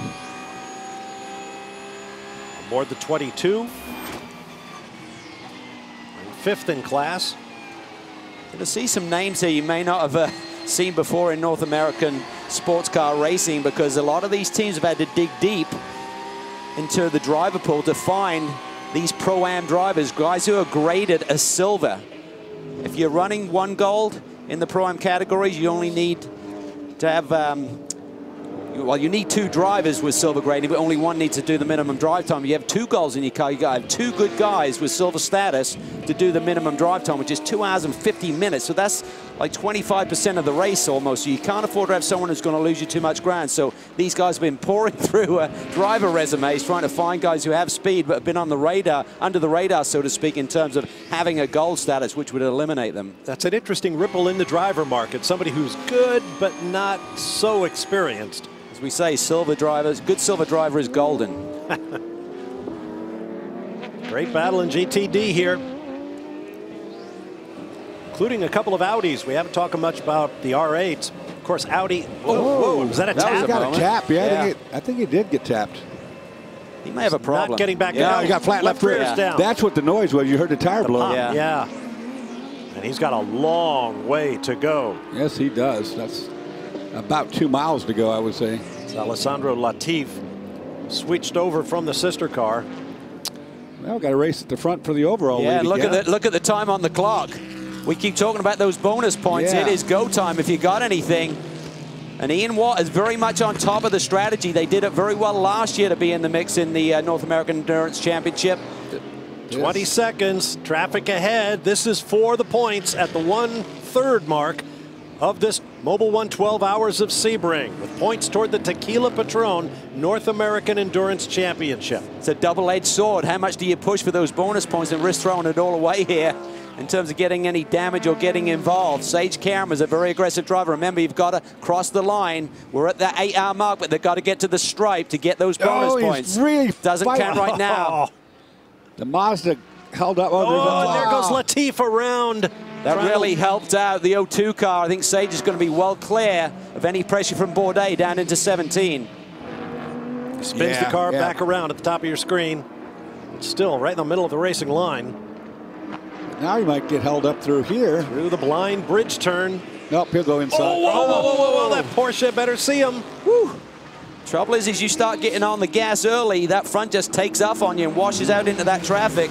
There we go. They should have got those bonus points right at that mark for the Ganassi squad. We need a special kind of flag for one of the stages in the Tequila Patron North American Endurance Cup. So everybody knows, including the spectators. There's yeah, points awarded nice. in all four classes. Everyone's up. There's $100,000 on the line for the prototype division and the GTLM, and then 50,000 awarded to LMPC and GTD at the end of the year. It's a nice bonus. He's going to make it into pit lane with that without too much damage. Did a little bit on that left rear fender, but not really nothing to worry about. I don't think even, even aero going to be affected. look like it damaged the car much. Now, just right behind where it's flopping. But I don't think I will hinder its performance at all. Spoke to Tommy Sadler this morning right after the warm-up, and he said uh, Markus Winkelhock actually tweaked a nerve in his back during a practice driver change this morning, so they weren't sure how much uh, time he was going to do for the squad here today, and uh, he was obviously the guy in the middle of that battle at the end of the Daytona 24-hour race, so you don't want to lose someone with that sort of talent with having an injury. Audi, of course, dominated here with their prototype cars in the old American Le Mans Series. Taking overall victory after overall victory. They were just here testing a couple weeks back for the uh, 24-hour Le Mans. Use yep. this track as a test track. Big believers that Sebring is the ultimate test track. If you could survive here, you could survive anywhere. That's not a cheap venture, no. bringing over the prototypes for a week. They're doing night testing and everything. I saw Tom Kristensen in Orlando last week before he flew back to Europe, and he said we had a great test. We feel like we're in good shape, but he said not everyone is showing their hand yet, but as they say, this is the ultimate test bed.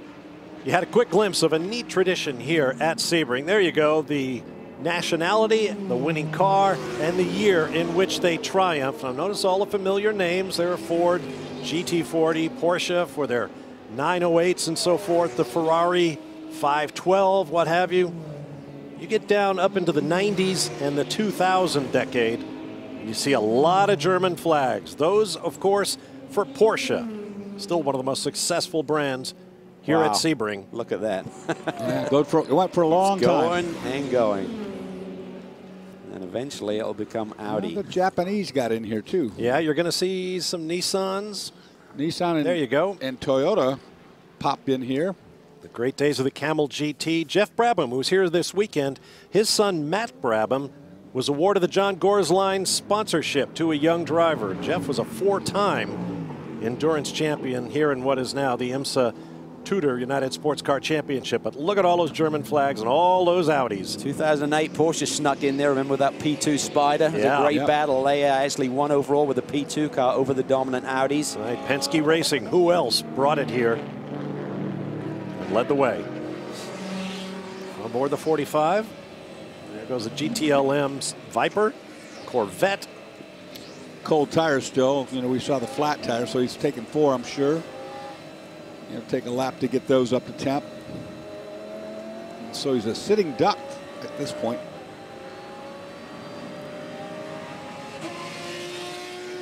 Yeah, pretty much getting passed up there through Gurney Bend, headed toward the hairpin at turn seven.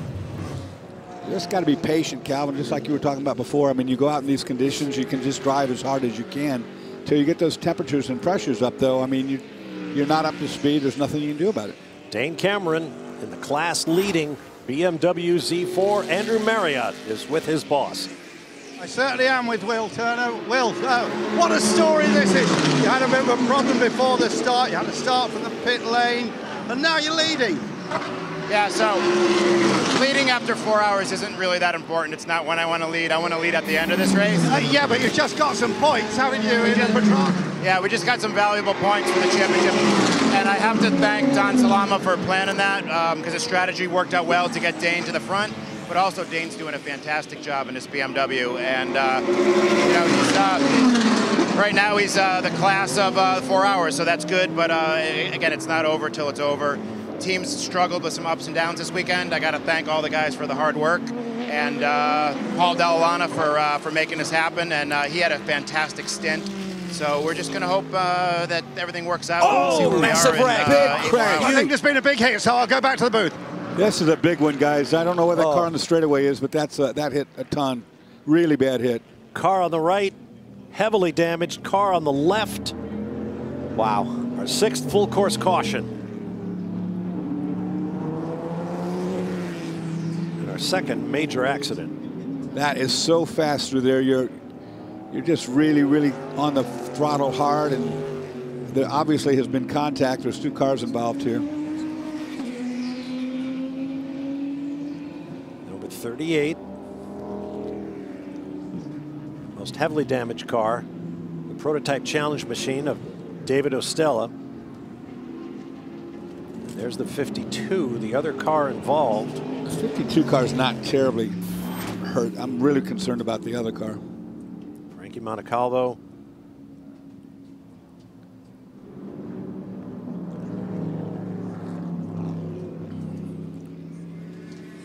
We'll have to wait and see if there was contact. But boy, oh boy.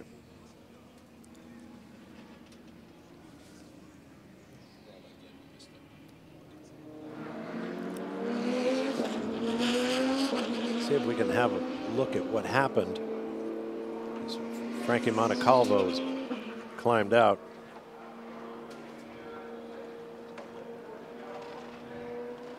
And they're Oh, climbing that's- out. That's really good to see. Glory that's be fantastic. David Ostella of Canada. That is really good to see. Wow. Wow, that's a testimony to that carbon fiber tub and how strong that is. That was a massive hit. One of last year's winning drivers in class. And quite a debris field, as you see. Yeah, this will take some cleaning up. Here's a There's a replay. He's a little bit wide. There's a bit of damage to the left rear.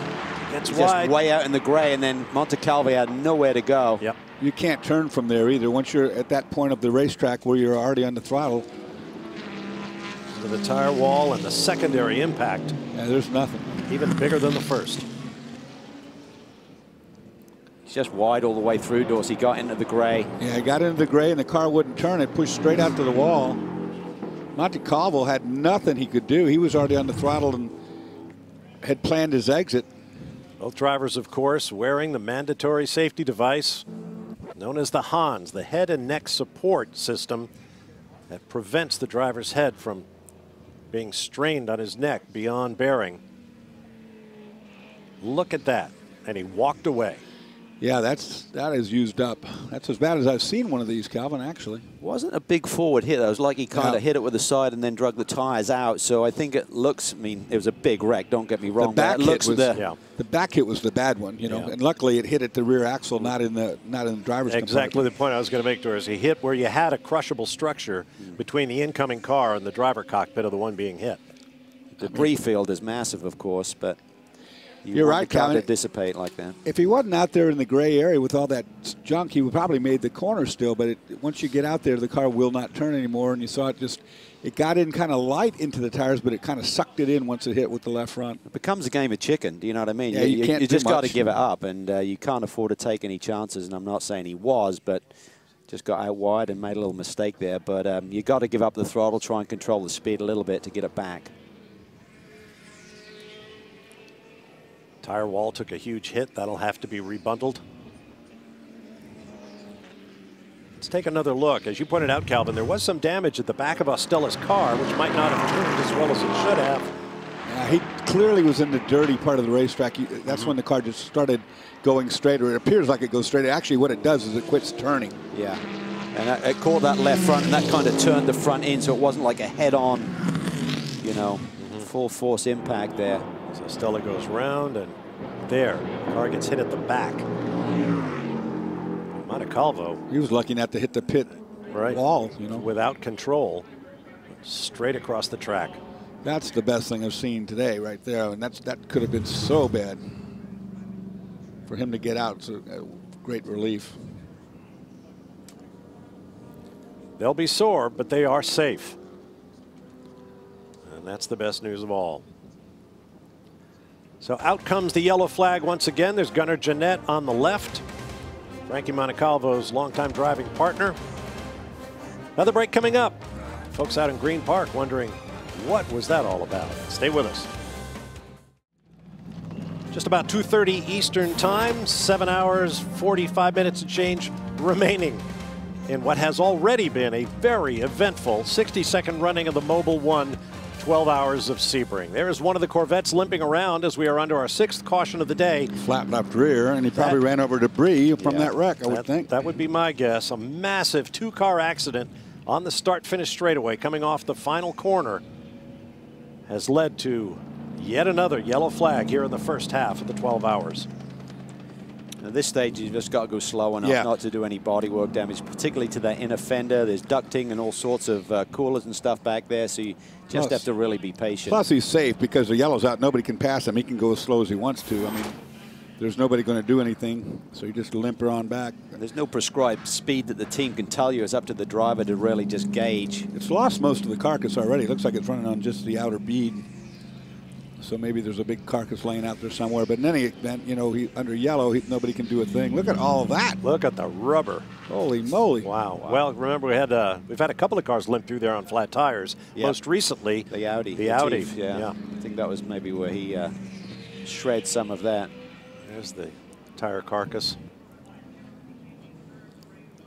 Now they're calling for a red flag. Okay, that all means stop. They're stopping the race. What's going to happen here is that they're going to bring all the cars to a stop. They can't be worked on. They can't be touched. Drivers will stay in the car unless told otherwise. No work on the cars. No work on the cars whatsoever. They might let the drivers out because this is going to be an extended cleanup period right now. Clock continues to run. Clock continues to run.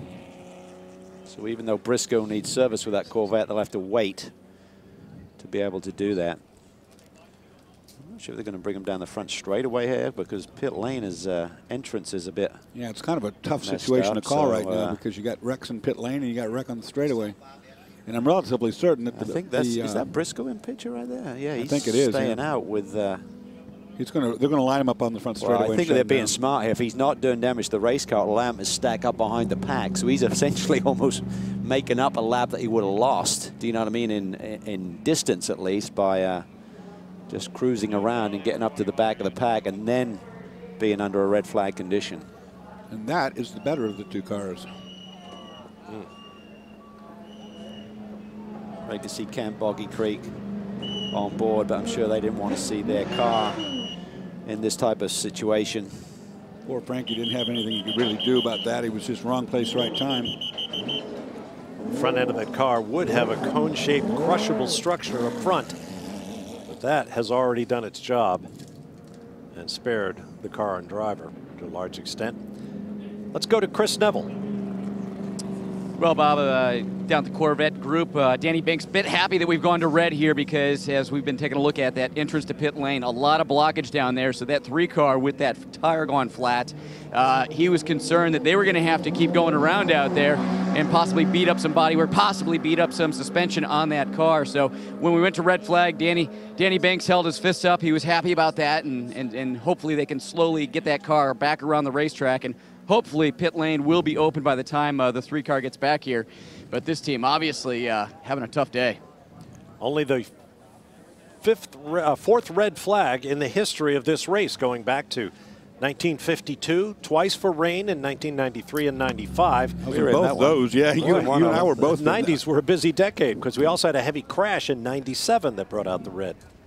I wasn't in that one, but Dorsey probably created the crash. No, Yeah, probably no. his fault, huh? You and I were in the one with the rain, though. I remember sitting on pit lane. Oh, That was ridiculous. Yeah, it was absolutely ridiculous. Remember, even under caution, you couldn't keep the car on the racetrack, just aquaplaning. No, you got at like 60 miles an hour, you were over your head. 60. It could have been uh, that big wreck. Might have been Davy Jones back then, in the Jaguar, who had a huge wreck. See the cars coming to a stop on the Ulmann straightaway between turn 16 and 17. Let's go back now and listen to radios on board the number four after the accident. Whoa.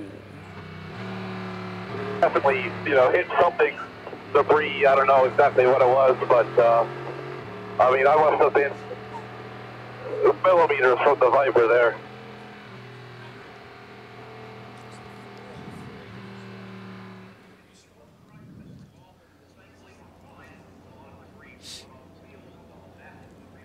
Not much you can do about this. You, you've got to drive up the straightaway because there's a crash and pit in, and there's debris Ah. everywhere. he did definitely get into something. There goes the car, soon to discover leaking air. Let's go to Andrew.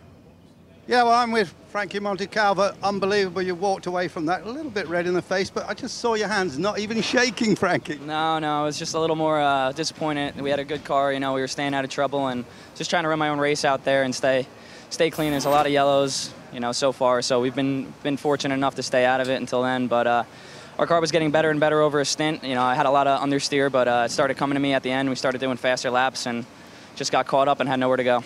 So yeah, just just go through it. Tell us exactly what you saw. Um, well, I think it was uh, Ostella and Ranger. Uh, they were, you know, racing wheel to wheel, really racing hard. So I was just trying to stay out of their out of their race and trying to keep my pace up. And uh, was going into 17. They broke really late. They were both carrying good speed through the corner. Just kind of did a normal line through there and was getting a good exit. Was tracking all the way out to the wall. And when I came around the corner, you know, he clipped the wall and spun right out in front of me. So I had nowhere to go. Frankie, we're glad you're safe, Mr. Cool. Yeah, it was it was not a fun ride. Okay. That's good to hear, Frankie Montecalvo. He's probably still wondering what just happened to me. Yeah, he was trying to stay out of that battle. He said the two cars ahead of him were dicing it out, and he didn't want any part of it, and ultimately ended up in it. So that's uh, that's disappointing. It definitely says, like you said, Calvin, a lot for the design and the crushable structure on the nose of these things that you can have an impact of that severity and, and still the driver be all right. Looks like the crews are going to work back there on the Ulmann Straight, cleaning up some of that tire debris. You also had a look at air conditioning, prototype style. Just Yeah. open the door. I'm sure it's warm in those cars right now. You know, hmm. it's, it's probably upper 70s today. Any concerns about overheating your car? You pull it up, you stop. Well, there, there, there's a heat sink Heat for sink, sure. When they shut them off out there, there's, they're going to get really hot, and some of them might not fire. Now, if it doesn't fire, they are allowed to push you and restart it since they've commanded that you shut it down. That's Al Carter in one of the Audi R8s trying to flap some cooling air into the car. You shut it off, and all that heat from the transmission tunnel comes right up from the inside, and it just boils you. No air circulation whatsoever. Pardon me. That's Al in his Aston Martin, the brand he's racing in this year. Well, that's a good point, Dorsey, though. The front engine cars in particular, All that stuff just sits there, and you know the brake rotors, all that heat comes straight up, and it all finds its way to the driver. Uh, most of it through that transmission tunnel, which is a hollow, is hollow underneath the car, so all the heat goes up into that, and it acts like a chimney. You know, just sucks all that heat right up through the where you shift from. See the crews going to work on the tire wall. You know, I came here for the test, and there was a big accident back in the hairpin that about knocked down the fence. But I noticed that the crews seem to be incredibly well rehearsed at repairing the tire wall and cleaning up the racetrack. We've already seen several episodes of that this weekend. In fact, several since the beginning of this race. They really get the job done here at Sebring. Let's go to Andrew Marriott once again. Yeah, well, I'm with one of the big names in this race, uh, Ryan Hunter-Reay. You're sort of, you're, this is your bit of fun, isn't it, driving one of these cars? But Sebring is no fun. Oh, it's uh, it's so challenging out there today. It's a it's a bit crazy, really, the amount of yellows we've seen. But I absolutely love Sebring. I love the 12 hour, and uh, this is my effectively my home race. So it's great to be here with SRT Viper. We had a great run at uh, at Daytona, and we're looking to to top it here today. But you can see it's uh, it's pretty treacherous out there today. How do you switch your mindset from uh, Indy cars to this? Because that one's the braking distance is completely different, the downforce is completely different. Uh, it must be quite hard to do that. Yeah, and it is more difficult uh, going from a GT car to uh, to the Indy car. But uh, the prototypes in the past years have been easier to go back and forth. This uh, requires a little bit more changing of, of driving style, but you know it keeps me sharp, keeps me on my toes. I've always got to be thinking about how I can be a better driver. So I love that part of it. Love working with this team. Because you're going to be staying in Florida because you've got the St. Pete Indy race uh, starts the season. Uh, you're getting ready for that. Good preparations. Yeah, I can't wait for the IndyCar season to start. You know, it was a, a big boost to the series to have Verizon come on. Now it's the Verizon IndyCar series, and um, there's a lot of good momentum going on there. So we're looking forward to getting St. Pete going, and uh, and then heading into May for for what's going to be a spectacular month at uh, the Indianapolis Motor Speedway. Meanwhile, you've got a good chance here because the car is going well and some of your rivals have been hitting each other. Yeah, you know, we changed a lot on the car last night. The two, Marc and uh, Dominik, who have driven it before me, uh, have said that the car is the best it's been all week. So I'm really looking forward to getting in it. No matter what, though, when it's this hot, Sebring's going to be greasy, slick. It's going to be uh, it's going to be tough to keep it on the track. Right, great to talk to you. Thanks, champ. Thank you. Thanks for having me. Well, he's right about that. This racetrack gets slimy when it gets hot like it is in the afternoon. It drops off almost two seconds a lap from the morning times, and inexperienced crew people who come down here and drivers, they chase their car around trying to get that time back, which it never really went away. It's just the racetrack is by nature that way. As we mentioned during our Mazda news and notes, there was a personnel change at Chip Ganassi Racing with Felix Sabates. Longtime team manager Tim Keen has moved on. Let's hear from his replacement now. Yeah, Bob. Michael O'Gara taking over the reins on the 01 car this year. And Mike, coming in after Daytona, not really mid-season, but after the season has started and after a lot of development with the car, has that been a challenge? It's been a challenge, it's been a lot of work, but uh, it's pretty impressive what Ford's done in such a short amount of time, uh, especially just from the open test till now, just a couple weeks. Uh, they've, they've made some leaps and bounds uh, with mapping, and uh, we're really, really pleased with the performance of, of the, the Ford and, and, and the car in general. So we're making progress. Uh, got a little late start on Daytona, but we're, uh, we're making progress now. Now, you were with the 01 car for the first couple years of the Daytona prototype program, then went over to Sarah Fisher Racing, spent some time in IndyCar, now back over here. Are you excited to be back over here? Um, yeah, the uh, it was an interesting challenge over at Sarah Fisher Racing. Had a great time and learned a lot, and hopefully I can bring some of that management experience back here. Uh, it's uh, nice to join Ganassi again, and uh, and uh, hopefully we can push this program forward. A lot of speed out of the 0-2 car right now. You guys have that kind of speed too? Yeah, I think so. We're just kind of biding our time. We've been on different strategies all day. Um, both cars are capable of running quick times. We're just uh, doing it a little different than they are and um, taking our time and see what we got at the end. Yeah, now the cars are rolling. Both these teams starting to gear up for a pit stop. They are on extremely different strategies. When you look at the fastest lap, Sage Karam's car has had a 153.2. Fastest time for the 01 is a 154.8. That is a significant delta between two team cars. So I don't know if they've got kind of a rabbit and uh, tortoise kind of strategy going on here. Make sure you get at least one of these to the finish. Obviously, Daytona, they had some uh, drama there. Maybe the 01 that's running for the championship. Let's run a slower pace, try and keep on that lead lap, and then let him loose at the end. Mm -hmm. Field coming back around. They'll form up. We expect to get a green flag shortly, so we'll take a break. On the other side, we hope to have something very special for you. Stand by for more on the 62nd Mobil 1 12 Hours of Sebring.